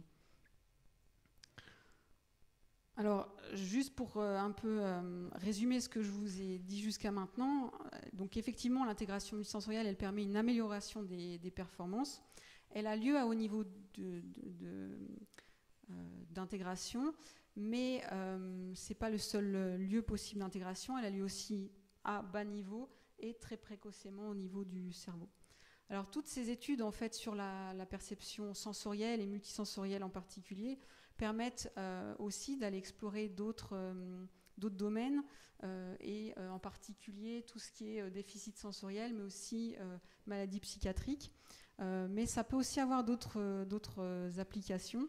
Et en particulier, euh, ça intéresse beaucoup les industriels parce qu'en fait, eux, ils, aimeraient bien s'en servir pour, enfin, ils s'en servent en fait dans ce qu'on appelle le neuromarketing. Alors, est-ce que vous savez de quoi il s'agit Neuromarketing. Ça vous parle? La définition, en fait, simple, c'est, enfin simple, c'est l'étude des mécanismes cérébraux pour comprendre les comportements des consommateurs afin d'améliorer les stratégies de marketing. Ça, c'est la définition du neuromarketing. En fait, euh, le neuromarketing est surtout utilisé dans le domaine de la publicité. L'idée euh, derrière ça, c'est de, décortiquer les mécanismes conscients et, inconscients euh, du consommateur qui déterminent ses comportements à partir de, ses émotions notamment. Parce que finalement, sous l'influence des stimuli sensoriels, ou émotionnel, euh, la raison devient complètement malléable. Et euh, leur idée, c'est de stimuler euh, les différentes sensorialités pour susciter une sensation agréable et de l'associer à une marque ou un produit. La recherche marketing en, neuromarketing utilise exactement les outils et les techniques des neurosciences. et de nouveau, elle a pour but d'observer les comportements et les mécanismes cérébraux qui sont associés à cette, euh, à, ce comportement d'achat. Après, il ne faut pas. Enfin, j'aimais tout de suite. je, vais vous donner des exemples concrets de comment, ça se traduit exactement. Mais le neuromarketing, il ne faut pas voir ça comme une solution miracle pour faire acheter tout et n'importe quoi aux consommateurs. C'est pas comme ça que ça se passe. Euh, mais ça peut largement influencer euh, le comportement d'achat. Et en avoir conscience, c'est très important. La première étude en neuromarketing qui a été menée date de 2004.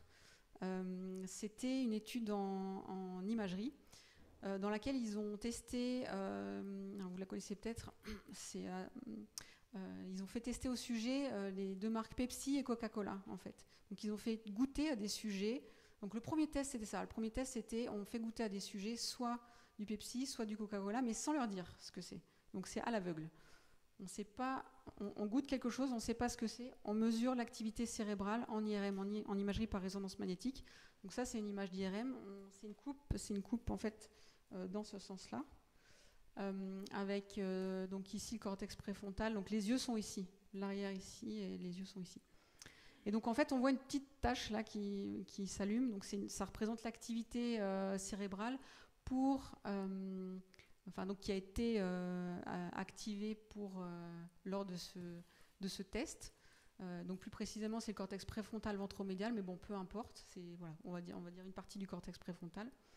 Ce qui signifie que le choix était basé sur l'information sensorielle uniquement, d'accord? Et dans ce cas-là, les sujets, donc à l'aveugle, hein, de nouveau, qu'est-ce qu'ils ont préféré? Ils ont préféré Pepsi.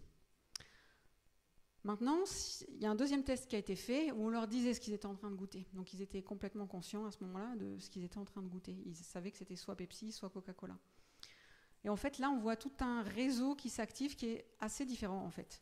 Euh, il s'agit d'une autre partie du cortex préfrontal, mais il s'agit surtout aussi de l'hippocampe qui est activé. L'hippocampe, c'est une partie du système limbique qui, est, donc, qui est associé à tout ce qui est émotionnel et à la, à la mémoire.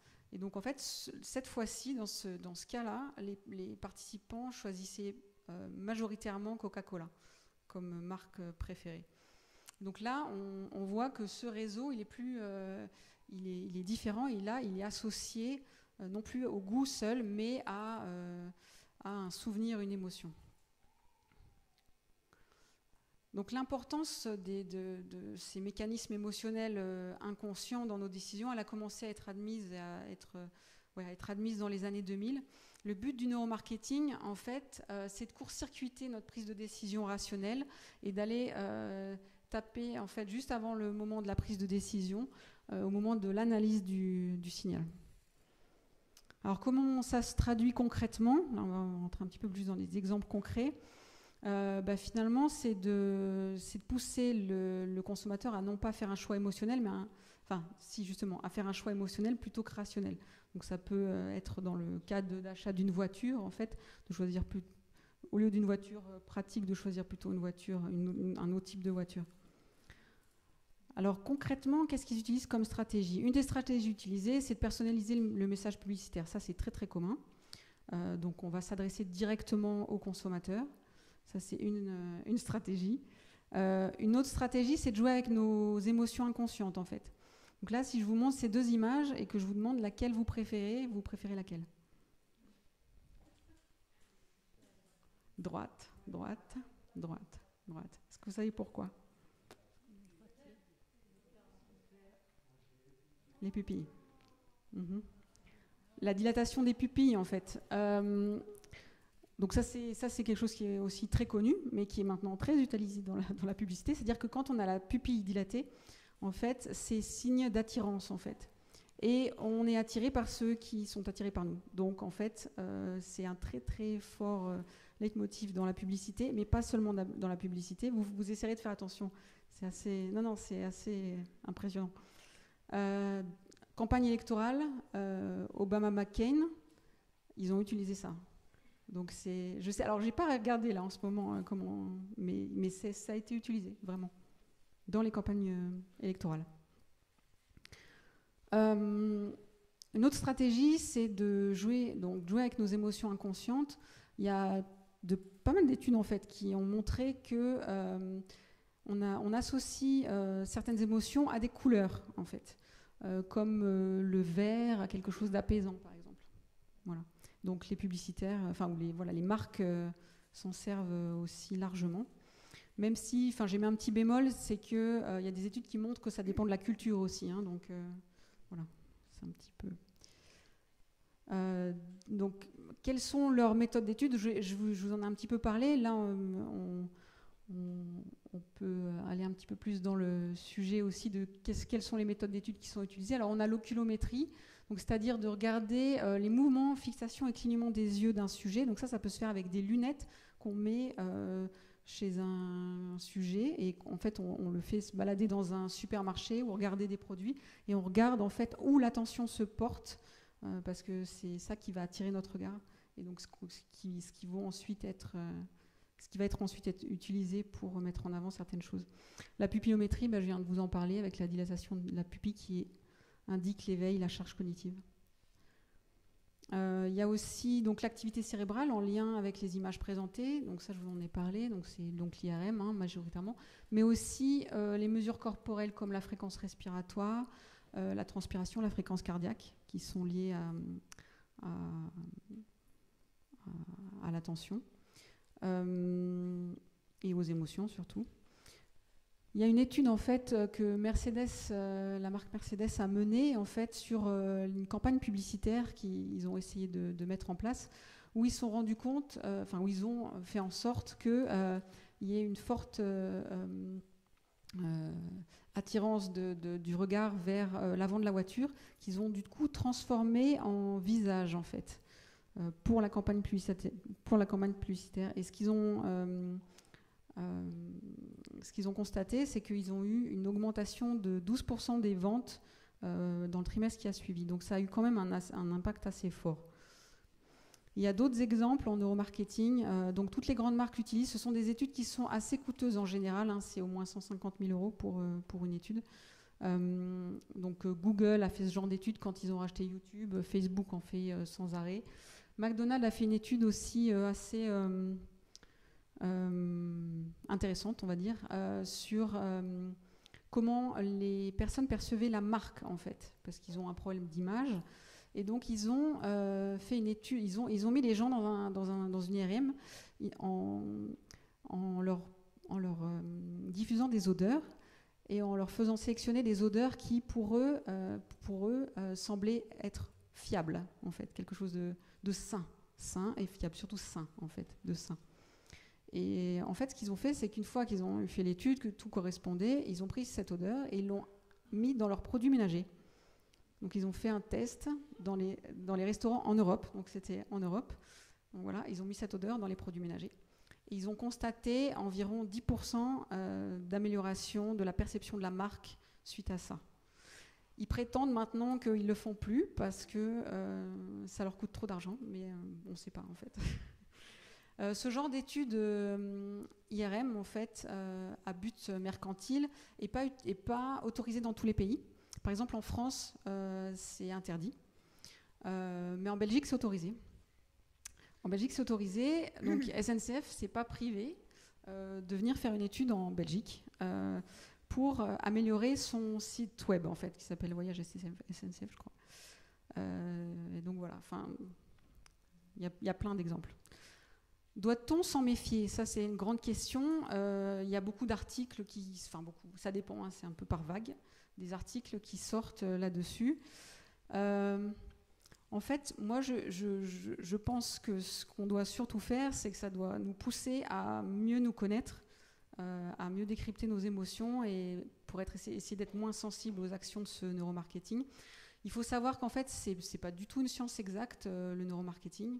Euh, il faut vraiment faire attention aux surinterprétations euh, des données euh, scientifiques qui sont émises parce que c'est des, études très ponctuelles. Et puis la, décision d'achat, elle est beaucoup plus complexe que d'associer une odeur à, un produit, par exemple. Mais bon, effectivement, ça peut avoir une influence, comme on a pu le voir. Par contre, ce que je pense, en tout cas, c'est qu'il y a, a d'autres méthodes qui sont plus efficaces que les méthodes des neurosciences et qui sont largement utilisées. C'est, par exemple, les placements de produits dans des films. Ça, ça a un impact euh, très très fort euh, sur les comportements d'achat. Et autre chose qui a lieu aussi tous les jours quand on, quand on navigue sur Internet, c'est euh, les algorithmes qui sont derrière, qui traitent nos, comportements en fait.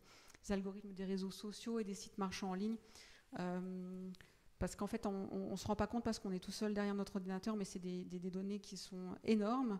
donc, ce qu'on appelle le big data, en fait et qui sont, euh, qui sont traités euh, à grande échelle et qui servent clairement euh, aux, industriels.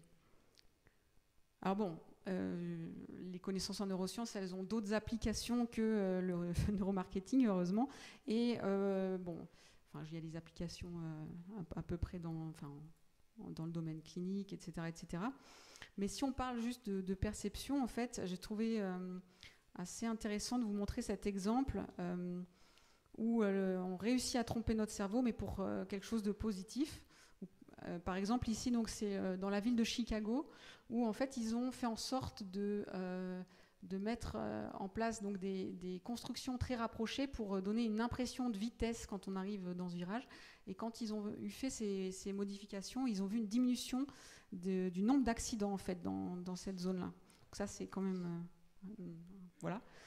Euh, dans, la même, dans cette même ville, en fait, ils ont, ils ont mis des illusions de nid de poule en guise de, de ralentisseur.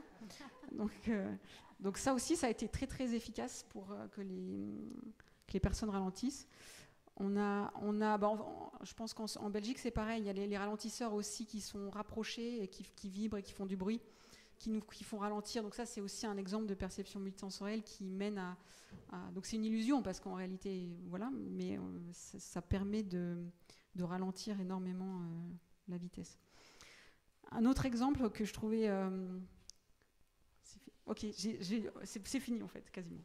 c'est dans une ville en Californie. Alors c'est un peu plus discutable parce que vous allez voir, c'est un peu de la manipulation, mais dans une ville en Californie, ils ont réussi à diminuer la consommation d'énergie des, donc des usagers à l'aide de deux moyens, en informant les usagers que leurs voisins consommaient moins qu'eux. Voilà, donc c'est voilà, hein, là on, on, est bien. donc mais ça marche, et en affichant un smiley sur leur facture. Et je vous remercie de votre attention.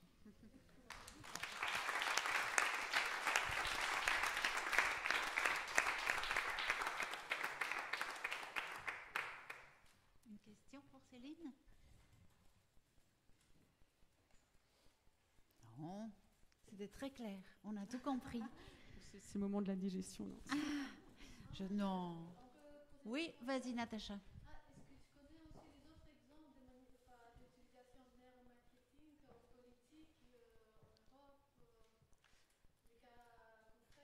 Alors, je sais que, enfin, clairement, les, les, grosses sociétés de neuromarketing, il y en a, elles sont surtout aux États-Unis. Hein. Il y en a quand même quelques-unes en Europe, elles sont surtout aux États-Unis. Et euh, il faut beaucoup d'argent, en fait. Mais dès qu'il y a une campagne électorale, elles sont, enfin, elles sont complètement. Euh, euh, elles, sont, elles sont prêtes. On sait que dans les deux dernières campagnes électorales aux États-Unis, elles ont, enfin, ça marche bien pour elles, quoi. Elles mènent vraiment, vraiment beaucoup, beaucoup d'études. Donc, ah oui, oui, c'est complètement autorisé. Ah oui, oui, ils ont le droit. Oui, ils ont le droit de faire ça. C'est c'est une autorité publique en fait. C'est pas crié sur les toits, mais euh, si on cherche, on, a l'information. L'éthique. Oui. Ah non, alors là. donc, euh, non, donc dans le, en général, les scientifiques rentrent pas là-dedans, en fait, donc on ne fait pas d'études neuromarketing. Euh, on, on, est très critique par rapport à ça. On n'a pas, euh, de toute façon, enfin en tout cas en France, c'est pas autorisé du tout, hein. euh, c'est carrément interdit. mais par contre, voilà, il y a des chercheurs qui sont dans, des, entreprises privées qui en font. C'est. Mais oui, la question éthique se pose complètement.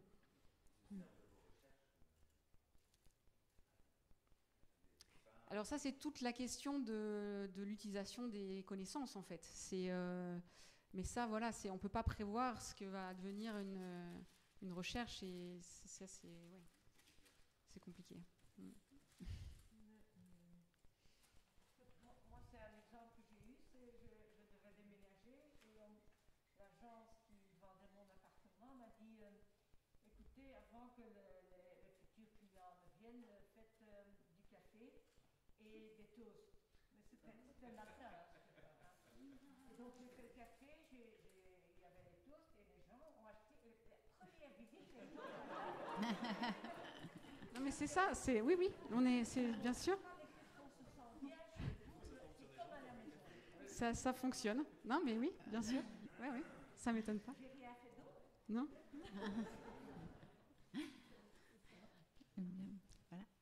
Encore une petite dernière et puis on va. Ah, j'ai deux personnes. Allez, vite. Allez.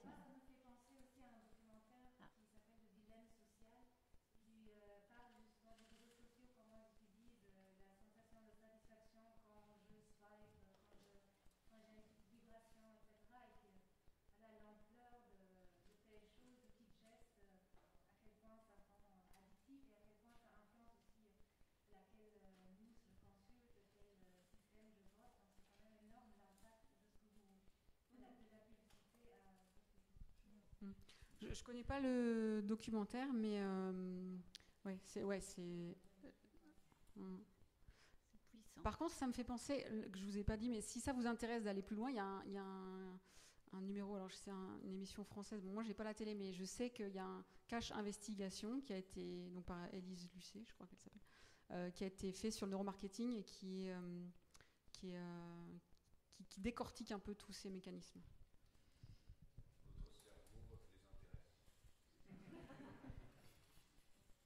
Ok. Il y avait madame encore? Est-ce que. C'est peut-être une belle question, mais est-ce qu'on peut dire que nous sommes libres? Est-ce que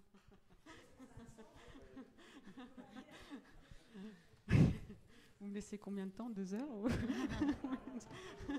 Deux jours hein, Ça va alors. Ça va, ça va.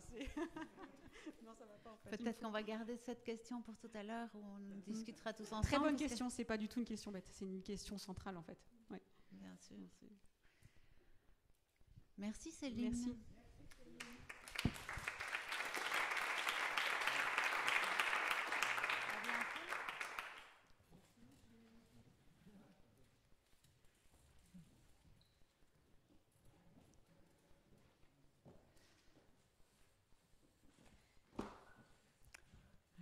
Paul Pourveur a intitulé son intervention Les médias ou la faillite de l'imaginaire.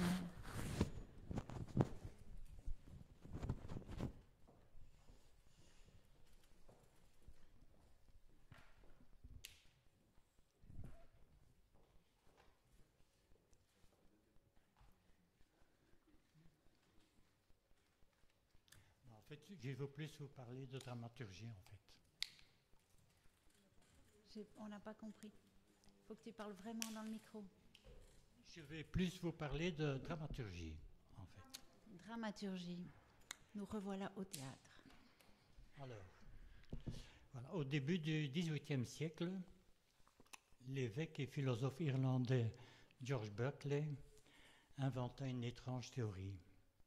Il prétendit que l'existence dépend de la perception des autres. Si personne ne me perçoit, je n'existe pas. Sa théorie je suis perçu, donc je suis, fut, jugée évidemment ridicule dans une époque où ils étaient encore adeptes je pense donc je suis. Et pourtant on pourrait dire que Berkeley est un visionnaire puisque sa théorie allait finalement s'avérer exacte, même s'il la mettait en relation avec Dieu. Au début du siècle dernier, Paul Cézanne, le peintre, déclara que la réalité ne pouvait pas être présentée, seule la perception de la réalité pouvait l'être. Et à la même époque, les premiers principes de la mécanique quantique sont élaborés pour aboutir finalement aux mêmes conclusions que Cézanne et Berkeley. Donc l'art, la science et les catholiques se sont enfin mis d'accord. Enfin, un catholique du moins, un catholique. Alors, pour citer Yvain, euh, notre, notre cerveau, donc, nous place automatiquement dans une certaine perception dans la réalité, perception qui induit une, une forme de fiction, une mise en récit, un mode opératoire, soit une, une création narrative.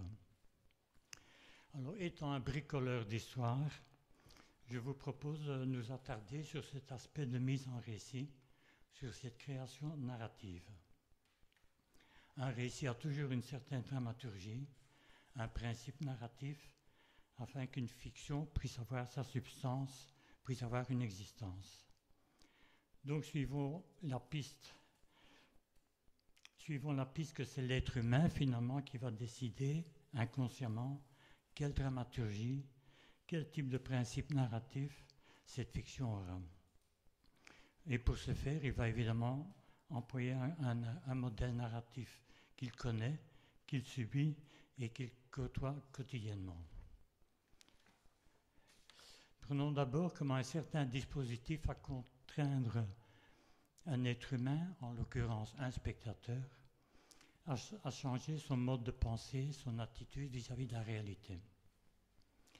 Lorsque nous nous trouvons dans un certain dispositif de représentation de fiction, le cinéma, le théâtre, la télévision, il y a cette opération mentale effectuée par le spectateur où il accepte de mettre de côté son scepticisme, d'accepter le fait que ce qu'il voit n'est pas la réalité, mais il accepte comme tel. Hein, c'est donc ce principe de suspension of disbelief où suspension consentie de l'incrédulité. Mais tous les dispositifs, évidemment, n'ont pas les mêmes rapports à la réalité.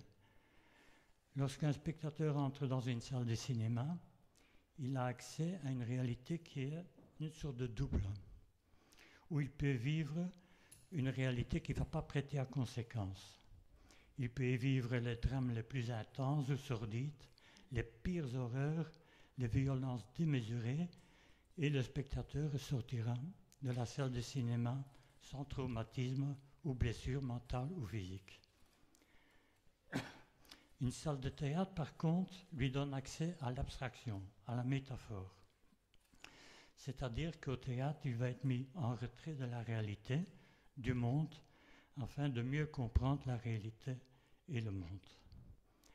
Lorsqu'il se trouve dans un contexte télévisuel, il devient nonchalant, impatient, flâneur. Lorsqu'il regarde un programme, il se demande toujours ce qu'il y a sur une autre chaîne. À part les fictions, la référence avec la réalité semble disparaître, puisqu'il est supposé voir la réalité. Dans les reportages, les émissions de télé-réalité, les jeux télévisés, le sport et les émissions d'information. La réalité supplante La, réalité supplante en quelque sorte la représentation. Il n'est donc, plus obligé de mettre son scepticisme de côté et il lui, il lui arrivera de croire que ce qu'il voit est bel et bien la réalité. Mais avec toutes ces centaines de chaînes à disposition, avec toutes ces informations qu'il reçoit, il a de plus en plus de mal à faire la distinction entre le vrai et le faux. Il a tendance à prendre pour vrai ce qui correspond à ses convictions. Mais ce vrai peut aussi être faux, évidemment. Lorsqu'il est devant la télévision, un spectateur vit l'extase de la communication, et cette communication est obscène. Dixit Baudrillard. Mais quel que soit le dispositif de représentation dans lequel le spectateur se trouve, il y a toujours une relation avec la réalité qui s'installe, sorte de référence, point de repère qu'il considère comme vrai, authentique, auquel il peut se référer. Mais il n'y a pas que le dispositif qui va influencer sa manière de penser. Il y a aussi le système narratif qui lui est proposé, qu'il soit linéaire ou non linéaire, qui va le transformer soit en spectateur actif, soit en spectateur passif. On peut considérer que les systèmes narratifs et la réalité sont intimement liés. Les systèmes narratifs sont en quelque sorte extraits de la nature de la réalité, à partir de cette perception que l'être humain a de la réalité. Le système narratif est en fait une sorte de maquette, une schématisation des mécanismes tels que la réalité perçue et tel que l'on croit que la réalité fonctionne, du moins les scientifiques. À partir de Isaac Newton, la réalité fut décrite en termes absolus. Du XVIIe au XIXe siècle, les découvertes scientifiques ont eu pour résultat que la réalité fut décrite de manière déterministe, selon un principe de cause à effet. La réalité était uniforme, simple, mécanique. De cette vision déterministe, est né un système narratif linéaire basé sur la causalité et le déterminisme. Une machine parfaite. Les personnages sont décrits avec précision, mesurés, ils sont investis d'un objectif dans le premier acte, ils réagissent en concordance avec les conditions initiales lorsqu'ils sont confrontés à des situations conflictuelles, prévisibles ou imprévisibles ce qui va les amener à une condition humaine améliorée ou détériorée. En, appliquant ces techniques de narration, l'auteur donne l'impression que tout a une signification, un sens, ce qui est rassurant. Dans ce schéma, le dernier acte pousse l'auteur à concevoir une conclusion, une vérité, un savoir. Mais celle-ci est toujours proposée à partir d'une certaine morale, celle de l'auteur ou de son point de vue politique. Le spectateur est passif et n'intervient pas dans la construction de l'histoire ni dans ses significations. Cette dramaturgie est un système fermé et prive le spectateur de sa liberté, car par sa logique interne, le récit prétend qu'il n'existe qu'une seule vérité, celle de l'auteur. Ensuite, au XXe siècle, avec le peintre Cézanne et le scientifique Werner Heisenberg et Niels Bohr, les fondateurs de la mécanique quantique, une nouvelle approche de la réalité voit le jour.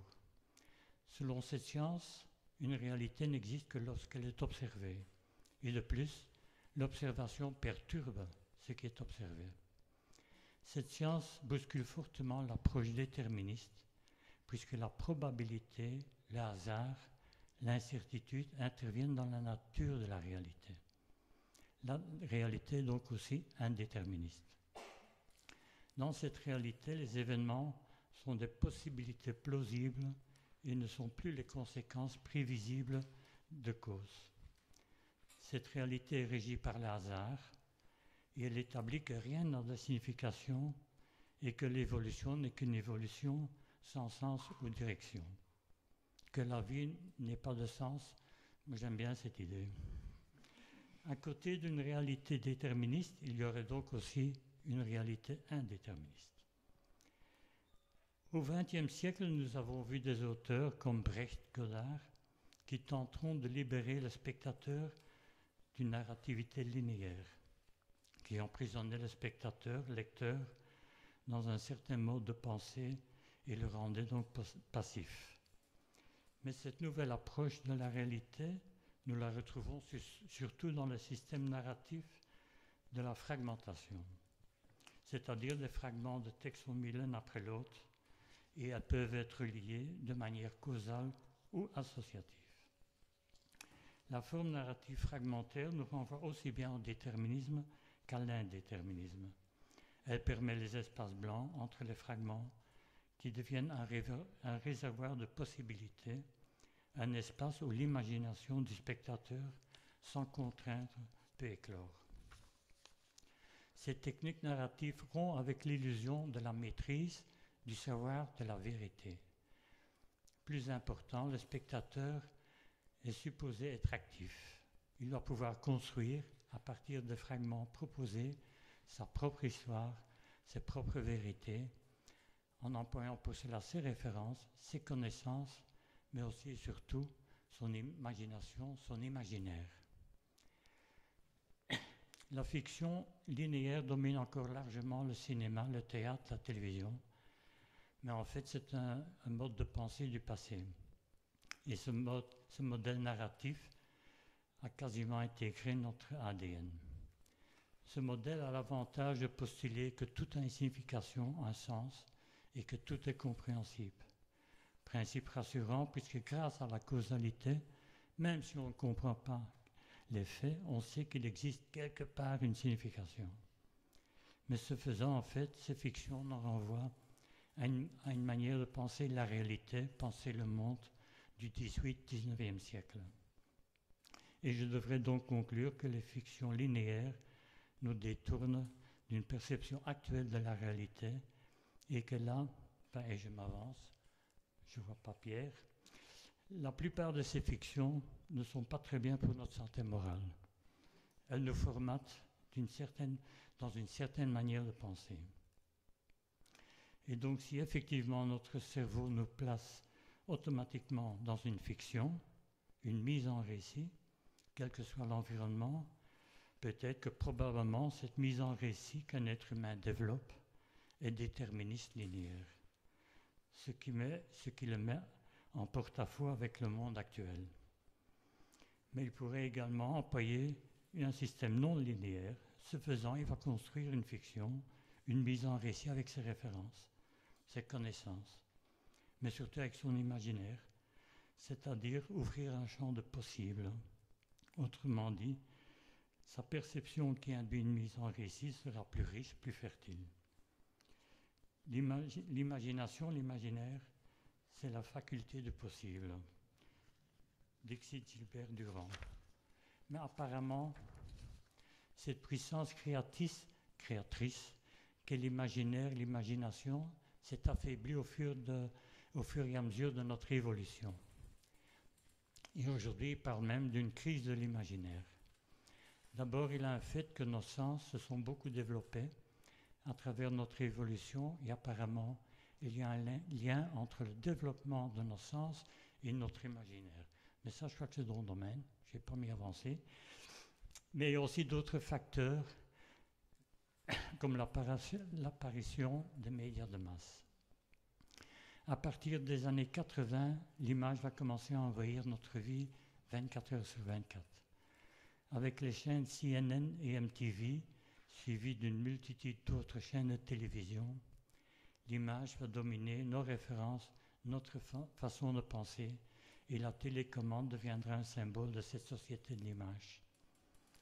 Avec CNN qui nous fournissait des informations 24 heures sur 24, même quand il n'y avait rien à raconter ou à montrer, et MTV qui émettait 24 heures sur 24 des clips musicaux, tout cela va changer notre expérience du monde et même de la musique. Avec CNN, tout se passe en real time, dans l'immédiateté, le maintenant, dans un présent perpétuel. Et en fait, il n'y a plus de passé. Avec MTV, du moins dans les années 80-90, la musique qui était supposée être auditive est devenue visuelle, est devenue image. Là où avant la musique pouvait éveiller l'imagination, l'imaginaire, désormais la musique est un clip musical généralement bien fait, avec beaucoup d'effets et des images très impressionnantes. Et toutes ces images font désormais partie de notre mémoire collective. Depuis, nous disposons de 200-300 scènes de télévision. Ces images, cette surabondance de possibilités nous est imposée quotidiennement, semble en fait restreindre notre pouvoir imaginatif, notre imaginaire, notre faculté de possible, puisque tout semble déjà être là dans cette boîte qu'on appelle télévision soit, pour reprendre le cri de cœur de Deleuze, des, possibles, sinon j'étouffe. Sont venus s'ajouter à cela Internet et les réseaux sociaux. Le monde virtuel d'Internet est devenu une extension, une prolongation de notre corps, de notre cerveau. Dans ce monde, l'être humain peut voyager éternellement et il peut aussi s'afficher, se déployer. Il met sa vie privée sur Facebook ou sur d'autres réseaux sociaux. Du moins, il met deux vies privées en ligne. Il invente, s'invente, se réinvente, se construit des identités, des meilleurs soi, plus séduisants. Il pratique le narcissisme digital à la énième puissance. Je selfie, donc je suis. L'individu est désormais accessible à tout instant et partout.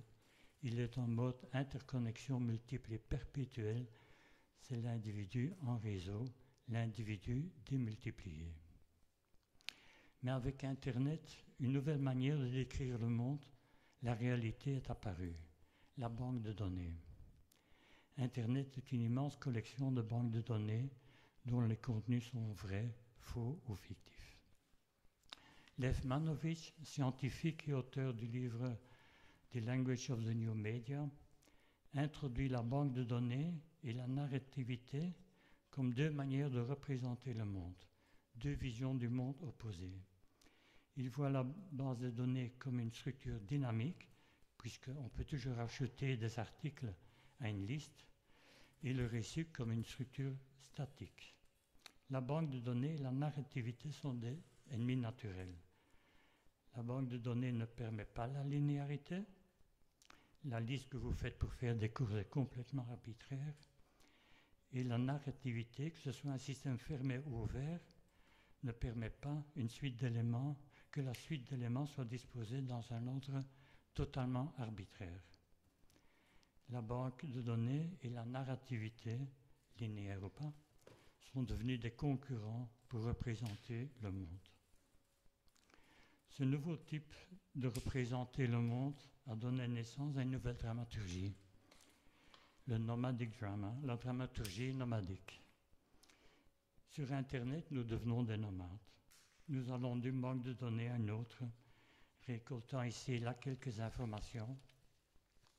L'utilisateur, qui devient automatiquement auteur, devient voyageur au sein de ce réseau gigantesque de banques de données fait de millions d'intersections. Le voyage et non le lieu d'arrivée devient l'événement en soi, puisqu'il n'y a plus de destination. Une nouvelle dramaturgie s'installe, la dramaturgie du voyage. Le voyageur, est toujours, le voyageur est toujours en cours de route. Son voyage ne prend de sens qu'avec ce qu'il rencontre, ce qu'il récolte ici et là. ce qu'il choisit de garder ou pas. La signification se construit graduellement par la simultanéité d'éléments juxtaposés. Il ne s'agit donc plus de raconter une histoire, mais de rendre compte d'un trajet sans fin. Cette dramaturgie nomadique est présentation et non représentation. Elle devient davantage processus que résultat. La dramaturgie nomadique pourrait être perçue comme une tentative de gérer la multitude. Il ne s'agit pas de trouver son chemin ni de planifier une route à suivre afin de trouver une suite de significations, mais bien de découvrir des significations qui dépendront de l'endroit où l'on se trouve, à un certain moment, par rapport aux autres significations trouvées en cours de route. J'ai l'impression que nous sommes devenus comme, en fait comme des moteurs de recherche, des Google. Nous vivons dans un monde aux possibilités infinies et tout est devenu objet de consommation. On est toujours à la, recherche de quelque chose à voir, à lire, à acheter. Et peut-être que notre cerveau s'adapte à cette nouvelle attitude nomadique lors de cette perception de la réalité et que ça influence la dramaturgie de la mise en récit de la fiction. Mais la réalité est devenue un concept très vague, ou plutôt multiple. Il y a la réalité virtuelle, la réalité augmentée, la réalité mixte, le wikiality, c'est un terme qui a été inventé par Stephen Colbert, un satiriste politique. Et euh, le principe, c'est si je si je mets sur Internet qu'un lion a, euh, six pattes et que je trouve 10 000 personnes qui sont d'accord avec moi, alors cette information devient vraie. Et puis il y a aussi évidemment la, réalité alternative. Et puis finalement, il y a ce petit génie à la Maison Blanche qui a prétendu que ce que nous voyons, ce que nous lisons, n'est pas ce qui se passe réellement. Tout ceci peut prêter à confusion. Mais a un fait que la réalité que nous croyons vraie et authentique, cette référence, point de repère à laquelle on pouvait se référer, a tendance à disparaître. Les réalités que j'ai citées auparavant ne sont pas des références, ce sont plutôt des programmes de jeu en fait. Dans le film de Steve McQueen, Shame, le personnage principal, Brandon, vit principalement dans l'univers des sites porno, des rencontres du, sexe payant. C'est un monde virtuel et artificiel qui lui pose toujours la même question Do you want to play? Veux-tu jouer? Au début du film, une scène se déroule dans le métro. Les regards de Brandon et d'une femme qui est assise en face de lui se croisent. Chez la femme, le désir s'expose, il est généreux. Par contre, dans le regard masculin, on peut lire le désir impossible quasiment éteint. Ce n'est pas tant le, portrait d'un obsédé sexuel que ce film nous montre, mais bien celui d'un homme en rupture avec le monde. Pour le philosophe Michael Fessel, c'est une réalité qui ne répond plus, qui n'est plus à la hauteur de nos désirs, un monde dont on ne peut qu'espérer qu'il s'arrête mais qui ne s'arrêtera jamais. L'homme sans monde, c'est l'homme séparé de ce qu'il peut, qui n'a plus les moyens de s'inscrire dans un futur positif. Il a été dépossédé par un système politique, social, économique. Restent ces autres, ces autres réalités, ces autres mondes qui lui demandent constamment Do you want to play? Et pourtant, je m'étais promis d'être optimiste à la fin. Merci pour votre attention.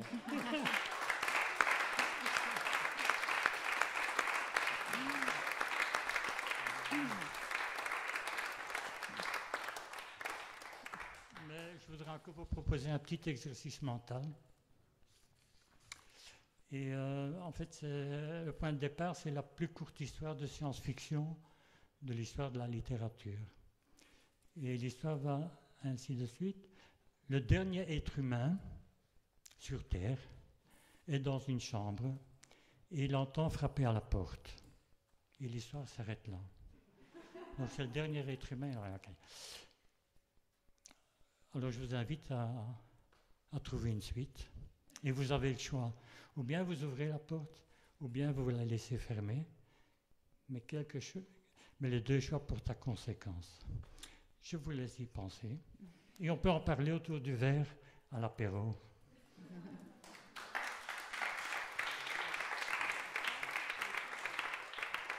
On va voir qui veut jouer avec Paul Pourveur à inventer la suite. Euh, eh bien, euh, je pense que c'est à Yves Rossetti de nous parler de, de la neurophysiologie à la communication non violente. Et ça, c'est quand même chouette. Ou pas.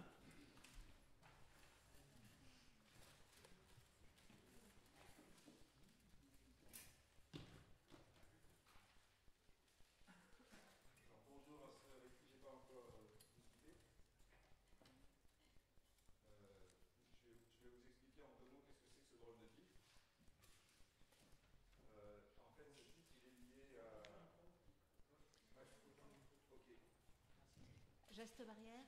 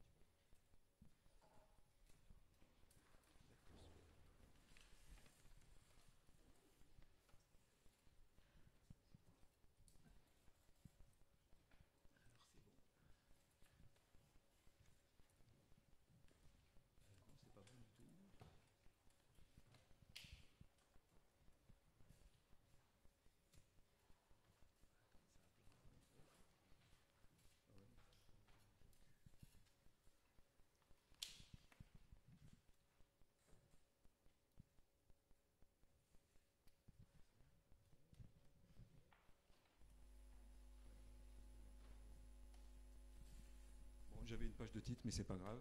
Il y avait mon nom dessus, euh, vous, le verrez sur le, programme. Euh, donc je, voulais euh, commencer par dire que je suis chercheur en neurosciences, moi aussi, à Lyon. et que ce que je vais vous présenter là, c'est pas du tout lié à mon activité de recherche. C'est quelque chose qui émane d'une part de mon activité d'enseignant, puisque je suis enseignant-chercheur, qu'en étant enseignant, ça fait une quinzaine d'années que je dois enseigner le fonctionnement cérébral aux étudiants en médecine et en particulier leur faire des cours sur la perception. Et comme malheureusement l'institution s'évertue à faire croire aux étudiants en médecine qu'ils sont des gens qui vont devoir avoir raison et qui vont devoir avoir du savoir, je mets euh, un malin plaisir à essayer de, semer des graines de doute dans leur esprit. Euh, et donc, euh, je leur fais des cours sur la perception visuelle pour leur montrer qu'on ne perçoit pas la réalité. Donc, ça va être très en accord avec ce qui vient d'être dit. Euh, vous connaissez peut-être déjà tous cette, illusion très célèbre qui avait gagné le, prix de l'illusion de l'année, qui est réalisée par un japonais qui s'appelle Kitaoka. Euh, le contraste de l'écran n'est pas extraordinaire, donc ça bouge peut-être pas beaucoup, mais si vous voulez faire bouger, vous, pouvez cligner des yeux, ça va augmenter les mouvements de rotation que vous verrez sur l'écran. Peu importe. Vous avez déjà tous vu des illusions d'optique. Et puis le, deuxième ingrédient, de, donc c'est les, illusions d'optique, c'est la base pour moi que j'utilise pour montrer cette dissociation qu'il y a entre ce qu'on perçoit et, la réalité. Et puis le deuxième ingrédient, c'est euh, ma formation personnelle à la communication non violente. Et euh, ce qui est intéressant dans la communication non violente, et euh, j'aimerais interpeller Paul là-dessus, c'est que au-delà de la question de la réalité, peut se poser la question de qu'est-ce qu'une observation? Et donc, ne pas chercher à distinguer, des fois on dit qu'il faut distinguer la réalité ou les faits et les interprétations, mais en fait, comme on n'a pas accès à la réalité, c'est pas possible. Alors qu'essayer de distinguer les observations et les faits, c'est quelque chose qui est à notre portée, et c'est justement quelque chose qui est euh, un petit peu le, premier pas de, la communication non violente. Voilà, donc j'aime beaucoup cette, distinction, et pour moi, elle s'apparente un petit peu à l'attitude du chercheur qui veut lui aussi essayer d'accéder à la réalité, mais il n'a que des observations et il doit se méfier de ses interprétations. Donc toujours ce jeu entre ces trois niveaux euh, d'accès euh, au réel qui nous entoure, au monde qui nous entoure. Donc je vais commencer par une petite démonstration récréative sur euh, les illusions d'optique. Vous en connaissez tous, hein. vous, vous, connaissez sûrement celle-ci qui est une des premières célèbres, qui est l'illusion du mur de café, dans laquelle vous pouvez à la fois percevoir les lignes parallèles et à la fois votre œil vous dit que ce n'est pas parallèle et vous percevez bien l'ambiguïté qu'il y a dans le signal parce que vous n'arrivez pas à vous décider si c'est parallèle ou pas parallèle, euh, les lignes de carreau. Voilà un exemple. Ensuite, notre perception est très limitée. Ici, vous voyez une jeune femme très souriante, alors qu'en fait, elle fait la gueule de façon terrible. Et pour que vous puissiez le voir, on va la, on va la retourner. Et n'empêche, lorsqu'elle est à l'envers, vous continuez de la voir super souriante. Ensuite, il y a beaucoup d'exemples dans les limites de la perception qui concernent notre vision des couleurs. Alors vous avez ici, euh, par exemple, euh, euh, deux cercles positionnés au, centre de deux rectangles. Et la question, c'est combien de couleurs vous voyez en tout sur l'image, en dehors du blanc. en fonction des vidéoprojecteurs, on voit. Normalement, ce qu'on voit le plus souvent, c'est que le, le rang là est de la couleur du carré le rang là est de la couleur du carré. Alors qu'en fait, les deux rangs sont de la même couleur. Et comme on ne me croit pas, je suis obligé d'enlever les carrés pour vous montrer que les ronds sont réellement de la même couleur. Rassurez-vous, il va en venir, comme ça vous aurez de nouveau l'illusion. Puisque quand même l'illusion, c'est ça le plaisir. Voilà. Donc c'est vous qui fabriquez ces couleurs entièrement, elles n'existent pas. Et puis ici, euh, une autre illustration du caractère sélectif de la perception. Vous voyez ici certainement une rangée de cadres, plusieurs rangées de cadres. Mais combien d'entre vous voient des cercles sur l'image? Il y a autant de cercles que de rectangles sur cette image. Qui voit des cercles? Vous pouvez lever la main comme ça progressivement pour voir combien, combien de temps ça met pour arriver et comment je vous fais attendre ou pas. Ça vient petit à petit. À chaque intersection de, deux cadres qui sont adjacents, existe un cercle. Et en fait, vous faites une interprétation tridimensionnelle de ce cercle, de ce cercle. Il y a autant de cercles que de rectangles. Et en fait, spontanément, on va faire une interprétation tridimensionnelle et on ne voit pas du tout les cercles parce qu'on reste dans cette, dans cette interprétation automatique de la troisième dimension et des cadres auxquels on est habitué. Est-ce que pour ceux qui connaissent cette image, s'il vous plaît, restez silencieux. Euh, qu'est-ce que vous voyez dans cette image? Un mur de briques, c'est pas original, on est entouré de murs de briques. Et au milieu du mur de briques, vous voyez quelque chose? Un petit caillou. Qui voit un petit caillou? Tout le monde le voit, ce petit caillou? En fait, euh, ce caillou n'est pas un caillou. Il y a quelque chose d'énorme au milieu de l'image, plus gros que ce caillou, que vous ne voyez pas encore un objet tout à fait incongru dans l'image et que vous allez découvrir dans quelques instants. Si je vous dis que ce caillou est en réalité la cendre d'un cigare, est-ce que ça vous aide? Qui voit le cigare? Ah, La moitié à peu près? Alors pour ceux qui ne l'ont pas vu, je suis désolé d'écourter votre, le délice de l'illusion, voici le cigare.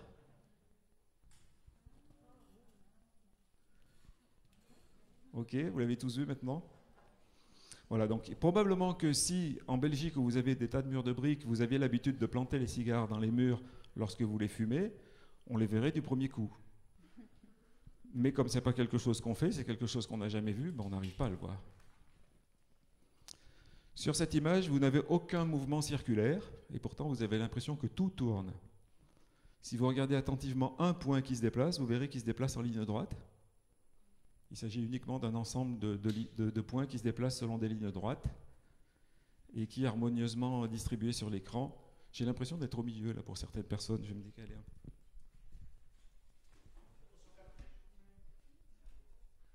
Ça va jusque là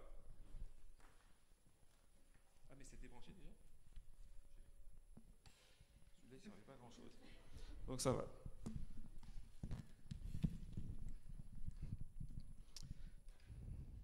Voilà, donc en bref, notre perception n'est pas la réalité, vous le saviez déjà, on commence à, l'aborder depuis tout à l'heure.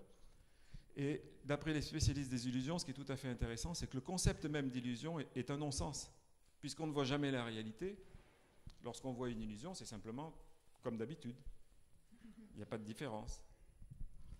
Et donc, ce qui est intéressant pour les neuroscientifiques, c'est que les illusions, au lieu de, montrer, comme les journalistes le disent, que le cerveau est un imbécile et que le- les illusions trompent le cerveau, ça montre, ça révèle en fait la complexité des mécanismes cognitifs qui sont utilisés par le cerveau pour essayer d'accéder à la réalité.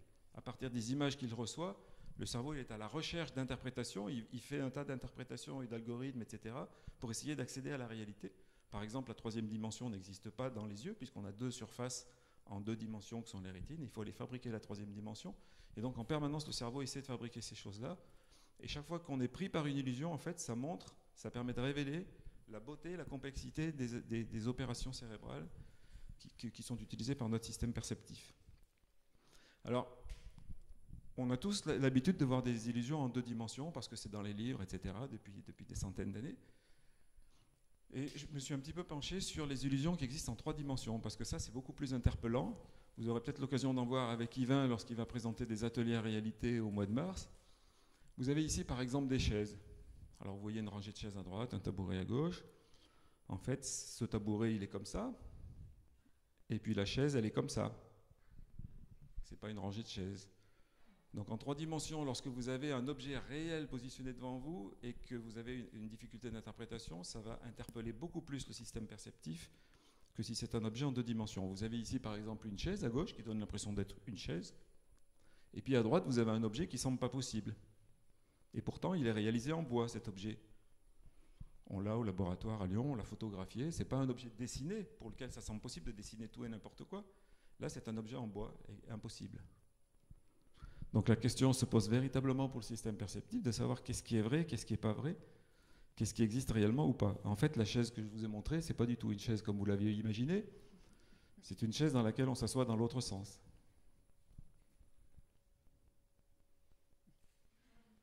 Voilà comment elle est construite. Alors, les scientifiques, les psychologues de la perception, les artistes s'amusent beaucoup avec ce, type d'illusion. Vous avez ici une autre euh, illusion euh, générée par euh, une artiste japonaise dont le nom m'échappe à l'instant, qui utilise les ombres pour faire apparaître des objets. Et donc la, grande question, c'est qui, fa- qui fait la chaise On est toujours en train de fabriquer la chaise. Et vous avez ici une autre chaise qui est filmée ici. Et regardez bien ce qui va se passer. Donc en fait, c'est une chaise, mais on peut passer à travers. Et votre cerveau ne peut pas s'empêcher de reconstruire une chaise. Ce qui fait qu'avec euh, cette chaise-là, on peut construire des illusions sur lesquelles je, reviendrai tout à l'heure. Alors le champion du monde dans le domaine, c'est un, un chercheur japonais qui s'appelle Kokichi Sugihara, qui a construit des tas d'illusions comme ça. Donc je, je résiste jamais au plaisir d'en montrer quelques-unes. Vous voyez ce petit pont avec des billes en bois sur un pont en carton qui vont euh, s'accumuler tout en haut du pont, que vous les mettiez du côté droit, du côté gauche. Les billes vont aller tout en haut du pont.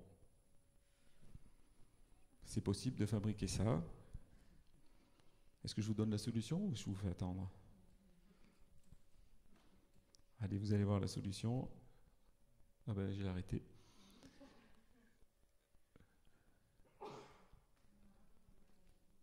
Voilà, en fait, en trois dimensions. Votre cerveau ne peut pas s'empêcher, comme pour la chaise, de reconstruire quelque chose qui n'existe pas. Ici, le- même mathématicien a inventé cette flèche qui pointe toujours dans la même direction. Vous pouvez la retourner, impossible de changer de sens. Il n'y a qu'une seule direction possible. Et c'est un objet en trois dimensions que vous avez devant vous. Vous pouvez le tourner vous-même et cet objet va toujours pointer dans la même direction. Alors c'est beaucoup plus fort, comme je dis, de, voir ces objets en trois dimensions par rapport à des objets en, une dimension. Voilà encore une animation de, du même euh, japonais. J'aimerais bien pouvoir avancer la vidéo, mais non, on va la laisser dérouler toute seule parce que j'ai pas le curseur. Voilà des objets qu'il a inventés et qu'il positionne devant des miroirs. Et comme vous voyez, devant le miroir, l'objet est différent de ce qu'il est dans la réalité. Et l'objet peut être carré ou peut être rond. Il les fabrique. Yvain en a quelques-uns à sa disposition. Voilà. Donc l'avantage de ces objets par rapport aux illusions en deux dimensions qui permettent de montrer qu'on peut avoir des interprétations différentes du monde, là c'est carrément de montrer que deux points de vue différents conditionnent deux interprétations du monde et que nécessairement mon interprétation du monde est différente de la vôtre si l'objet est positionné au milieu et que je dois me mettre à votre place pour épouser votre point de vue. Je ne peux pas le faire de mon point de vue. Donc ça montre combien on est ancré dans son point de vue et combien on est limité par le point de vue dans lequel on est euh, forcément à un instant donné. Et comme le monde est très complexe, vous avez ici quelques images d'exemples de, la complexité euh, du, monde naturel ou pas naturel euh, dans lequel on évolue, on est obligé en permanence d'avoir un système perceptif extrêmement sophistiqué qui va analyser les informations. Et il va bien falloir admettre qu'à un moment donné, on ne peut pas percevoir toute la réalité est-ce que la pomme est jaune ou est-ce que la pomme est rouge Ou bien est-ce que c'est la même pomme qui a une face jaune et une face rouge? La question reste ouverte et en fonction de votre capacité à accepter l'inconnu ou à vouloir rationaliser tout, vous pouvez en conclure que si l'autre vous dit que ce n'est pas la même couleur, qu'il est daltonien et l'accuser d'avoir tort en quelque sorte. Ou bien avoir la curiosité de dire Ah tiens, toi tu la vois verte, c'est intéressant, moi je la vois rouge, et à partir de là, qu'est-ce qu'on peut faire ensemble et qu'est-ce qu'on peut apprendre sur la réalité de cette pomme Donc on reviendra là-dessus euh, tout à l'heure, en particulier grâce à, ce que je vais évoquer de la communication non violente. Et puis par rapport à ça, je vais aussi vous montrer cette jolie petite euh, vidéo d'un objet fabriqué par euh, Frédéric, un mécanicien au laboratoire, qui nous a fabriqué un objet qui, selon l'angle avec lequel il est regardé, peut vouloir dire quelque chose ou son contraire. Voilà. Donc notre perception, elle va créer l'information. Et comment est-ce que notre, notre système perceptif va s'y prendre pour créer ces informations et analyser les signaux qui arrivent du monde extérieur? Il va utiliser le contexte. Et le contexte, il peut être soit dans l'espace, soit dans le temps. Alors dans l'espace, je prends un exemple qui n'est pas du tout scientifique en vous montrant ces horribles formes là. Vous n'avez pas la moindre idée de ce que c'est que ces formes, j'imagine. C'est la même, hein, qui est répétée trois fois. Et puis vous avez la même forme ici sur le tableau de Seurat, et à l'évidence, ça vous saute aux yeux que c'est un bateau, il n'y a pas une seconde d'hésitation. Donc la même forme dans ce contexte, c'est un bateau en, un dixième de seconde, ou c'est euh, un truc bizarre lorsqu'on n'a pas le contexte. Ici, vous avez une série de bonhommes de neige, qui ont l'air d'être tous de la même taille, qui sont tous de la même taille. Si je rajoute un contexte, vous voyez les, bonhommes de neige de l'arrière qui sont beaucoup plus grands, deux fois plus grands que les bonhommes de neige du premier plan. Parce que votre cerveau ne peut pas s'empêcher de construire la troisième dimension, et ça veut dire que s'il est plus loin et qu'il est de la même taille que celui qui est devant, nécessairement il est plus grand.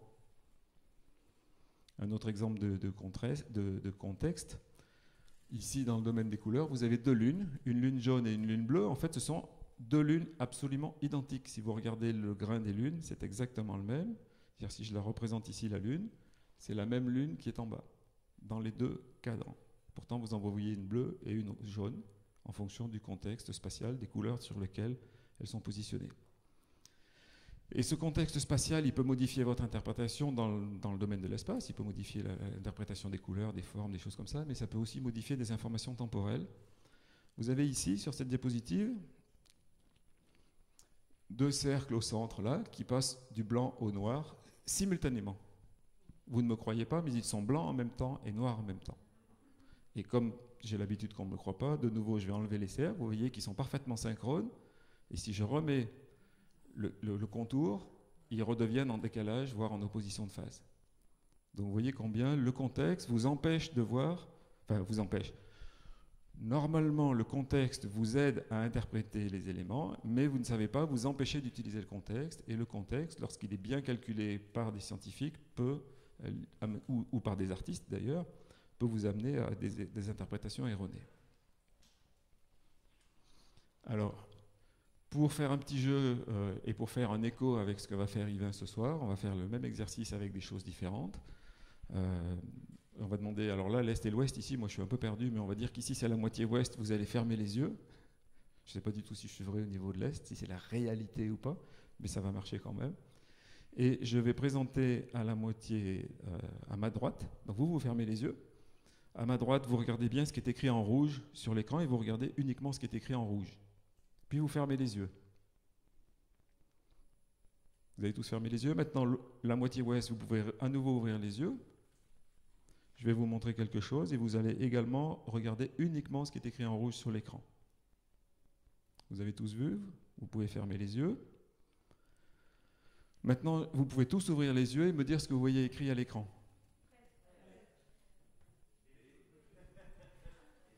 Alors effectivement, vous avez spontanément dit B ou 13. Une fois que vous avez entendu les deux interprétations, vous dites, eh oui, effectivement, il y avait une ambiguïté. Pourquoi il y a une ambiguïté? Certains d'entre vous ont vu cette ligne, certains d'entre vous ont vu cette ligne. Je ne vous ai dit de regarder que ce qui est écrit en rouge, bien sûr. Mais ce n'est pas possible. Votre cerveau a automatiquement utilisé ce qui était autour pour interpréter les choses. Alors au niveau du, contexte temporel, il y a une superbe illusion qui est celle-ci, vous la connaissez peut-être. Si vous la regardez, il y, a, cette illusion de mouvement là, mais qui est tout à fait banale. Il y a une illusion qui est beaucoup plus intéressante, c'est si vous fixez attentivement la croix au centre de l'écran, vous allez voir tous les points roses disparaître et remplacés par quelque chose d'autre. Je ne suis pas sûr que ça marche pour ceux qui sont tout au fond, peut-être un peu loin pour la taille de l'image. Vous voyez tout ce point vert? Ça marche? Voilà. Donc ça, c'est vos récepteurs et votre système perceptif qui est fatigué de voir du rose et qui va le remplacer par finalement la couleur euh, complémentaire qui est le vert.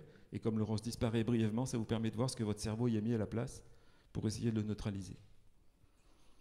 Vous avez ici une image de la vague de Hokusai qui est en double exemplaire, une image nette et une image floue et vous allez non pas les regarder, mais regarder simplement la croix qui est au centre. Et au bout de quelques secondes, je vais changer l'image, je vais vous montrer deux images identiques et vous les verrez différentes. Vous savez tout, mais ça arrivera quand même. Vous êtes prêts? Je change les images. Vous avez vu celle de droite floue Alors qu'elles sont identiques. Vous voyez maintenant qu'elles sont identiques, peut-être. Voilà, donc ça, ça montre combien dans le temps votre système perceptif est conditionné par ce qui existe avant. Une dernière pour s'amuser avec l'hôtel de ville de Lyon. Vous pouvez fixer sur cette image ce que vous voulez dans la, dans la zone centrale. Vous pouvez choisir un coin, une fenêtre, peu importe. Il faut regarder une zone très petite, avoir le minimum de mouvement des yeux.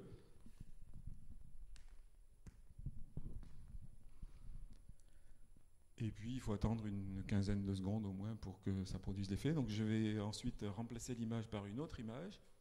Et vous essayerez de ne pas bouger les yeux quand la nouvelle image apparaîtra. Vous ne bougez pas les yeux pendant le plus longtemps possible. On va dire au moins 5 secondes, et puis ensuite vous pourrez bouger les yeux, et c'est à ce moment-là que vous aurez une surprise normalement. Je vais bientôt changer l'image. Regardez bien fixement sur la nouvelle image le même endroit. Et quand vous voulez, vous bougez les yeux, vous clignez les yeux. Pas de surprise, personne. Il ne s'est rien passé de bizarre? Alors normalement, ce qui passe, c'est qu'avant de cligner les yeux, vous voyez cette image en couleur. Si, ça marchait pour certains. Et au moment où vous clignez les yeux, ou vous bougez les yeux, pan, l'image devient en noir et blanc. Ce qui vous montre que vous êtes capable de regarder une image en noir et blanc et de la voir en couleur, en fonction de ce qui s'est passé auparavant. Et puis on peut aller encore plus fort à vous raconter une histoire. Il, s'agit ici du portrait robot de quelqu'un que vous devez euh, rencontrer euh, ce soir sur la place de Bruxelles en plein milieu de la foule, enfin il y a moins de foule en ce moment, et puis surtout avec les masques ça va être difficile, mais on va dire que vous, devez apprendre ce visage par cœur, donc vous examinez ce visage le plus, attentivement possible, avec l'objectif de pouvoir la, la reconnaître ensuite.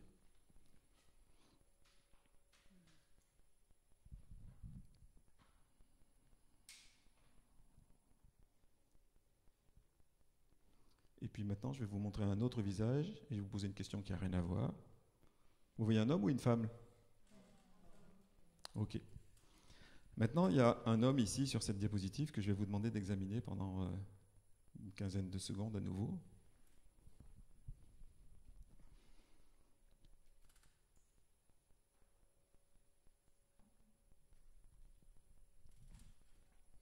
Et puis, je vais remonter un autre visage et vous poser une question. Vous voyez un homme ou une femme ici? Ah, pas voilà.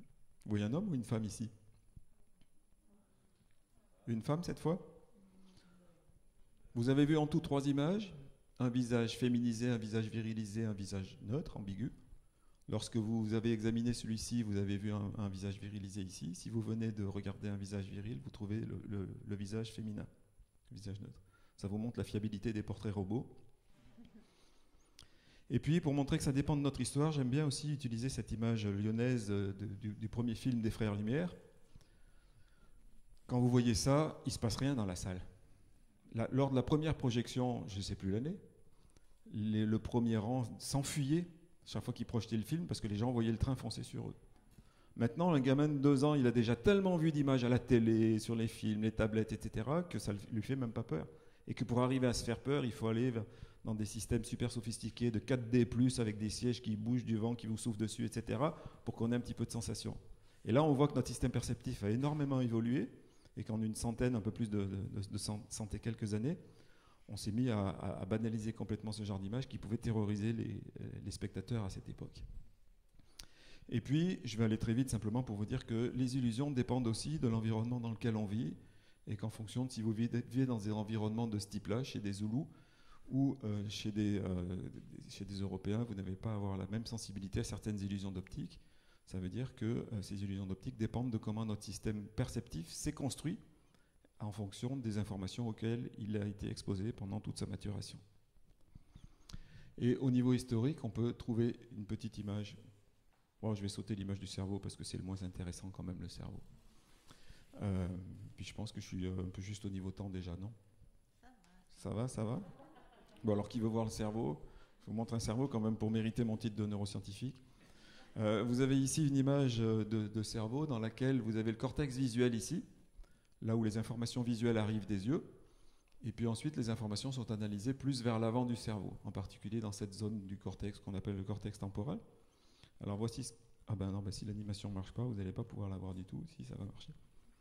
Voilà un petit peu comment l'activation du cerveau se déroule dans le temps lorsqu'un stimulus visuel arrive.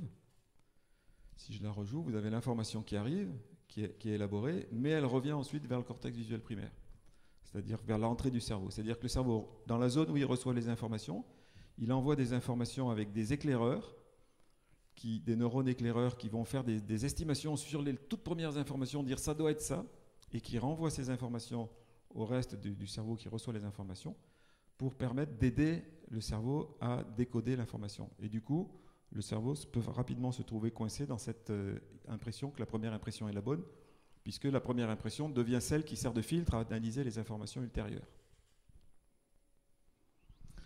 Donc voilà, lorsque vous avez un stimulus, il y a un contexte extérieur et un contexte intérieur. Le contexte intérieur, c'est le contexte historique qui a été intériorisé, celui dont vous avez fait l'expérience ici en, regardant des images, en regardant ce qui se passe au cours de l'évolution. Et l'ensemble de ces données va vous permettre de, de constituer euh, l'interprétation que vous allez faire du stimulus, du monde qui nous entoure. Et en fonction de l'information disponible, j'ai rajouté cette diapositive pour Paul. Qu'est-ce que vous voyez sur cette diapositive? Elle est floutée, bien sûr, hein, c'est fait exprès que ce soit difficile. Est-ce que quelqu'un voit quelque chose? Non, le contraste n'est pas extraordinaire, donc... Euh, comment? Un visage? Oui, un tissu, un tissage, d'accord, pardon. Le tissage, oui, le tissage, c'est le masque en fait que j'ai mis. Ce qu'il faut voir, c'est ce qu'il y a derrière, à travers le rideau du tissage. Euh, et si je vous dis que c'est un tigre, est-ce que vous voyez un peu mieux?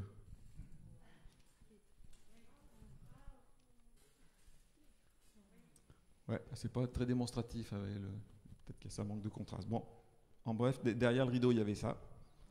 Et l'idée, c'est que euh, si on ne voyait pas le tigre ici, l'humain n'aurait pas survécu. Alors pourquoi on ne verrait pas le tigre? Tout simplement parce qu'ici, vous n'avez pas de tigre sur l'image. Vous avez que des morceaux de tigre interrompus par des arbres. Votre système perceptif, il doit reconstruire ça. S'il se dit que c'est juste des morceaux de tigre, la conséquence, c'est que vous vous faites bouffer, et donc, vous apprenez très vite à utiliser les informations pour ça. Mais je me rends compte qu'il me manque l'illusion qui va avec. C'est l'illusion qui est. Vous connaissez sûrement cette illusion qui s'appelle l'illusion de Canizza. Eh ben, je ne sais pas où elle est passée. Si, ah ben, il y en a une version un peu plus loin. C'est mal. Euh, il y a une désorganisation là.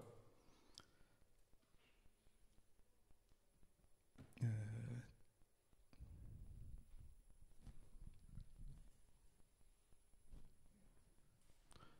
Voilà, voilà le, corrélat du tigre. C'est ici, les Français voient un camembert. Ici, ils voient deux camemberts. Mais lorsqu'on en pose un troisième, ils ne voient plus de camembert, ils voient trois cercles avec un triangle posé dessus. Et votre cerveau ne peut pas s'empêcher de voir un triangle ici, alors que le triangle n'existe pas. Il y a juste trois camemberts qui ont été disposés de la bonne façon. Et si vous faites ça, c'est parce que c'est ce mécanisme-là, donc on pourrait croire que le cerveau se plante là-dessus, mais c'est grâce à ça qu'on a survécu et qu'on a pu voir des tigres entiers alors qu'on voyait que des tigres étaient cachés par des arbres. Donc on voit bien ici l'utilité du mécanisme qui est révélé par l'illusion. Il ne faut pas confondre les, deux éléments entre euh, ce qui est bénéfique et ce qui est, euh, ce qui est une erreur. La même chose ici, c'est la reconstruction de la chaise que vous voyez ici. C'est la même chaise que, celle de tout à l'heure, mais ici, du coup, vous avez l'impression que la personne qui est assise dessus est, minuscule et vous savez bien que ce n'est pas possible. Mais où est donc le problème? C'est que c'est une chaise en deux morceaux, donc forcément la deuxième personne est plus loin, donc c'est normal qu'elle soit plus petite mais votre cerveau ne peut pas s'empêcher de voir une chaise ici.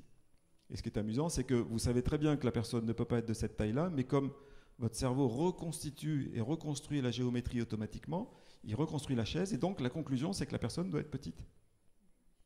Et même avec l'autre image à côté, vous continuez de voir l'image petite ici. Et même si c'est votre famille, etc. Bon, voilà, du coup, celle-ci, c'est bon. Et du coup, c'est ce qui vous permet de sourire devant cette image. C'est parce qu'il y a une petite partie de votre cerveau qui vous dit Mais si c'était un seul animal, ce truc Il y a une continuité dans les contours, donc peut-être que c'est un seul animal. Et en même temps, vous savez que ce n'est pas possible. Du coup, c'est ce qui vous fait sourire sur, sur la base de ces illusions-là.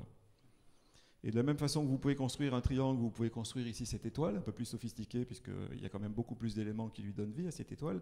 Mais ce qui est amusant, c'est que si je fais disparaître des morceaux, des contours qui fabriquent l'étoile, vous continuez de voir l'étoile votre cerveau s'accroche à l'étoile qui n'est plus là, pas qui n'a jamais été là de toute façon. Donc ça vous montre un petit peu comment la première impression est toujours la bonne et que le cerveau va s'accrocher aux interprétations qu'il fait. Une autre façon de, démontrer ça. Alors, on a vu ça pour le domaine de la perception et j'aime bien utiliser ça pour euh, vous interpeller, semer le doute, etc. Et une fois que le doute est semé, on peut aller un petit peu plus loin. Euh, en se posant la question, mais quand on cherche à communiquer tout ce que je vous dis depuis le début, j'utilise des mots qui véhiculent des idées, j'espère que vous les comprenez dans le sens où je veux les dire, et en même temps on a toujours des malentendus, surtout avec ses proches d'ailleurs. Et d'ailleurs c'est démontré pourquoi on a plus de malentendus avec ses proches. Mais... Donc pour communiquer, on a l'impression qu'on choisit des mots qui vont exprimer notre ressenti, euh, nos émotions, nos pensées, euh, mais les mots ne sont pas eux-mêmes ces contenus. Ils sont pas, les mots que j'emploie ne sont pas mes émotions, ne sont pas mes pensées. Les, mots, pour moi, c'est un petit peu comme un papier d'emballage vide que je transmettrai. Euh, j'emballe ma pensée dans un, emballage, je donne l'emballage à la personne, mais comme on n'emballe pas tous les choses euh, de la même façon, euh, en recevant l'emballage, la personne ne va pas trouver exactement la même chose que ce que moi j'avais eu l'intention d'y mettre. On doit les interpréter, et donc si on doit les interpréter, on se retrouve dans la situation de la perception visuelle qu'on a vu tout à l'heure. D'ailleurs, je mentionne que des illusions visuelles parce que c'est beaucoup plus facile de faire la démonstration, mais tout à l'heure Céline a montré une illusion audio-visuelle, et il y a des illusions qui sont purement auditives ou purement tactiles, etc. Donc ce n'est pas du tout spécifique de la vision. Donc dans le domaine de la, communication, c'est pareil. On a tous l'habitude d'utiliser des mots avec différents sens. Vous pouvez, avec de la vaisselle cassée, euh, hurler sur le responsable, ou bien en fabriquer un, objet décoratif, ou bien avoir de la pitié pour le pauvre enfant qui, est catastrophé d'avoir tout cassé.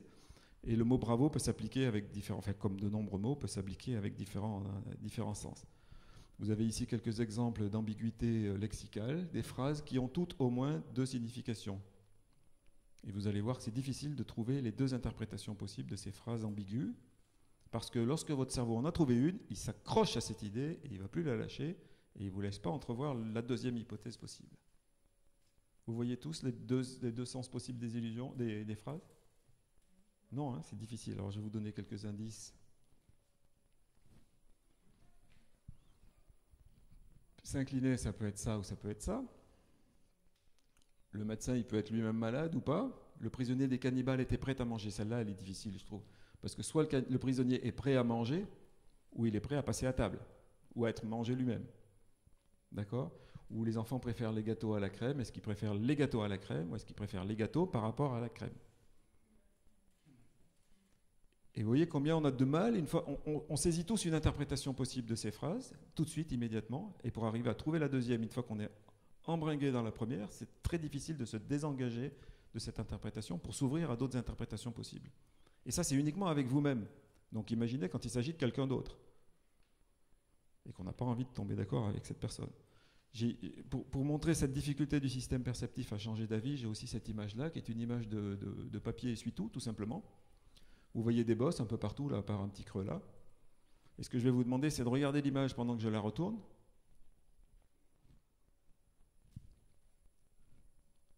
Vous la regardez fixement. Et ensuite, vous pouvez cligner des yeux quand vous voulez. Et à ce moment-là, elle change de profondeur. Ok. Donc ce qui, est, intéressant dans ce type de phrase ambiguë et, dans le fait qu'on s'accroche à une interprétation, c'est que lorsqu'on n'a pas le contexte, l'ambiguïté est parfois évidente. Mais dans la vie de tous les jours, il y a toujours un contexte. Moi, j'ai un contexte, je viens de tel endroit, je suis triste, machin, etc. Dans un livre, il y a un contexte, il y a les phrases avant, etc. Et donc, lorsqu'il y a le contexte, on n'est pas conscient qu'il existe une ambiguïté. Et donc, on a tout loisir de confondre notre, notre interprétation avec la réalité. Et le grand danger de la perception, c'est pas de se tromper, c'est juste de ne pas savoir qu'on est en train de se tromper. C'est-à-dire de, confondre notre interprétation avec la réalité, parce que c'est à partir de là que peuvent être générés tous les conflits, les mésententes, etc. D'accord? Et donc l'idée de, l'exposé, c'est d'insister sur la prise de responsabilité qu'on a. On, commet des, on, doit interpréter la réalité, qu'elle soit visuelle, sensorielle, ou que ce soit euh, de la communication. C'est mon point de vue, donc ce n'est pas, pas forcément la réalité, c'est que mon point de vue, mais il est aussi important que les autres. C'est-à-dire à la fois, je ne vois pas la réalité, donc il faut que je m'ouvre à la réalité de l'autre, mais mon point de vue reste quand même aussi quelque chose de, valide. De valide. Et donc on a plusieurs interprétations valides, et c'est ça qui est, qui est, intéressant. Et donc la solution pour essayer d'améliorer sa perception du monde, c'est de multiplier les points de vue. Et tout simplement, parfois, vous avez tous vu ça, vous êtes en train de regarder une fenêtre, quelque chose qui est au loin, et vous faites comme ça, pour essayer de lever une ambiguïté parce qu'il y a un alignement ou quelque chose comme ça. Et donc, simplement en faisant ça, vous multipliez les points de vue. Et dans la vie de tous les jours, on multiplie les points de vue déjà en ayant deux yeux qui sont un petit peu écartés. C'est pour ça qu'il y a pas mal d'illusions d'optique pour lesquelles on vous demande de fermer un œil pour les regarder. Alors pour terminer, je voudrais juste euh, euh, prendre, euh, emprunter ce, message de la communication non violente pour appliquer ce qu'on vient de, de, regarder ensemble à la perception d'un message. Par exemple, quelqu'un vous dit T'as encore oublié d'éteindre la lumière. déjà sur le ton, ça commence à 1, ça commence à monter. Et donc, vous avez plusieurs possibilités lorsque vous entendez un message comme ça. Vous avez le choix, en réalité, de percevoir ça soit avec un jugement réactif qui va être tourné vers l'autre, ce qui se passe dans la vie de tous les jours, ce qui se passe chez les ados, etc. Donc de renvoyer une critique, une accusation euh, à l'autre. Donc tu avais qu'à me le rappeler, mais t'avais qu'à le faire toi-même, t'es pas obligé d'être agressif, etc. Ou ça c'est encore modéré, on pourrait, on pourrait être pire. On pourrait avoir la version plutôt euh, je suis déprimé et donc euh, lorsqu'on me donne un message comme ça, euh, je vais m'auto-flageller en me disant je suis vraiment étourdi, je suis vraiment trop nul, j'ai tort, j'ai encore merdé, etc. etc. C'est une autre façon de, se faire du mal, soit à l'autre, soit à soi-même. Et puis, euh, si on veut changer de, ces mots qui sont des murs et qui bloquent l'accès à, l'ouverture à l'autre, on peut aussi euh, se tourner vers les mots fenêtres, essayer d'être quelque chose qui se rapproche de, ce qu'on peut appeler l'écoute empathique, et être soit vers quelque chose d'auto-empathique. À ce moment-là, dire quand j'entends une phrase comme ça, ben, je me sens triste, euh, j'ai besoin de détente, ou je suis fatigué, j'ai besoin de soutien, ou ce que vous voulez, en fonction de, ce qui se passe dans le vivant à l'instant T. Hein. Ce n'est pas une recette qui s'applique à tout le monde et dans toutes les situations, mais essayer d'être vigilant. Qu'est-ce qui se passe en moi quand j'entends ça et de quoi j'ai besoin là maintenant? Qu'est-ce que je peux faire pour me faire du bien à partir de ce que je viens d'entendre? Ça peut être de parler à l'autre ou pas, peu importe. Et puis vous pouvez avoir euh, euh, retourné cette empathie vers l'autre euh, et par exemple dire mais tu es en colère parce que tu as l'impression que je t'ai pas écouté ou bien est-ce que tu as envie de protéger notre environnement ou tu aimerais mieux partager les responsabilités, tu as besoin d'équité? Enfin voilà. L'idée c'est que ce qu'on vient de voir avec, les, avec la perception et qui montre qu'on ne perçoit pas la réalité, ça nous permet de bien concevoir qu'il y a plusieurs accès à la réalité et que du coup, on a parfois le choix de notre façon d'interpréter de, la réalité et donc d'entrer dans la relation avec l'autre. Et ce choix, il est limité parce que, en général, on n'a pas le temps, on prend pas le temps, et parce que notre cerveau, lorsqu'il a attrapé une interprétation, pan, il a déjà envie d'agir avant que vous ayez pris le temps de dire ah ben attends, peut-être que je peux faire autrement. Donc c'est important de prendre du temps là aussi pour pouvoir s'offrir la possibilité, s'offrir la liberté de choisir. On a parlé est-ce qu'on est libre tout à l'heure? La clé de la liberté, c'est de prendre du temps pour peser ce qu'on a à faire et de surtout pas être dans le mode réactif habituel. Euh, euh, voilà. Je termine par cette phrase de, Marshall Rosenberg, qui est le fondateur de la communication non violente, qui disait justement que toute violence résulte du fait que les gens se jouent d'eux-mêmes, donc on est dans le domaine des illusions, en croyant que leur douleur vient des autres. et que par conséquent, ces personnes méritent d'être punies. Donc il y a deux erreurs de raisonnement évidemment là-dedans. C'est d'abord la douleur vient de l'autre et ensuite qu'est-ce que je fais de cette information possible? Mais voilà le, message qu'on peut tirer à partir des illusions d'optique et opérer ce glissement vers comment on peut euh, travailler à la communication et à l'ouverture à l'autre. Voilà, je laisse ça euh, pour Yvain si tu as envie de dire un mot sur les circonstances de, du prochain atelier réalité. Merci de votre attention.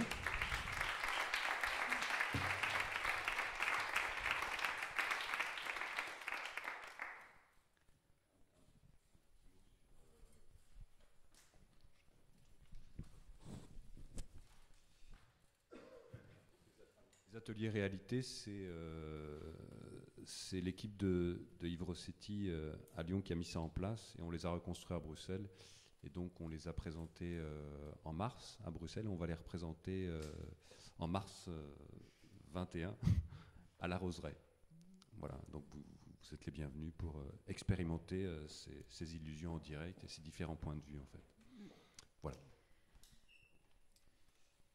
Et moi, avant de céder la parole à Véronique euh, qu'elle nous parle du droit en tant que socle des règles de notre fiction pour faire le lien entre tout ça, euh, je vais vous demander de vous lever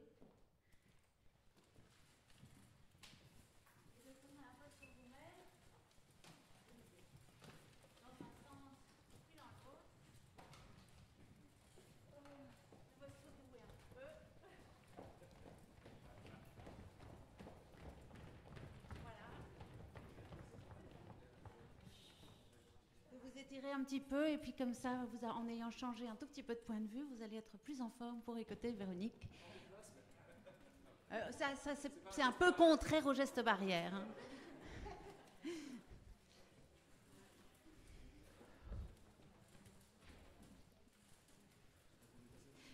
C'était parfait.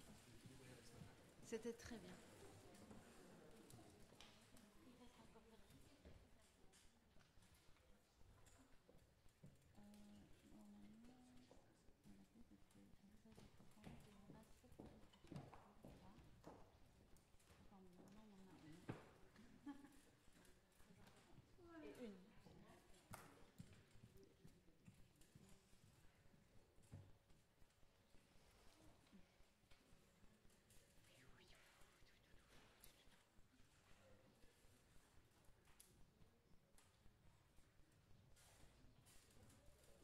Pu se secouer plus longtemps.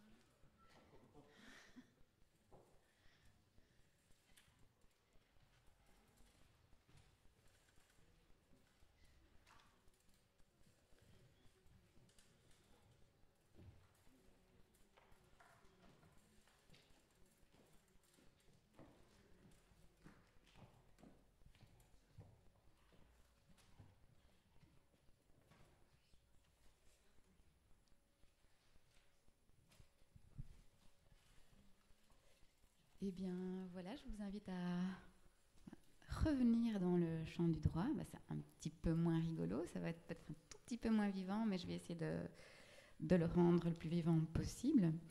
Donc, euh, si on avait eu le temps, j'aurais vraiment bien eu envie de vous demander ce que c'était, ce que ça représentait pour vous le, droit. Euh, parce qu'évidemment, c'est un, corpus de règles mais c'est pas seulement ça. C'est pas seulement un contenu, c'est aussi un, contenant. C'est une forme, un cadre, un socle. Et ce socle est au fondement de la forme euh, de la société dans laquelle on a choisi de vivre. Euh, cette forme, c'est une démocratie, pour l'instant, peut-être plus tout à fait, on va voir les glissements qui s'opèrent, mais euh, on aurait pu tout à fait être dans un autre système. On aurait pu essayer, parfois connu, les dictatures, etc. En Chine, bah voilà, c'est pas la même forme euh, de société qu'ici, c'est pas les mêmes droits, c'est pas la même construction, puisque ce que je vais euh, développer ici, c'est que le droit, c'est une affaire de construction. C'est une construction comme une, comme une autre, et c'est une construction euh, qui, qui, qui, est créée par l'imagination. la forme de la société dans laquelle on vit, ben, des penseurs euh, depuis, euh, je ne vais pas dire la nuit des temps, mais quand même depuis très longtemps, euh, s'y sont consacrés. bah, voilà, je pense à Montesquieu, à Kelsen, à toute une série de, voilà, de penseurs, de philosophes qui ont défini un petit peu euh, ce qu'était cette forme de société et dans l'idéal de certaines valeurs, de valeurs humanistes, de droits fondamentaux. voilà. Donc, je le disais, cette forme, je, me perds un peu dans mes notes, je suis désolée, hein, je suis un petit peu fatiguée, donc c'est la fin, de, enfin la fin. Il est 4 heures, mais pour moi, il est déjà tard. Euh, donc, ce sur quoi je voulais insister, c'est que le droit donc était une fiction, une narration. C'est une forme de représentation euh, d'un type de, société. Euh, ça fonctionne, c'est en fait une série de concepts qui font appel, je l'ai dit, hein, à l'imaginaire et la créativité. On va y venir.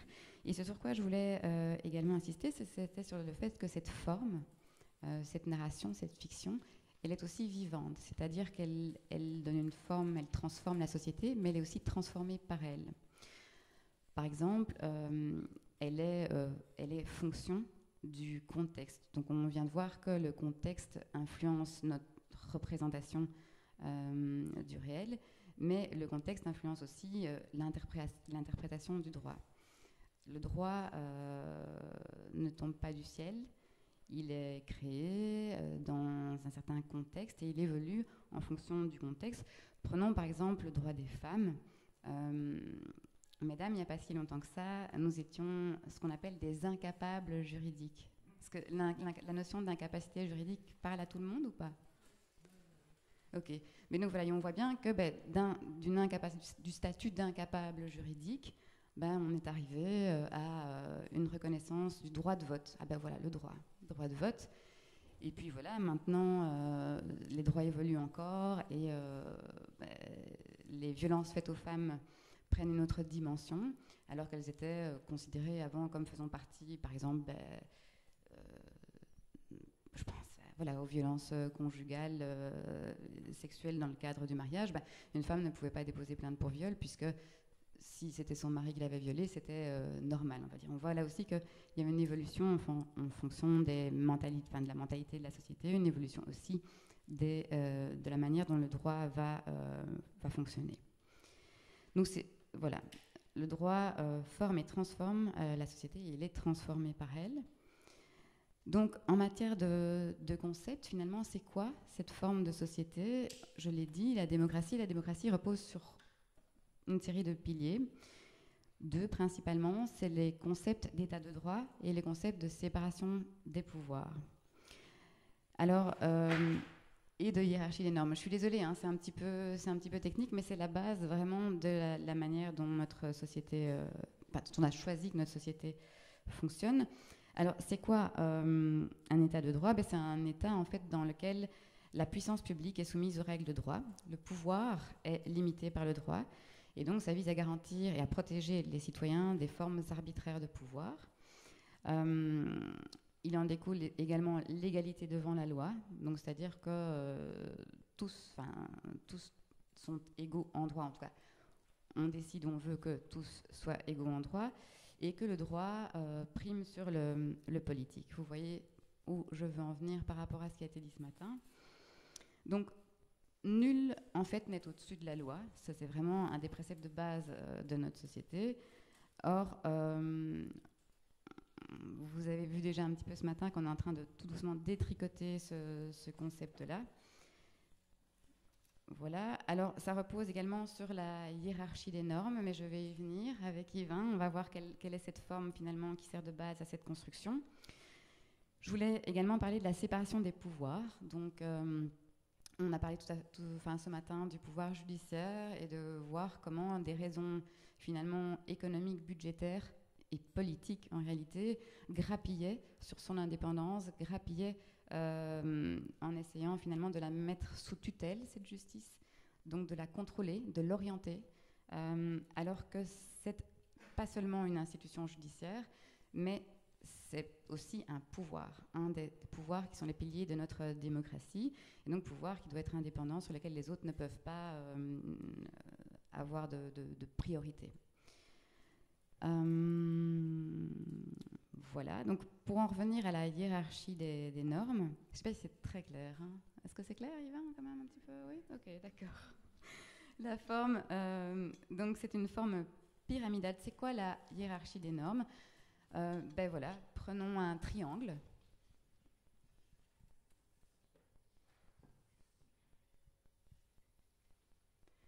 Voilà, et de ce triangle, tout en haut, on va avoir ce qui est euh, supérieur et donc prioritaire. Et tout en haut, on va avoir ce qu'on appelle des normes supranationales qui consacrent les droits fondamentaux.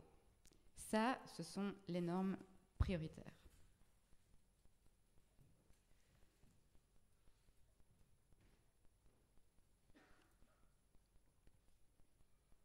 À l'échelon du dessous, on va avoir la Constitution, qui est voilà, au fondement même euh, de, l'organisation euh, de notre euh, société. Et puis on va avoir les lois.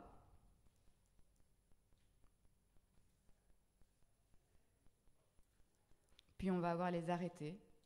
Les arrêtés, c'est des, règles qui sont prises par d'autres organes. Et puis on va avoir en dernier lieu les décisions euh, de type euh, administratif. Voilà.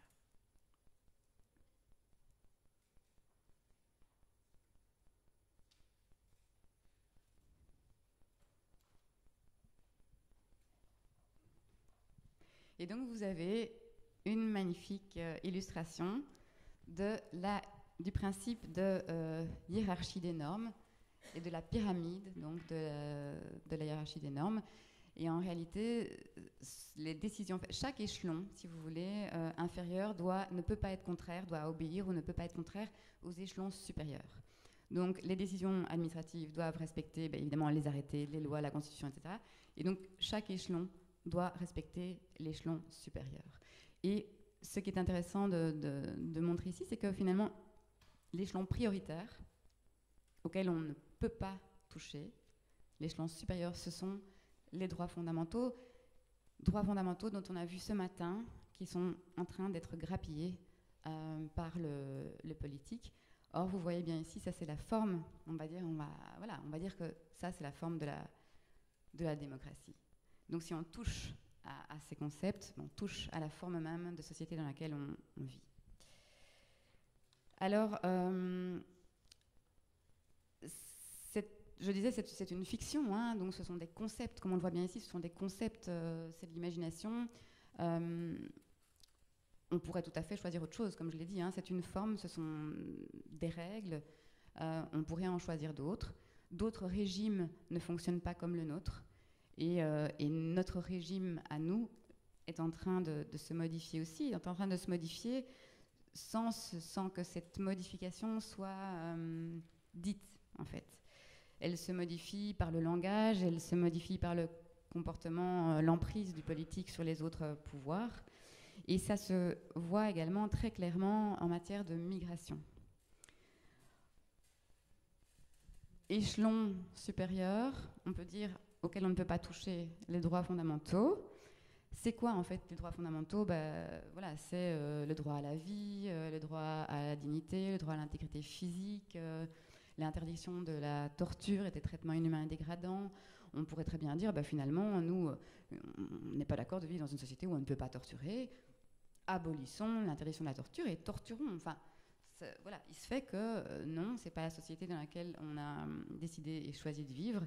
C'est pas, on va dire, le contrat et le programme qu'on s'est fixé. Et pourtant, et pourtant, je vous propose euh, d'écouter ceci.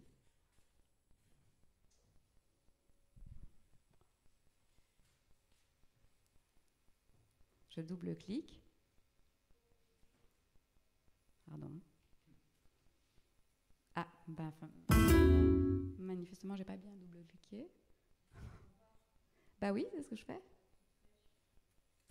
Ah, voilà, ici. Ouais, voilà.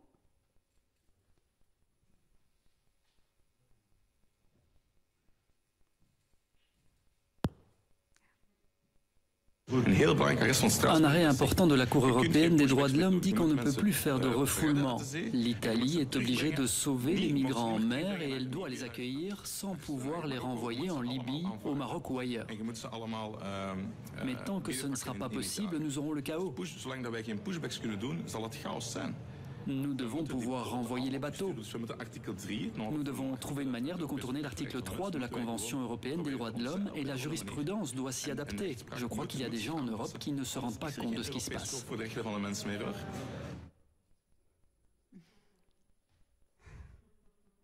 Voilà. Nous devons trouver un moyen de contourner l'article 3 de la Convention européenne des droits de l'homme. Nous devons refouler les bateaux en mer et la jurisprudence doit s'y adapter. Donc, ça n'a l'air de rien ici, mais c'est extrêmement grave en réalité, puisque de, on vient de le voir, hein, l'article 3, c'est l'article clé en fait, de toute notre construction euh, juridique, euh, politique et sociétale, puisque c'est l'interdiction de la torture et des traitements inhumains et dégradants, auquel, ben, je viens de parler de l'état de droit, ben, auquel tout le monde est soumis, citoyen comme politique. Or, ici, on voit bien l'emprise, le politique cherche à se débarrasser euh, de, de la justice, des droits fondamentaux. Et on l'a vu ce matin euh, par une emprise dangereuse sur le, pouvoir judiciaire. Voilà. Alors, ce langage, évidemment, qu'on voit ici euh, passer à la, à la, RTBF, sans, hélas, de mise en perspective, moi, ce qui m'a très fort frappé, c'est que voilà, c'est de voir la manière dont le, sujet a été traité. Donc c'est passé comme ça. Il n'y a, rien eu après, il n'y a rien eu avant, et ça n'a eu l'air de choquer finalement pas grand monde. Or pour moi, euh, c'est extrêmement grave et c'est extrêmement dangereux. C'est renier tout, voilà, toutes les raisons pour lesquelles j'ai fait ce métier, tout, ce en quoi je crois, euh, toutes les valeurs. Euh, oui, c'est ça, en, lesquelles, en lesquelles je crois et à quoi j'ai consacré 15 ans de ma vie professionnelle et davantage. Et donc en fait, ça s'insère dans un, dans un contexte plus global, dans un, je dirais, un paysage mental qui est construit depuis, depuis un, bon moment et qui s'applique principalement aux migrants, mais qui tend à s'étendre euh, à d'autres champs de la société. Donc au niveau du langage et de l'idéologie qui, qui, est, véhiculée euh, en ce qui concerne les migrants, vous, certainement, enfin, peut-être vous n'y avez pas prêté attention, mais il y a un glissement sémantique quand même assez, assez conséquent. Euh, on est passé de réfugiés à migrants, à transmigrants et à illégaux. Et ce glissement sémantique, en fait, contribue à changer euh, notre, notre, notre, représentation, en effet, de, ces personnes et permet aussi qu'on, finalement, euh, qu'on ne protège plus leurs droits fondamentaux euh, comme ils devraient l'être. Or, ce qu'il faut toujours garder à l'esprit, c'est que leurs droits fondamentaux, ce sont les nôtres. Donc, ce que M. Franken ici ne dit pas, c'est que l'article 3 de la Convention européenne de sauvegarde des droits de l'homme, l'interdiction de la torture et des traitements inhumains et dégradants, on le contourne pour les étrangers. On le contourne pour tout le monde. Il n'y a pas un article 3 pour les étrangers, un article 3 pour les non-étrangers. Donc, c'est vraiment les fondements de, notre société qui, qui vacillent. Euh, mais disons que le paysage mental qui a été construit euh, par ce langage et ces idéologies est tel que finalement, j'ai l'impression que les, gens ne, comprennent plus bien voilà, ce qui est réellement en jeu derrière tout ça. Et non, ça ne frappe pas que les migrants, ça nous frappe tous. Euh, et donc ce, glissement sémantique, eh bien, participe d'une déshumanisation. Quand on parle d'illégaux, quand on parle de migrants, bah, c'est déjà différent que de parler de réfugiés. Et c'est, on oublie qu'on parle de personnes, de personnes comme nous en fait, exactement comme nous, placées dans des contextes euh, plus difficiles, certes, euh, mais, mais, mais des personnes comme nous. Donc déshumanisation, cette déshumanisation permet une criminalisation. Donc évidemment, un réfugié, on ne peut pas le criminaliser, mais un illégal, c'est un illégal. Hein. Il se maintient euh, sur le territoire contre, euh, contre la loi. Hein. Il ne peut pas être ici. Donc, euh, il faut le renvoyer, il faut le chasser, il faut, il faut le refouler en mer. D'ailleurs, s'il pouvait mourir en mer, ce serait bien. Ça débarrasserait quand même beaucoup de beaucoup de, beaucoup d'illégaux. Donc, on voit fleurir une multiplication des régimes dérogatoires en matière de migration, c'est-à-dire que euh, on revient sur les principes fondamentaux, on revient sur les droits fondamentaux, parce que mon Dieu, ce sont des migrants et ce sont. Euh, on parlait tout à l'heure de, je sais plus qui parlait de, ah oui, de bons et de mauvais chercheurs. C'était ça euh, la, catégorie qui était soulignée. Bah, ici, en, matière de réfugiés, c'est pareil. on crée des catégories de bons et de mauvais migrants, de vrais et de faux réfugiés. Et ça, c'est complètement décalé avec la, avec la, réalité, puisque on va voir bah, comment ça, se, comment ça se construit, ces catégories. C'est quoi un bon migrant C'est quoi un mauvais migrant C'est quoi un vrai, un faux réfugié Je vais y venir juste après quand je vais vous parler de l'examen, la, procédure d'examen des demandes d'asile. Euh, voilà, et on se rend compte donc cette multiplication de régimes dérogatoires, dont les étrangers sont un petit peu, je dirais, la catégorie d'essai, ben, s'étend. On le voit maintenant, ben, on le voit euh, beaucoup euh, avec les, états d'urgence, euh, le terrorisme. On le voit ici en période de, Covid, à quel point les régimes, les réglementations dérogatoires fleurissent et mettent en danger de nouveau les, fondements de, notre état, de droit. Donc on, voit vraiment que c'est une sorte de population cible d'essai mais que ce qu'on implémente vis-à-vis des migrants, on l'implémente aussi au reste de la société euh, par la suite. Euh, et ce que je voulais souligner, ben, c'est vraiment le paysage mental, en fait, qui fait que finalement, tout ça est banalisé. On, s'y habitue, on n'y fait plus trop attention, on n'y réagit plus comme on devrait y réagir, alors qu'en réalité, on ne, devrait pas tolérer que euh, ce genre de discours puisse puisse être euh, tenu, en tout cas euh, en, public. Alors en matière de, migration, je vous parlais de l'examen des demandes d'asile. Je voudrais souligner que ceux qu'on appelle sans-papiers, ceux qu'on appelle migrants, transmigrants, euh, illégaux, ben, ce sont des constructions, c'est des catégories qui sont construites en fait. On n'arrive pas en Belgique sans papiers ou vrais réfugiés.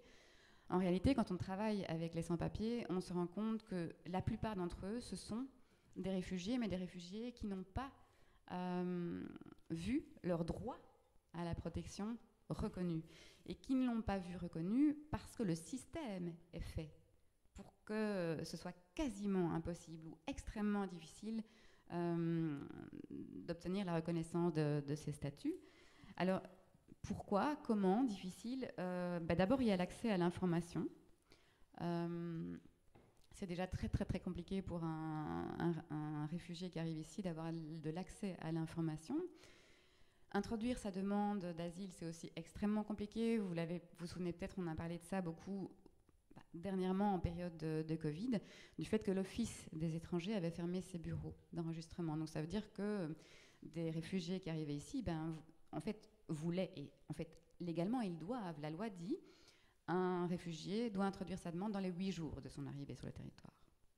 Et donc, il ne peut absolument pas être tenu compte de raisons budgétaires pour limiter euh, le nombre de demandes euh, d'asile qui seraient enregistrées. C'est à l'administration de se conformer aux droits fondamentaux et non pas aux droits fondamentaux de se conformer aux raisons budgétaires euh, décidées par l'administration.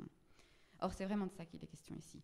Donc, rien qu'introduire une demande d'asile, c'est compliqué. Les bureaux sont fermés, on n'a pas accès. Donc, il y avait un, nombre de 50 demandes maximum qui pouvaient être enregistrées, qui avaient été décidées par les autorités, ce qui est complètement illégal, ce qui a été condamné par le Conseil d'État. ça, c'est une première chose. Je vous disais par rapport à l'information, en fait, ben, pour obtenir de l'aide pour obtenir l'accompagnement d'un avocat prodéo, par exemple, sachez que le bureau d'aide juridique euh, est accessible pour l'instant par téléphone une heure par jour, entre 9h et 10h. Et euh, pour les, étrangers en matière de migration, une heure par semaine. Je ne sais plus quel jour, euh, de quelle à quelle heure. Mais donc ça veut dire que les, les, migrants qui arrivent ici ne peuvent pas enregistrer, enfin ont déjà des obstacles pour introduire leur demande non, c'est très compliqué d'avoir accès à de l'information. Et euh, l'enregistrement des demandes conditionne aussi l'accueil, c'est-à-dire qu'ils ont droit à un accueil à partir du moment où ils ont introduit leur demande. Donc vous voyez comment ce cercle vicieux se met en place. Donc pas d'enregistrement de la demande, pas d'accueil, être à la rue, ça veut dire ne pas savoir où on va dormir.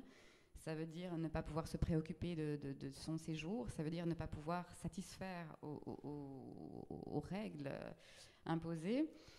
Et donc pour ceux qui ont la chance bah, d'avoir un accueil, d'avoir un accompagnement, d'avoir euh, enregistré leur demande, eh bien, de quelle manière en fait euh, l'examen des demandes d'asile est fait en Belgique? Parce que ça, on ne le dit pas non plus. On fait croire que bah, c'est merveilleux, il y a des droits, il suffit de, demander la reconnaissance de ces droits et, et on l'obtient. C'est pas du tout comme ça que ça fonctionne. Euh, au contraire, en fait, les... Ah, pardon. Très, très rapidement. Bah alors, je... Ouais, je, je Ah, d'accord, d'accord, ok. Mais donc, très rapidement, euh, en réalité, de, de, l'obligation de, de, protéger au droit à obtenir une protection, ben, finalement, l'institution qui est chargée de, qui serait chargée de, cette protection, en réalité, devient une institution qui exclut. Euh, parce que donc l'examen des demandes d'asile, en fait, est basé exclusivement sur l'évaluation de la crédibilité des déclarations. Évaluation de la crédibilité des déclarations. Donc, évaluation par qui, comment, pourquoi, de la crédibilité. C'est quoi la crédibilité des déclarations? Tout ce qu'on a montré aujourd'hui nous montre bien qu'en fonction des cultures, en fonction de notre euh, perception de la réalité, qui, perceptions euh, qui sont culturelles aussi, ben, ça peut changer. Et en fait, ici, euh, on demande finalement aux, réfugiés d'entrer dans des cases, de parler notre langage. Donc c'est nous qui allons décider de ce qui est crédible ou pas, selon nos grilles de lecture, notre euh, perception et représentation des réalités, qui ne coïncident évidemment pas du tout euh, avec la leur. Donc ce sont des langages qui ne se rencontrent pas et qui aboutissent la plupart du temps euh, à une décision de refus d'octroi d'une protection. Et donc voilà comment on on fabrique en fait euh, des sans-papiers. Et alors, ce qui est euh, très intéressant et très éclairant, c'est qu'en travaillant avec eux, en leur donnant la bonne euh, information, le bon accompagnement, quand on leur explique notre langage, c'est-à-dire ce qu'on attend d'eux pour qu'ils s'y plient, eh bien, et qu'on travaille avec eux, de cette manière-là, on obtient cette protection. Donc, d'expérience, il faut parfois quatre ou cinq demandes d'asile. Donc, introduire, il doit parfois s'y reprendre quatre ou cinq fois pour obtenir cette protection. Et ce qui est vraiment important à souligner, c'est que cette protection, donc le statut de réfugié, il est non pas déclaratif, mais il est recognitif. Ça veut dire quoi? Ça veut dire que on, reconnaît qu'ils étaient réfugiés dès le premier pas qu'ils ont posé euh, sur le territoire. Donc ça veut dire que parfois, il faut s'y prendre à 4 à 5 fois pour obtenir cette reconnaissance, mais ça veut dire aussi qu'on n'a pas reconnu précédemment à un réfugié qu'il était réfugié. Or, vous voyez, ces quatre ou cinq demandes qu'il faut introduire parce que la procédure est mal pensée, mal conçue, eh bien, les ministres s'en servent pour nous dire, mais regardez, les demandeurs d'asile, ce sont des faux demandeurs d'asile, ce sont des fraudeurs, ils abusent, ils abusent, ils font plusieurs procédures. Vous voyez comme euh, tout ça est instrumentalisé et, est construit euh, pour justifier de nouveau régression dans, dans, les droits et une violation des droits fondamentaux de ces personnes. Alors voilà, je voulais pas vous laisser sur euh, quelque chose de, négatif, donc j'avais envie de vous parler aussi de, pistes, de pistes pour euh, déconstruire ce langage, pour déconstruire cette euh, construction de, la, de la réalité et pour pouvoir en inventer, en construire d'autres, construire un autre récit, construire d'autres possibles. voilà, par finalement par une sorte de désintoxication euh, et pour euh, aller vers une réappropriation, réappropriation ben, du droit, de ses droits euh, et de nos capacités d'action aussi. Et donc, j'ai, voilà, à ma toute petite échelle, ben, j'ai développé une série de, projets un peu hybrides, donc, dont l'un s'appelle Acting Justice. Donc, en fait, j'ai fondé un, collectif d'artistes pluridisciplinaires pour questionner l'exercice de la justice dans les lieux de justice. Et donc, par des dispositifs artistiques, plutôt que des discours, inviter les gens à, prendre conscience, quelque part à se désintoxiquer euh, de manière, entre guillemets, euh, ludique, euh, de ce qui est présenté comme évident, inévitable et qui ne l'est pas du tout. il y a des alternatives, il y a d'autres manières de faire, de penser et de faire. Et voilà, il suffit d'un peu d'imagination, je dirais, pour, euh, pour les implémenter. voilà, donc ce collectif d'artistes, ben, si parmi vous, il y a des gens qui, voilà, qui, à qui ça parle et qui auraient envie de, voilà, d'en faire partie, n'hésitez pas à venir me trouver. Puis j'ai également développé des ateliers de réappropriation du droit, vraiment pour euh, partir euh, des situations, travailler ensemble sur les situations, sur le droit, pour se le réapproprier et pouvoir retrouver une, puissance d'action, euh, une forme de réempuissantement ensemble. Et ça aboutit notamment en juin, je ne sais pas si vous avez entendu parler, mais en juin, voilà, en juin de cette année, on a déposé un collectif de citoyens que j'ai réuni autour de, euh, des dérives qui avaient lieu en matière de, Covid, donc des manquements des autorités, parce qu'elles ont fleuri, hein, enfin, les, les, dispositions illégales en fait, qui sont prises par les autorités n'arrêtent pas de, de s'étendre. Et donc à un moment donné, ben, voilà, c'est à nous de construire une autre histoire, un autre récit que le récit officiel, que le récit dominant. Et donc pour ça, on n'a pas finalement, on n'a pas besoin, enfin c'est pas quelque chose qui est réservé aux avocats. En fait, on peut tous construire euh, cet autre récit ensemble. Et c'est ce qu'on a fait. On a créé du coup un outil euh, qui est une, euh, une plainte qu'on a déposée avec constitution de partie civile. Et on l'a écrite en tant que citoyen pour d'autres citoyens et on a euh, voilà, une des, personnes qui fait partie du collectif qui a payé les droits de greffe. On parlait ce matin du fait que les droits de greffe sont des freins à pouvoir accéder en justice. Et donc on a construit une sorte d'outil qui permet aux gens de, voilà, de demander réparation pour des manquements graves des autorités, qui permet de le faire gratuitement et collectivement.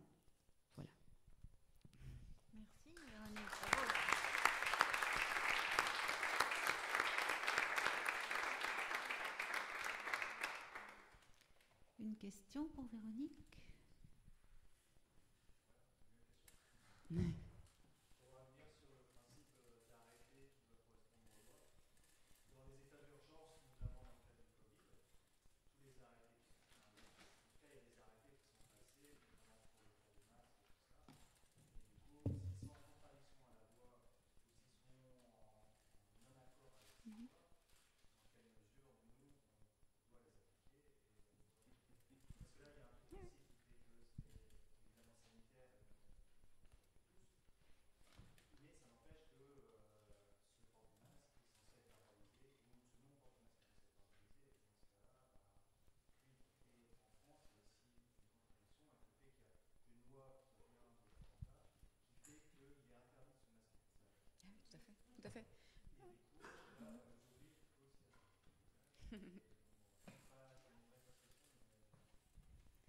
Mais c'est très éclairant, en effet, c'est très très éclairant. Donc on a une disposition qui interdit de se masquer le visage, et puis on a une disposition qui oblige de se masquer le visage. Et donc, bah, évidemment, ça ce sont des décisions administratives qui ne respectent pas euh, des normes supérieures. Donc tout ça va être euh, amené devant le juge, et, c'est le juge qui va finalement euh, décider, euh, annuler. Donc on a des arrêts qui ont été rendus déjà par le Conseil d'État euh, dans ces matières-là, parce qu'il y a toute une série en effet de, dispositions qui ont été prises en matière de, Covid, si on va dire, qui ne sont pas, qui ne sont pas légales. Et donc c'est assez marrant de, de souligner qu'il bah, y a des lois qui sont illégales. Donc on pourrait penser, bah, la loi, c'est, bah non, il y a des lois qui sont illégales, puisque si elles ne respectent pas les dispositions supérieures, elles sont illégales. Et malheureusement, on est confronté à un système où le, politique euh, ne respecte plus la loi. Pardon?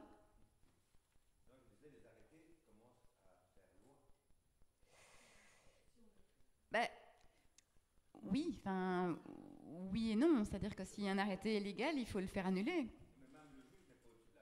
Ah ben non, le juge n'est pas au-dessus de la loi, tout à fait. Personne, c'est notre régime, personne n'est au-dessus de la loi. Simplement, on le voit ici, on a des, inquiétant, on a des politiciens qui n'ont absolument aucun complexe de dire, bah, il faut contourner la loi. On doit se débarrasser de cette loi. Qu'est-ce que c'est casse-pied ça quand même?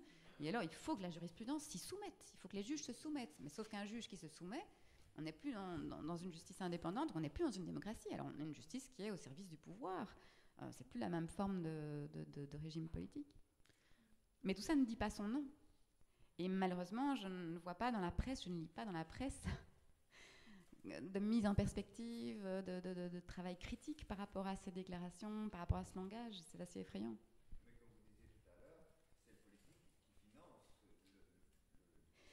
Oui, c'est ça, c'est exactement ça. Tout à fait. Bah, c'est magnifique parce que. Et aussi la presse. Oui, bien sûr. Et donc, en, finalement, comme on, l'a dit ce matin, mais en euh, mettant à disposition de la justice que les enveloppes tellement euh, ridicules, savoir qu'en Belgique, quand même, euh, la Belgique est un des, un des pays de l'Union européenne qui dépense le moins pour sa justice. Donc, en, je crois que ça fait entre 0,5% et 0,7% du PIB alors que euh, dans la plupart des pays, ça tourne autour de 2% du PIB. Donc on est loin du compte. Et, parmi les, pays de l'Union européenne, la Belgique est l'avant-dernier pays qui dépense si peu pour sa justice. Et donc en effet, ça a des, ça a des répercussions sur ce qu'on peut poursuivre, sur ce qu'on peut examiner. Euh, paradoxalement, en fait, la criminalité financière sont des matières extrêmement complexes qui prennent beaucoup de temps, qui demandent énormément de moyens en termes de, voilà, en termes d'enquêteurs, en termes de, temps, etc., tant que les magistrats ne peuvent plus donner, puisqu'ils doivent fonctionner dans une enveloppe fermée, avec des objectifs et de la rentabilité aussi en termes de nombre de dossiers traités. Et donc, avec si peu de moyens, s'ils doivent traiter 15 dossiers, ils ne peuvent pas prendre ces dossiers-là, parce qu'ils ne savent pas les traiter. Et donc, du coup, bah, ils sont un peu obligés de prendre des petits dossiers et des affaires de petite délinquance, ce qui est absolument abominable. Ça veut dire que, du coup, bah, les petits délinquants vont être poursuivis, les criminels euh, financiers pas. Alors que poursuivre la criminalité financière rapporterait des sommes astronomiques euh, à la justice pour qu'elle puisse fonctionner. Donc, enfin voilà, c'est. Euh, c'est vertigineux et un peu inquiétant, on va dire. Mais, mais on va. Oui. On va prendre une petite pause pomme et puis après on va réfléchir à ce qu'on pourrait faire pour essayer d'endiguer tout ça, euh, chacun, chacune à notre place. Donc on se retrouve à 17h15 puisqu'on a un petit peu débordé de la première partie pour une bonne heure de discussion là-dessus. Et puis, euh, avant la restitution ou pas, de, un peu artistique.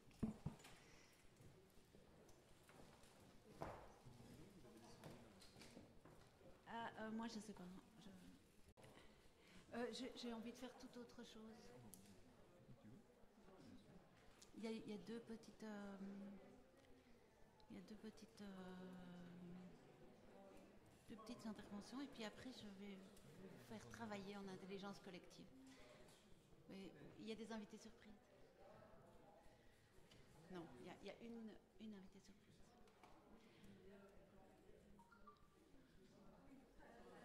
Est-ce que tout le monde est là?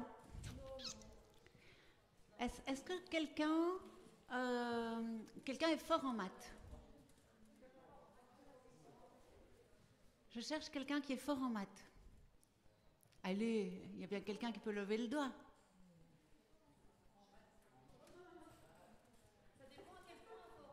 Non, non, c'est vraiment très simple. Alors, à qui je peux confier une, toute légère mission mathématique? Personne ne veut m'aider, quoi. Bon, Virginie, euh, pardon, Émilie. Émilie, tu es forte en maths, je le sens. Est-ce que tout le monde est là?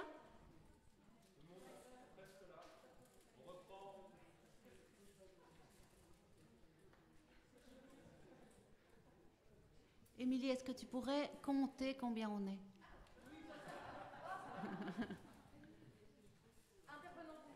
Intervenant compris, peut-être 100, Yvain et moi. Euh, oui, et sans Natacha et Paul.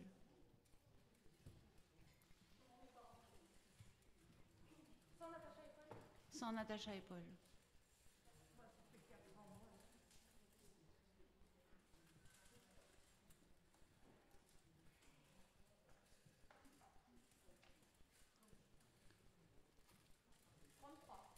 Trente-trois, mais quel beau chiffre. Quel beau nombre.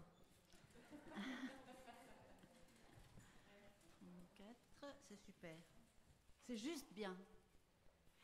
Euh, ben donc, dans le positionnement euh, adopté par euh, les faiseurs de réalité, compagnie Divin, nous accueillons maintenant une invitée surprise, Françoise, qui aimerait, et en tout cas nous, on aimerait vraiment beaucoup, qu'elle nous fasse part en quelques minutes d'une expérience pertinente pour ce qui nous occupe. Le micro a été C'est bien comme ça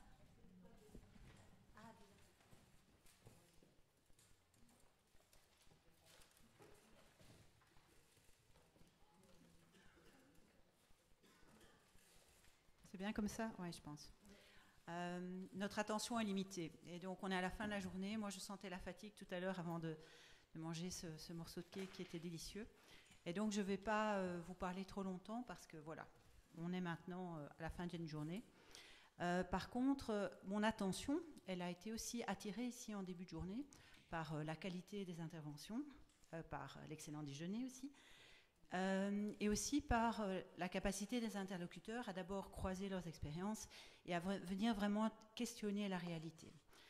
Mais évidemment, ça plombait un peu le moral. En tout cas, moi, j'ai eu ce sentiment-là à un moment donné, comme si rien n'était possible, parce que le monde nous assaille, parce que le monde nous enferme, euh, parce qu'on est prisonnier de nos, perceptions qui nous montrent la réalité pas comme finalement elle existe. Et je voulais vous dire qu'un autre monde est possible parce que moi j'y vis. Alors voilà, je suis fonctionnaire et j'accompagne d'autres fonctionnaires dans des trajets. Alors euh, tout à l'heure, j'ai pas osé prononcer deux mots quand j'ai eu une petite conversation avec euh, notre, notre psychiatre euh, que j'étais allée trouver pour échanger quelques mots. Et à un moment donné, il me dit Oui, bon, bah, c'est comme ce truc qui est super la mode maintenant, qui est vraiment la réponse à tout, c'est la pleine conscience. Je dis Oui, ça c'est terrible, hein, on n'a plus que ce mot à la bouche, c'est le hype. Comme si ça allait tout résoudre. Bah, non, ça va pas tout résoudre. Et oui, j'enchaîne en disant, oui, c'est comme les coachs. Oui, non, ça c'est terrible. Et je dis, c'est pour ça que je dis jamais que je suis ni l'un ni l'autre, parce que je vais tout de suite être étiquetée. Donc je suis fonctionnaire et j'accompagne d'autres fonctionnaires dans des retraites de pleine conscience, avec euh, un accent sur le leadership et le coaching. Et euh, je suis arrivée là par hasard, un peu comme euh, je suis dans cette salle aujourd'hui par hasard. Ça montre qu'effectivement, ce n'était pas un projet, ce n'était pas un projet de vie, et ce n'était pas non plus un projet ici, aujourd'hui, de venir parler devant vous. Mais bon, la vie étant ce qu'elle est, je saisis l'opportunité que, m'offre Yvain pour partager cette expérience et pour vous dire que non, tous les fonctionnaires ne sont pas résignés, non, tous les fonctionnaires n'obéissent pas à leurs ministres. Euh, quand les ministres prennent des décisions qui ne sont pas justes, euh, et la qualité de fonctionnaire, bien qu'elle soit souvent pointée du doigt euh, par les contribuables, les journalistes, les citoyens qui, disent voilà, que les fonctionnaires sont paresseux, moi je peux vous témoigner qu'ils ne le, sont pas, en tout cas pas ceux que je rencontre, et qu'en tout cas, grâce au fait qu'ils sont dans la place pour longtemps, ils peuvent faire des choses différentes. Donc moi, ça fait 12 ans que je suis fonctionnaire, j'ai eu une vie avant ça, j'ai eu une vie académique il y a longtemps, il y a 20 ans mais aujourd'hui, je m'occupe de ces gens-là pour les aider à désobéir. Alors j'ai commencé par désobéir moi-même. Donc quand je suis arrivée pour pouvoir euh, créer euh, ce trajet, qui était au départ une commande, comme on en reçoit euh, quand on est fonctionnaire, conseiller, attaché, comme on s'appelle. et quand je suis arrivée, le monde dans lequel je me trouvais m'a vraiment fait violence. Et quelques mois après, ou non, même pas euh, quelques semaines, j'avais qu'une idée en tête, c'est m'en aller. Vraiment fuir ce, monde qui était étriqué avec des règles, euh, pas du tout inspirant, euh, vraiment pas chouette. il se trouve que j'ai rencontré quelqu'un qui partageait le même sentiment, qui se demandait vraiment ce qui lui avait pris de, postuler et d'être engagé comme fonctionnaire, et à deux, bon, il s'appelle Dries, Dries Elson, il n'est pas ici, mais je vais le faire exister un peu. donc à deux, on a reçu une commande euh, de faire quelque chose autour du leadership pour euh, les managers de l'administration fédérale, pour les chefs. Et comme nous, on n'avait pas envie de rester, qu'on n'avait rien à perdre, on a essayé d'aller euh, chercher dans tout ce qu'on avait dans notre background, tout ce qu'on connaissait pour faire quelque chose.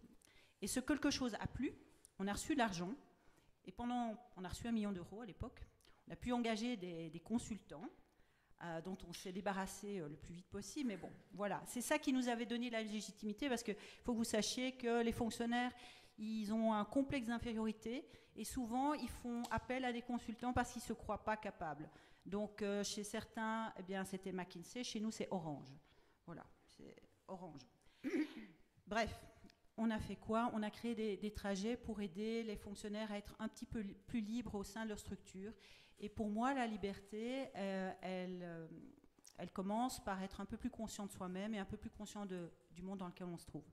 Et je pense qu'un chemin, c'est euh, de travailler son attention. travailler son attention par la, pleine conscience, par la mindfulness, qu'on a découvert il y a 12 ans, 12 ans quand ce n'était pas encore à la mode.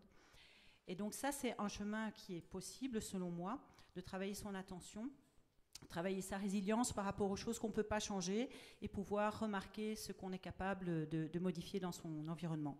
Donc on fait des trajets entre 4 jours et 17 euh, jours pour euh, des personnes depuis l'agent pénitentiaire qui est en contact direct avec les détenus jusqu'au euh, comité de direction de l'INASTI qui n'est plus du tout en contact avec les indépendants mais qui est bien en contact avec ces, ces, équipes qui, elles, in fine, vont travailler avec les indépendants qui sont dans la société civile.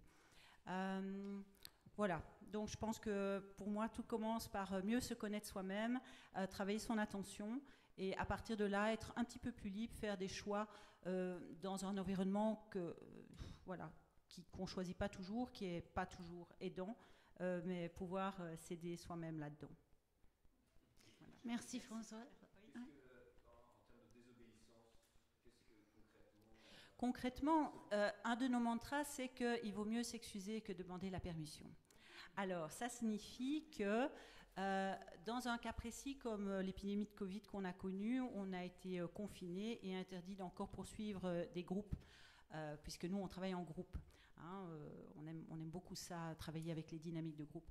Eh bien, par exemple, on l'a fait quand même, mais pas en mettant en difficulté les personnes, en allant dans la forêt, en travaillant dehors. Donc ça, c'est le type de, désobéissance très concrète qu'on fait au jour le jour. Euh, voilà, à l'époque où on a commencé le projet, il y a 12 ans, c'était euh, ne pas demander la permission pour aller rencontrer des professeurs d'université euh, et, échanger avec eux. donc ne pas attendre ni d'avoir l'argent, ni d'avoir la permission pour faire quelque chose. Et franchement, moi, ça m'aide à, oui, à me sentir assez libre. Euh, alors, on remarque assez vite euh, comment on peut euh, échapper au contrôle et à la surveillance, mais tout en restant intègre et, loyal par rapport à l'organisation. Hein. mais voilà. et une chose qui aide beaucoup, ça je vous recommande, c'est trouver quelqu'un, un partenaire. Parce que être fou tout seul, c'est être fou, là, il n'y a pas de doute. Mais quand on est deux, on se sent déjà un peu moins fou et c'est beaucoup plus facile. Merci pour cette expérience positive. Euh, Yvan, tu voulais encore faire quelque chose avant, avant que je chamboule tout et que je sois folle toute seule et avec vous, j'espère? Bah, Folle toute seule, non, on est un peu fou à deux hein, parce que euh, Isabelle m'accompagne euh, voilà, dans, cette, dans, dans, ces aventures. On, discute et c'est un vrai soutien très précieux. Et en parlant d'administratif, en fait, donc Émilie Duvivier, qui est là, est venue voir en fait Cérébrum et c'est elle qui nous, a dit un moment, mais pourquoi vous ne présenteriez pas euh, au, label d'utilité publique en fait? Ah bon? Donc on, a fait un, dossier, donc on a en quelque sorte répondu à un appel à projet, mais j'ai répondu à l'appel à projet en disant que je critiquais les appels à projet. Et elle, enfin voilà, le jury s'est réuni et on a développé bah, une manière de, critiquer le, projet en répondant à un appel à projet. Et finalement, on a reçu ces financements qui nous permettent bah, que, que cette, journée existe. Donc c'est quand même qu'il y a, euh, même si la démocratie, elle, peut être grignotée par, par endroits, elle existe quand même pleinement parce qu'aujourd'hui ça existe, parce qu'il y a une quinzaine de, personnes comme Émilie qui, croient euh, dans, nos sociétés, qui, qui, les défendent et qui nous donnent les moyens que ce genre d'événement euh, existe. Donc je trouve qu'il y a. Enfin voilà, c'est difficile par moment d'entendre un peu toutes ces, euh, voilà, ces réalités. À la fois c'est joyeux parce qu'on se dit, bah, je ne suis pas tout seul, c'est tout le monde qui est concerné par ça. Et cette, cette, prise de conscience, ces événements sont possibles parce qu'on fait encore société ensemble. Et ça, je trouve ça euh, très, enfin, très, très joyeux quelque part. voilà. Donc merci beaucoup, Émilie.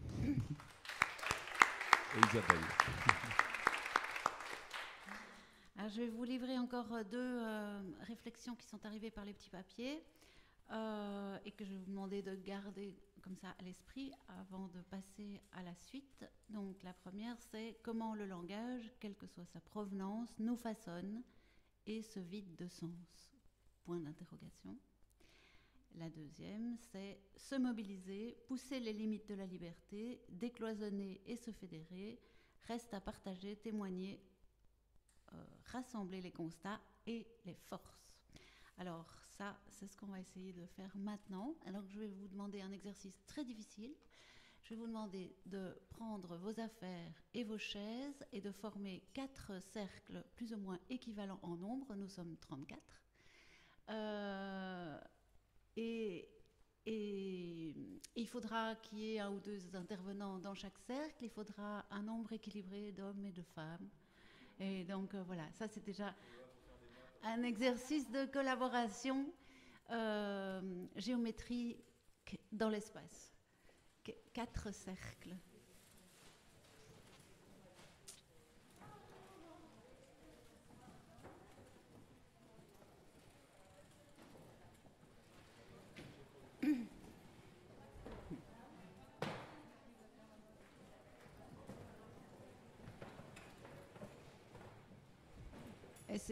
Quand même de garder les, distances un petit peu. C'est pas grave, chacun est libre. Euh.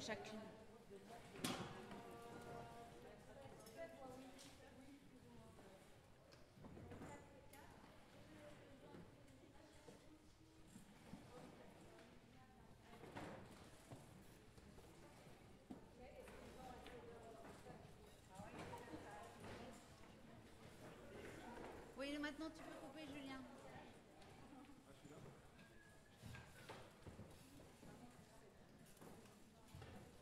Donc Natacha et Paul, je ne sais pas. Euh, Natacha et Paul, vous, je ne sais pas si vous êtes encore là, mais vous, pouvez vous extraire euh, pour préparer la suite.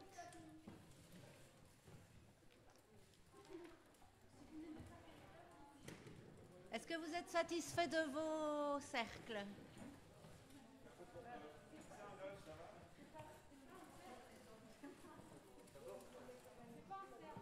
Bon, du moment que c'est pas une pyramide, euh, du moment que vous vous voyez tous et que vous pouvez vous parler, tout en respectant plus ou moins les distances.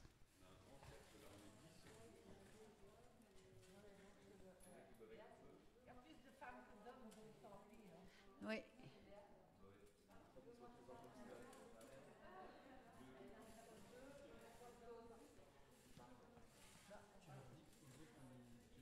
Oui, pardon, pour, euh, pour le public qui nous regarde en ligne, donc on va, on va travailler euh, sans vous. Vous pouvez travailler dans votre tête, mais en tout cas, on va travailler à essayer d'élaborer euh, des pistes de solutions concrètes. Pendant, quelle heure est-il? Donc il est 17h28, pendant une, euh, pendant trois quarts d'heure, donc jusqu'à 18h15. Voilà. Donc euh, vous pouvez revenir à 18h15.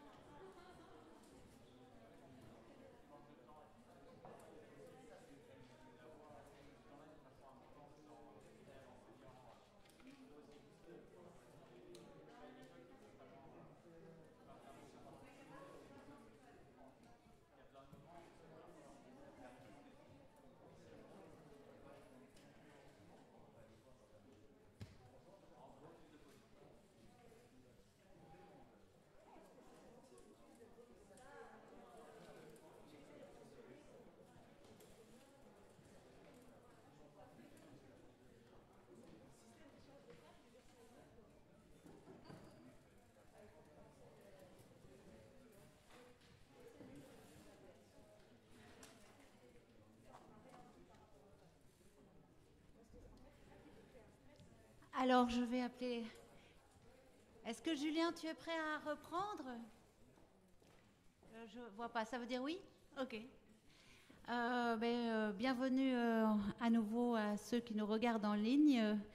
Et donc, je vais appeler les ministres les uns après les autres à venir nous expliquer un peu quelles sont les premières mesures qu'ils prendront dès qu'ils prendront leurs fonctions demain.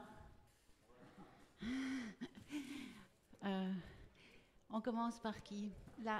L'éducation.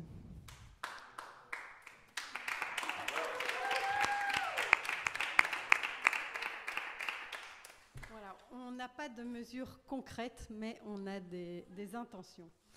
Alors, en gros, ce qu'on vise, c'est augmenter l'autonomie des équipes pédagogiques et des, enfants euh, dont ils ont la charge, euh, de diminuer la, pression liée aux, évaluations, que ce soit pour les enseignants, les parents et surtout les enfants, et euh, vraiment augmenter l'ouverture de l'école à une pédagogie multidimensionnelle et donc aussi réouvrir les murs de l'école à la ville, la campagne et, au contexte autour.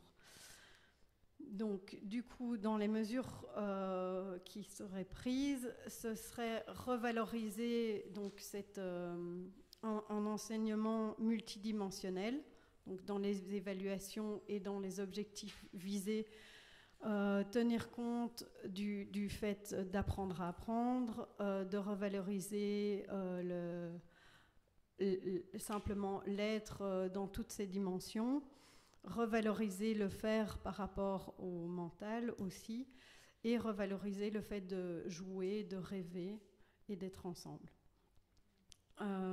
du coup, on penserait à augmenter les, effectifs des adultes qui travaillent euh, au sein des écoles en pensant à des équipes pluridisciplinaires, avec une équipe pluridisciplinaire fixe au sein de, l'établissement ou euh, redistribuée sur les différentes classes, donc pas uniquement des enseignants, mais aussi des, psychologues, des logopèdes, euh,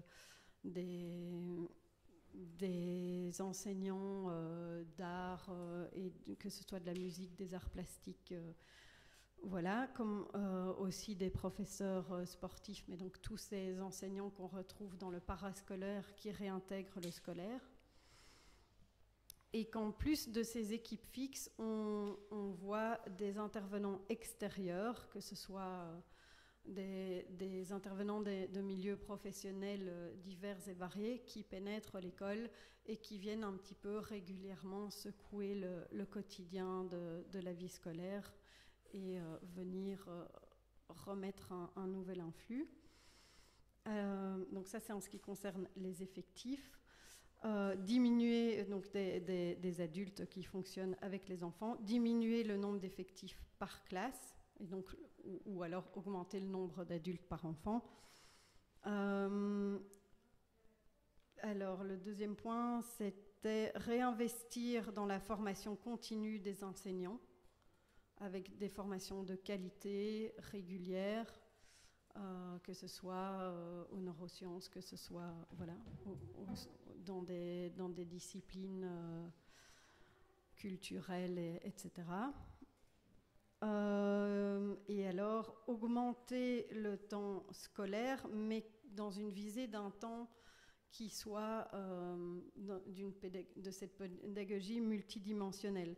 Donc, euh, peut-être proposer quelque chose qui soit de l'ordre du 9-17, mais avec des matinées où les enfants travaillent peut-être plus avec les enseignants, logopèdes, psychologues autour d'eux pour essayer de développer l'apprentissage pur et dur comme on l'entend aujourd'hui, avec des après-midi, par contre, où on réouvre euh, la structure à euh, la culture, euh, qu'elle soit artistique, musicale, langagère, la poésie, etc., au sport et à la nature. Et ben donc pour tout ça, on pensait à une espèce de budget universel qui serait redistribué au sein des différentes écoles, mais ce seraient les équipes euh, pluridisciplinaire fixe qui en aurait le,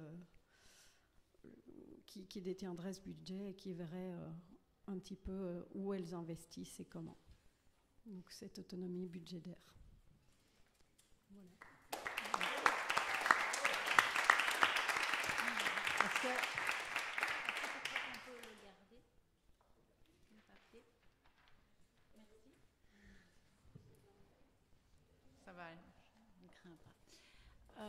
eh bien, je vais appeler le ou la ministre suivant qui se lance. La recherche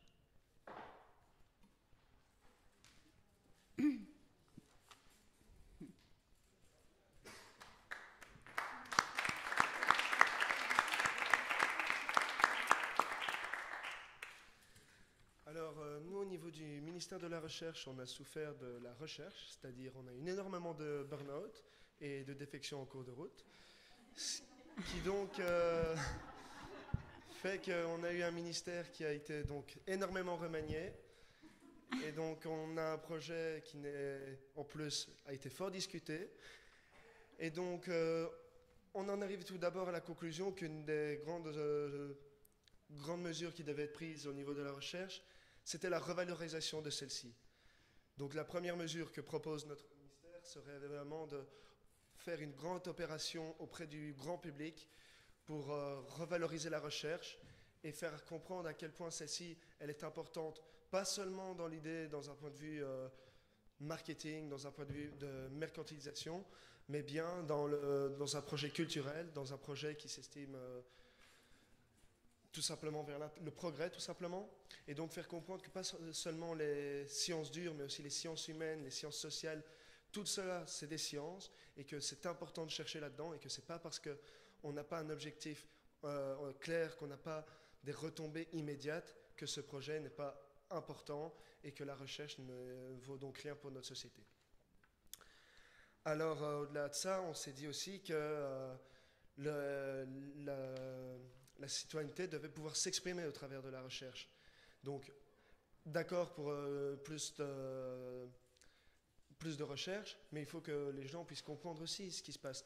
Et donc, à travers ça, plus de visibilité dans la recherche, c'est notre deuxième proposition, plus de visibilité et une certaine capacité pour les citoyens à venir faire de nouvelles propositions dans la recherche, une forme de concertation citoyenne de la recherche l'idée étant de, à terme, de pouvoir sortir de cette logique qui est les appels d'offres, de, les, projets que l'on donne, et vraiment pouvoir offrir aux gens la possibilité de faire des recherches dans des domaines qui les intéressent. Donc à la partie de la population, enfin pas une partie de la population, mais la population pourrait s'exprimer sur ce qu'elle a envie de voir se développer au niveau de la recherche. Alors, euh, en parallèle de ce qu'on avait vu euh, ce matin pour ceux qui étaient là, euh, il a semblé essentiel que le ministère, avec l'enveloppe qui lui est allouée et qui reste donc très fermée, considère quand même l'importance d'une subvention plus pérenne et que donc on vise vraiment des projets sur le long terme avec un investissement qui sera évidemment pas le plus optimum parce que ben, l'argent on ne l'a pas, mais est-ce qu'au moins assurer aux chercheurs la possibilité de pouvoir mener leurs recherches sur le long terme, avec dans l'idée de les libérer de tout ce qui est euh, pression temporelle au niveau du temps, au niveau de l'administration, et leur dire ok les gars vous avez le temps, cherchez, et ben, si ça mène pas, ben voilà, mais si ça donne quelque chose, on sera content et, euh, et voilà. Au niveau, euh, alors, euh, on s'est posé aussi la question d'un refinancement. Euh, l'équipe n'étant pas constituée d'experts du monde de la recherche et du coût de celle-ci, on se rend bien compte qu'un plan est important pour comprendre comment allouer au mieux les ressources qui nous seront allouées et pourquoi pas espérer certains modèles de refinancement du secteur de la recherche. À titre euh, plus, là on rentre plus euh, pour les chercheurs, on s'est dit qu'il était aussi important que les chercheurs se sentent bien dans leur environnement. C'est pourquoi euh, on considère important deux choses. C'est tout d'abord de favoriser l'échange interdisciplinaire, Donc les chercheurs ne seraient pas seulement fermés dans leur domaine et voilà, du matin au soir, du lundi au vendredi, 12 mois sur l'année, on est dans ce domaine-là. Non. Il faudrait imaginer des modèles pour pouvoir réouvrir les chercheurs à d'autres possibilités, pour se découvrir d'autres choses, pour apprendre de nouvelles méthodes et continuer à évoluer en tant que chercheur et donc devenir de meilleurs chercheurs par euh, cette multidisciplinarité. Et enfin, parce que le développement personnel est important, on propose que les chercheurs, dans la mesure du possible, aient une fois par semaine, euh, une fois toutes les deux semaines, une fois par mois, ce serait bien, un moment où euh, ils peuvent organiser une activité, soit seul, soit en groupe, en fonction de comment ils s'organisent. Mais bref, un moment qui leur est consacré pour pouvoir euh, se ressourcer. Et donc, le ministère leur proposerait des activités pour qu'ils aient cette occasion. Voilà, voilà. Monsieur le ministre, monsieur le ministre, monsieur le ministre, monsieur le ministre de la Recherche, monsieur le ministre, est-ce que je peux récupérer euh, le programme électoral? Merci beaucoup. La justice? Ah. Déjà, on a deux ministres pour la justice. Euh, ça va, ça va dépoter. Une première réforme serait d'avoir deux ministres. Donc, première mesure euh, à laquelle nous avons euh, pensé et qui est très urgente, c'est un refinancement de la justice à la hauteur des besoins. Donc, au minimum 2% euh, du PIB devrait être attribué au fonctionnement de la justice afin de fonctionner de manière simple, efficace, sans doute aussi redonner des moyens informatiques aussi à la justice. Bon, ça, on n'en a peut-être pas tout à fait discuté. Mais en tout cas, le but euh, global est de garantir l'accès à la justice à toute personne sans distinction euh, de culture, de niveau socio-économique, d'origine, etc. Et se pose aussi la question euh, du financement des prisons. Est-ce qu'avec ce refinancement de la justice, on a envie qu'encore une partie importante aille financer des prisons ou des moyens de répression aussi barbares euh, que cela. Donc ce sera une question et une mesure sans doute à, prendre et une décision à prendre. Alors, comme autre, euh, comme autre point que nous avons abordé, donc il y a aussi une priorité à la, à la, lutte contre la criminalité financière et à la fraude fiscale. Donc ça, on l'a mis vraiment au centre. Euh, l'idée, c'est aussi de pouvoir réinjecter une partie dans le financement de la justice. Hein. Donc euh, ça, c'est vraiment quelque chose qu'on veut faire euh, dès à présent. On ne voudrait pas trop perdre de temps avec ça. Hein. Dès demain, ça y est. Ensuite, ce qu'on souhaiterait faire, c'est créer des assemblées de citoyens pour réfléchir à la justice et pouvoir proposer des mesures et pouvoir avoir aussi le regard critique par rapport à, à ce qui se fait, suivre ce qui se fait et ce qui ne se fait pas d'ailleurs, et pouvoir euh, un petit peu euh, être vigilant par rapport à ça.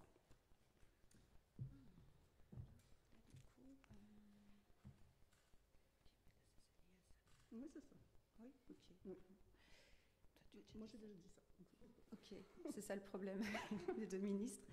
Et donc, une des dernières mesures euh, à laquelle nous, que nous, nous voudrions proposer, c'est créer des antennes d'information euh, qui soient euh, dispersés de manière assez régulière euh, sur le territoire afin de donner à la population toute l'information dont elle a besoin et tout l'accompagnement aussi dont elle a besoin dans le cas de, de, litige, mais aussi dans le cas juste d'une demande d'information et de plus de connaissances sur le fonctionnement de ce système qui est souvent vu comme très complexe, très opaque et auquel il y a très peu, sur lequel il y a très peu d'éducation, en tout cas euh, à l'école, alors que ça parle de droits fondamentaux et qu'il faut augmenter justement euh, l'accessibilité à la justice.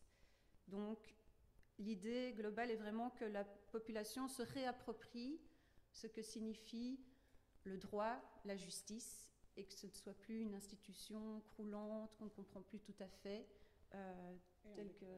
Comment? Et en décalage et en décalage par rapport aux, vraies questions de la société.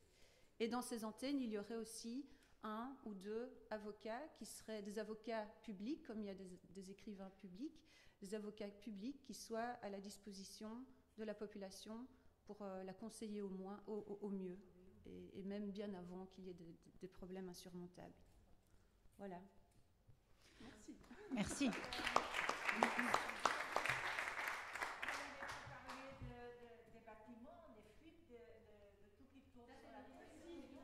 C'est le refinancement, c'est le refinancement. Oui, oui, oui. C'est compris dans le package. On prend l'argent des prisons et on remet du double vitrage dans les palais de justice. On prend l'argent de la fraude et on réinjecte. les, citoyens vous surveillent en tout cas. En plus. Merci, je veux bien récupérer les notes si c'est possible. Euh, merci beaucoup. Bien sûr, euh, bien sûr. Euh, et, donc les ministres de la Justice prendront langue avec euh, la ministre de l'Éducation pour que euh, le, droit soit un petit peu mieux enseigné et que les citoyens soient mieux informés. eh bien, nous reste la culture. Hein. et donc là aussi, nous avons un binôme de ministres. Alors, pourquoi un binôme? Parce qu'il nous semblait important à la fois qu'on ait en représentation une femme, un homme, et de générations différentes. Donc voilà. Ben, j'attaque? Comme tu veux. Bon, j'attaque. Donc, comme dit le proverbe, la culture, c'est comme la confiture. Moins on en a, plus on l'étale. En fait, pourquoi est-ce qu'on dit ça? C'est parce qu'en fait, c'est le parent pauvre. Et pourquoi parents pauvres? Parce que quand il s'agit de couper dans certains subsides, eh ben c'est par là qu'on commence. Donc il faut que ça cesse. Donc la culture mérite vraiment et doit être considérée comme un droit fondamental auquel on ne peut pas, on ne peut plus toucher. Et dès lors, elle doit jouir d'un financement irréfragable, c'est-à-dire un financement qui doit être revu à la hausse pour commencer et auquel on ne pourra plus toucher dans le futur.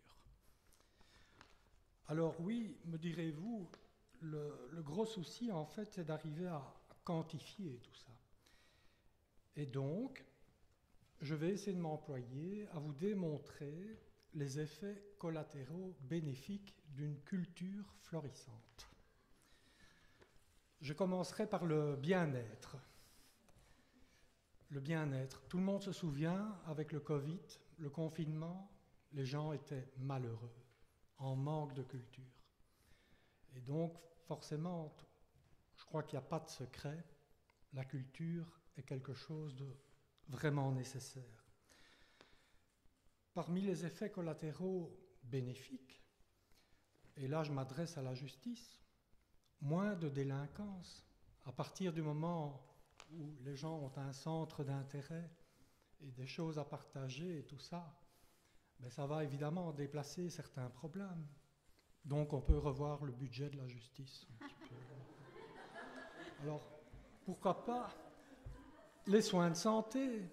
À partir du moment où il y a du bien-être, ben, les gens sont heureux, ils se portent mieux, et donc forcément, c'est tout, bénéfice. Sans parler qu'il y aura des retombées économiques aussi.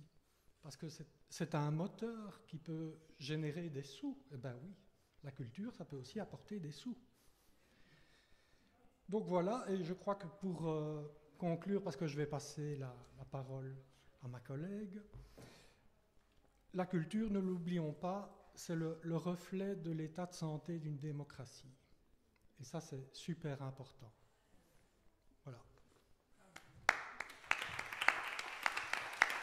Comment passer après tant de sagesse euh, de la part de mon coprésident euh, en m'attardant peut-être un peu plus sur les mesures que nous pourrions mettre en place. Euh, à nos yeux, il nous est paru essentiel, puisque la culture est un droit fondamental, de s'attacher aux gens qui font la culture, c'est-à-dire de donner la possibilité aux artistes d'avoir un temps de création, de pouvoir prendre un positionnement, une posture qui leur permette de rechercher autour de leur projet, de faire des erreurs peut-être, de réorienter le projet, en tout cas de prendre le temps de créer. Il nous a paru évident que toute création nécessite un temps de réflexion et que pour ça, il faut revaloriser la place des artistes et des créateurs. À nos yeux, la culture est un outil de société civile. Il faut donc créer plus de lieux comme l'aile, des lieux de recherche et de résidence. Pouvoir sortir la culture du caractère non marchand et se détacher de la logique de rentabilité. Un deuxième point, et qu'on a entendu aussi avec nos collègues de l'enseignement, de la justice et de la recherche, est d'amener la culture dans les lieux de vie, d'intégrer le citoyen ordinaire dans le processus de création. Donc la culture et la création ne sont pas réservées uniquement aux artistes, mais doivent intégrer aussi la parole des gens, la parole du terrain, en dehors des lieux culturels. Pour ça, il faudrait développer tout ce qui concerne la médiation culturelle, les actions avec les citoyens, concerner les gens. Deux possibilités pour ça. L'accessibilité démocratique, tout ce qui va être géographie, territoire, horaire, STIB, argent, tarif d'entrée, peut-être un prix unique pour rentrer au théâtre, et la démocratisation culturelle, donc tout ce qui est code, sens, fond des spectacles. Voilà, je pense qu'à nos yeux, c'est ce qui concernait pour l'instant la culture.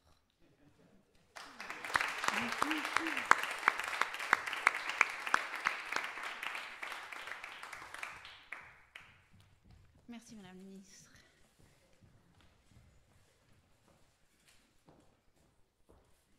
Merci beaucoup. Yvain, est-ce que tu veux euh, faire une petite conclusion?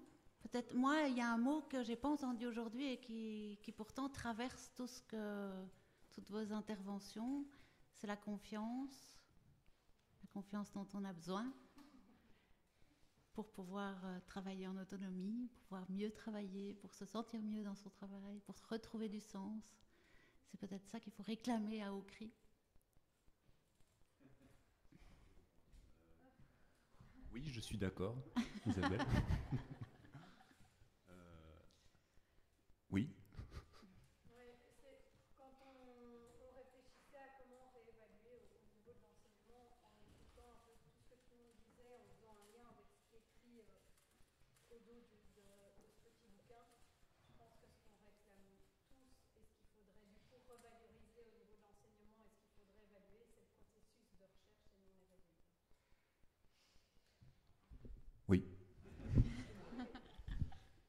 Alors, donc, un, tout petit mot, euh, parce que ça ne s'est pas passé comme ça, Voilà, Isabelle a improvisé ce moment que nous avons vécu. Donc, merci. Merci euh, d'avoir euh, permis ça.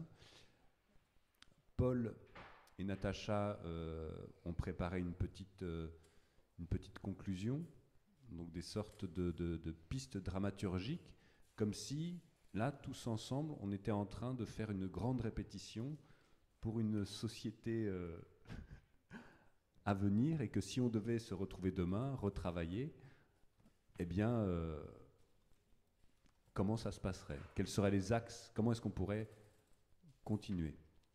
Donc je vais, vous inviter à, venir et puis à, nous, parler un peu de, ce que vous avez... Euh, imaginer comme, euh, comme récit possible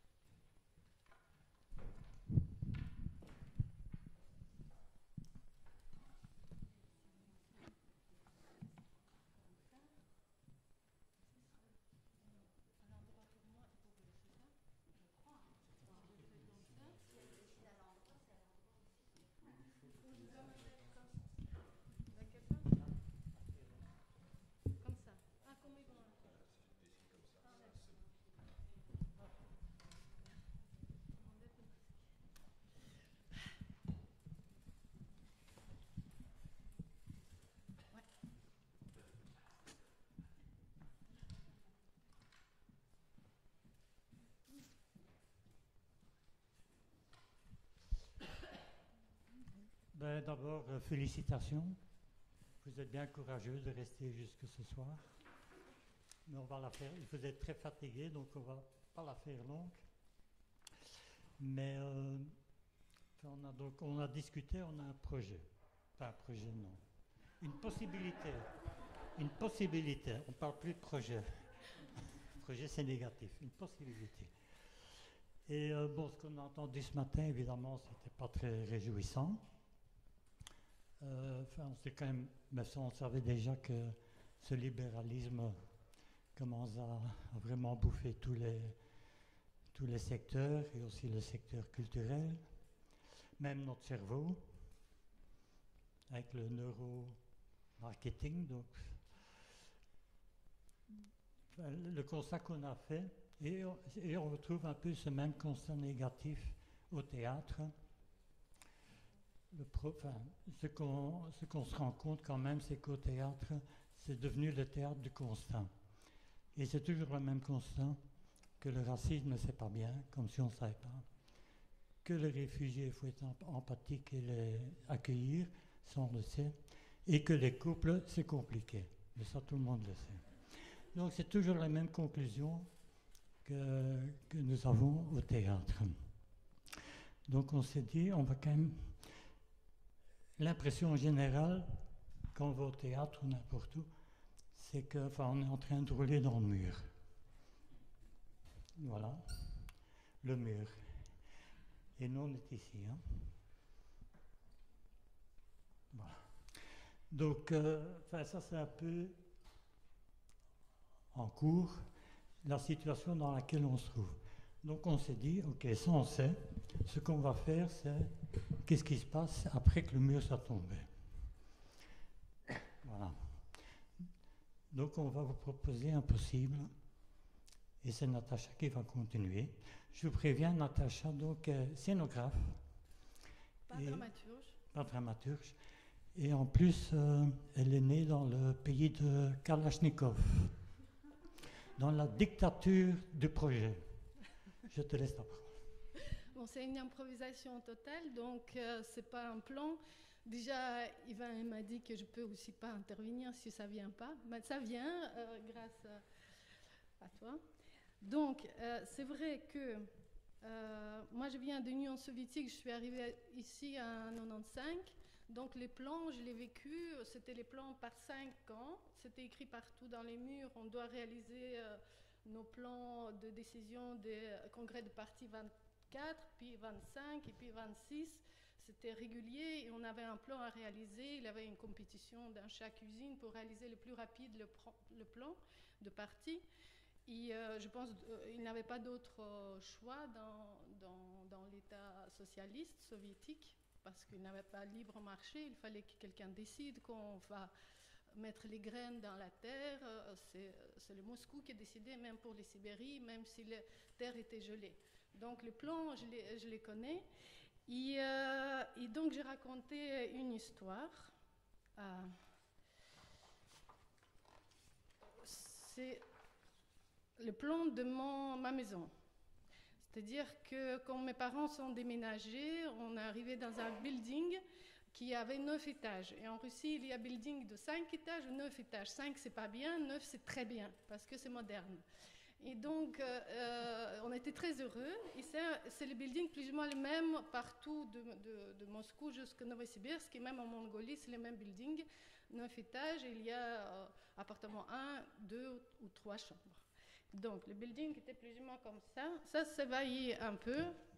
Ça marche? Voilà, chez moi, c'était comme ça. Mais ça pouvait être aussi comme ça ou, comme ça. Ça, c'est varié. Le reste, non. Donc, il avait l'entrée de maison.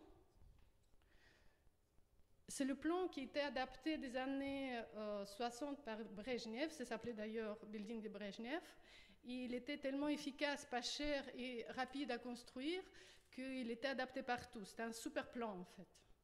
Et donc euh, partout, il avait plus ou moins la même construction de cours intérieur de ce building où il avait toujours donc chemin pour les voitures et pour marcher. Puis il avait un bac à sable, euh, balançoire, euh, petit parking parce qu'on n'avait pas beaucoup de voitures, et les arbres, espace vert, et un groupe électrogène, ou je ne sais pas comment ça s'appelle, où il avait l'électricité. Et euh, pour que les gens ne foutent pas le bordel dans l'espace vert, il avait les chemins. Il avait ici le cloison, donc pour qu'on ne marche pas n'importe comment. Et les chemins, c'était chez moi comme ça. Ça, c'est jusqu'au bac à sable, là, c'est jusqu'au balançoire. Euh, groupe électrogène, on s'en fout. Là, c'est pour arriver là. Et euh, parking qui n'était pas lié parce que c'est pas censé être les enfants. Donc, on avait ça. Sauf que quand les gens habitent dans tous ces endroits, forcément, ah, l'école est là. Donc forcément, moi qui habitais là, je ne vais pas aller là comme ça à l'école. Donc j'allais comme ça. Ma voisine, euh, quand elle allait chez moi, elle allait comme ça. Et euh, les personnes qui voulaient aller au bac à sable, ils ne suivaient pas spécialement ce chemin, ils allaient comme ça. Bon, ça commençait à être vraiment le bordel euh, partout. Il commençait à casser le cloison, évidemment, parce que sinon on ne passe pas. Donc, euh, moi, j'habitais ici à 9e étage, et donc je voyais cette maison, cet espace parfait, bien planifié, super bien organisé. Pendant les premiers trois ans, était détruit. C'était chaos, c'était désordre, sauvagerie. J'étais assez triste, en fait. J'avais 8 ans, et je trouvais que voilà, on arrivait dans un bel espace, et maintenant, c'est le bordel. Et un jour, euh, donc, mon papa m'a expliqué qu'apparemment, je ne sais plus dans quel pays, Norvège, je ne sais plus, euh, il avait un architecte qui imaginait que quand les gens euh, aménagent dans un building, qu'il laisse tout cet espace euh, sans chemin, qu'il n'y a pas de vide. Il ne fait pas de chemin, il fait juste balançoire, bac à sable, etc. Et il attend que les gens marchent, et quand ils ont construit leur chemin, dans le bout, j'imagine, ou dans les, dans les herbes. Après ça, on commence à les bétonner. Voilà, et là, il m'a ouvert euh, imaginaire. Donc j'ai imaginé que les chemins, ils ne sont pas obligés d'être droits, ils peuvent être un peu comme ça, et c'est les gens qui décident. Voilà.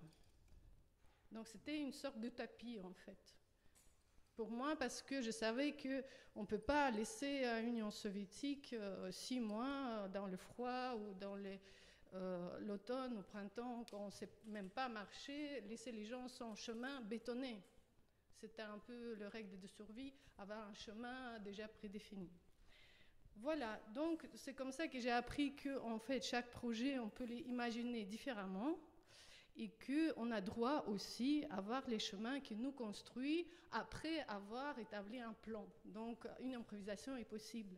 Jusqu'à un moment que mon papa m'a raconté qu'il était dans un transport en commun, dans un bus, il avait une femme enceinte traverser euh, le, cloison pour traverser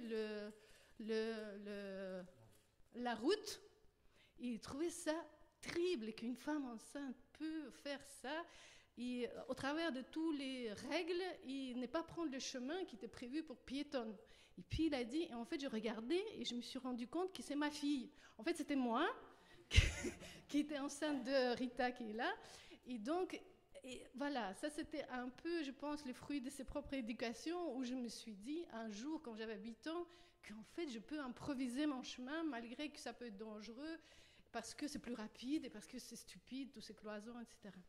Donc, c'est là, euh, je rentre dans, dans un paradoxe de, de plan, de construction, chemin établi et les improvisations, où l'improvisation peut devenir une catastrophe, un drame aussi. Donc voilà, et je suis toujours un peu dans cette euh, paradoxe jusqu'à maintenant. Comment vous voulez sortir de là? En fait, on est parti donc de, cette utopie du régime communiste. Et on s'est dit, tiens, pourquoi pas, comme tout est dans le constat, théâtral évidemment, pourquoi pas inventer un théâtre de nouvelles utopies? À la place de toujours euh, constater la même chose, pourquoi pas amener un théâtre des possibilités? Et les possibilités, évidemment, ce serait s'il n'y avait rien au milieu et que les gens puissent choisir eux-mêmes leur chemin et qu'après, on puisse bâtir. Mais aussi le fait que tous les deux ans, on pourrait changer les aménagements pour qu'ils ils changent aussi de route chaque fois. Oui, parce que euh, c'est ça que je voulais. Hein. C'est quand on a parlé de ça, je me suis dit, voilà, si on dit c'est ça la bonne solution, euh, construire les chemins et les bétonner après, après les décisions de parcours euh, libre de chacun, ça se peut arriver que tout à coup on décide dans un univers faire un patinoire ici, ce qu'on a fait dans mon building, et du coup tous les chemins qui étaient bétonnés après cette utopie seraient inutiles. donc ce, ce, serait une, utopie movible en fait, qui change tout le temps, qui pourrait changer. C'est plus une proposition, théâtre de proposition à la place de faire un, théâtre de, de constat en fait. Arrêter de bétonner des chemins, même s'ils étaient super bien inventés, improvisés, mais rien peut-être ne doit pas être définitif, euh, conçu pour toujours. Et c'est peut-être la seule chose qui, qui permet euh, rester vivant en fait et suivre ce qui, le désir qui vient peut-être spontanément et, et, pas les planifier cinq ans en avance.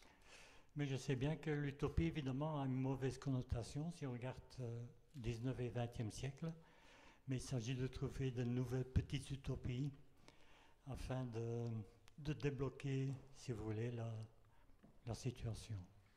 Voilà.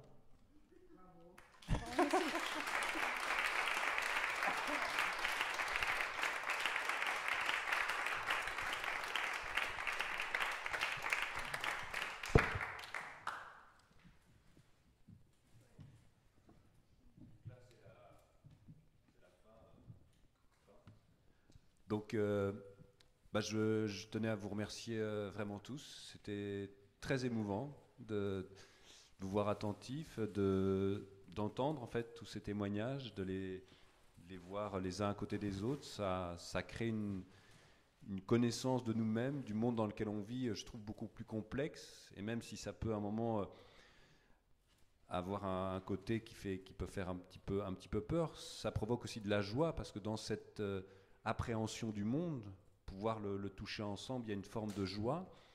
Et de, voir ce qui s'est mis en place tout à l'heure, des discussions. Euh, oui, c'est pas évident de, discuter, mais j'avais presque les larmes aux yeux en fait. De... Enfin, je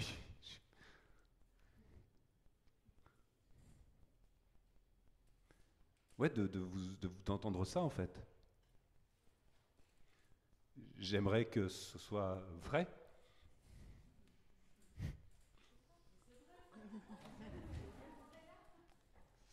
Donc, euh, merci.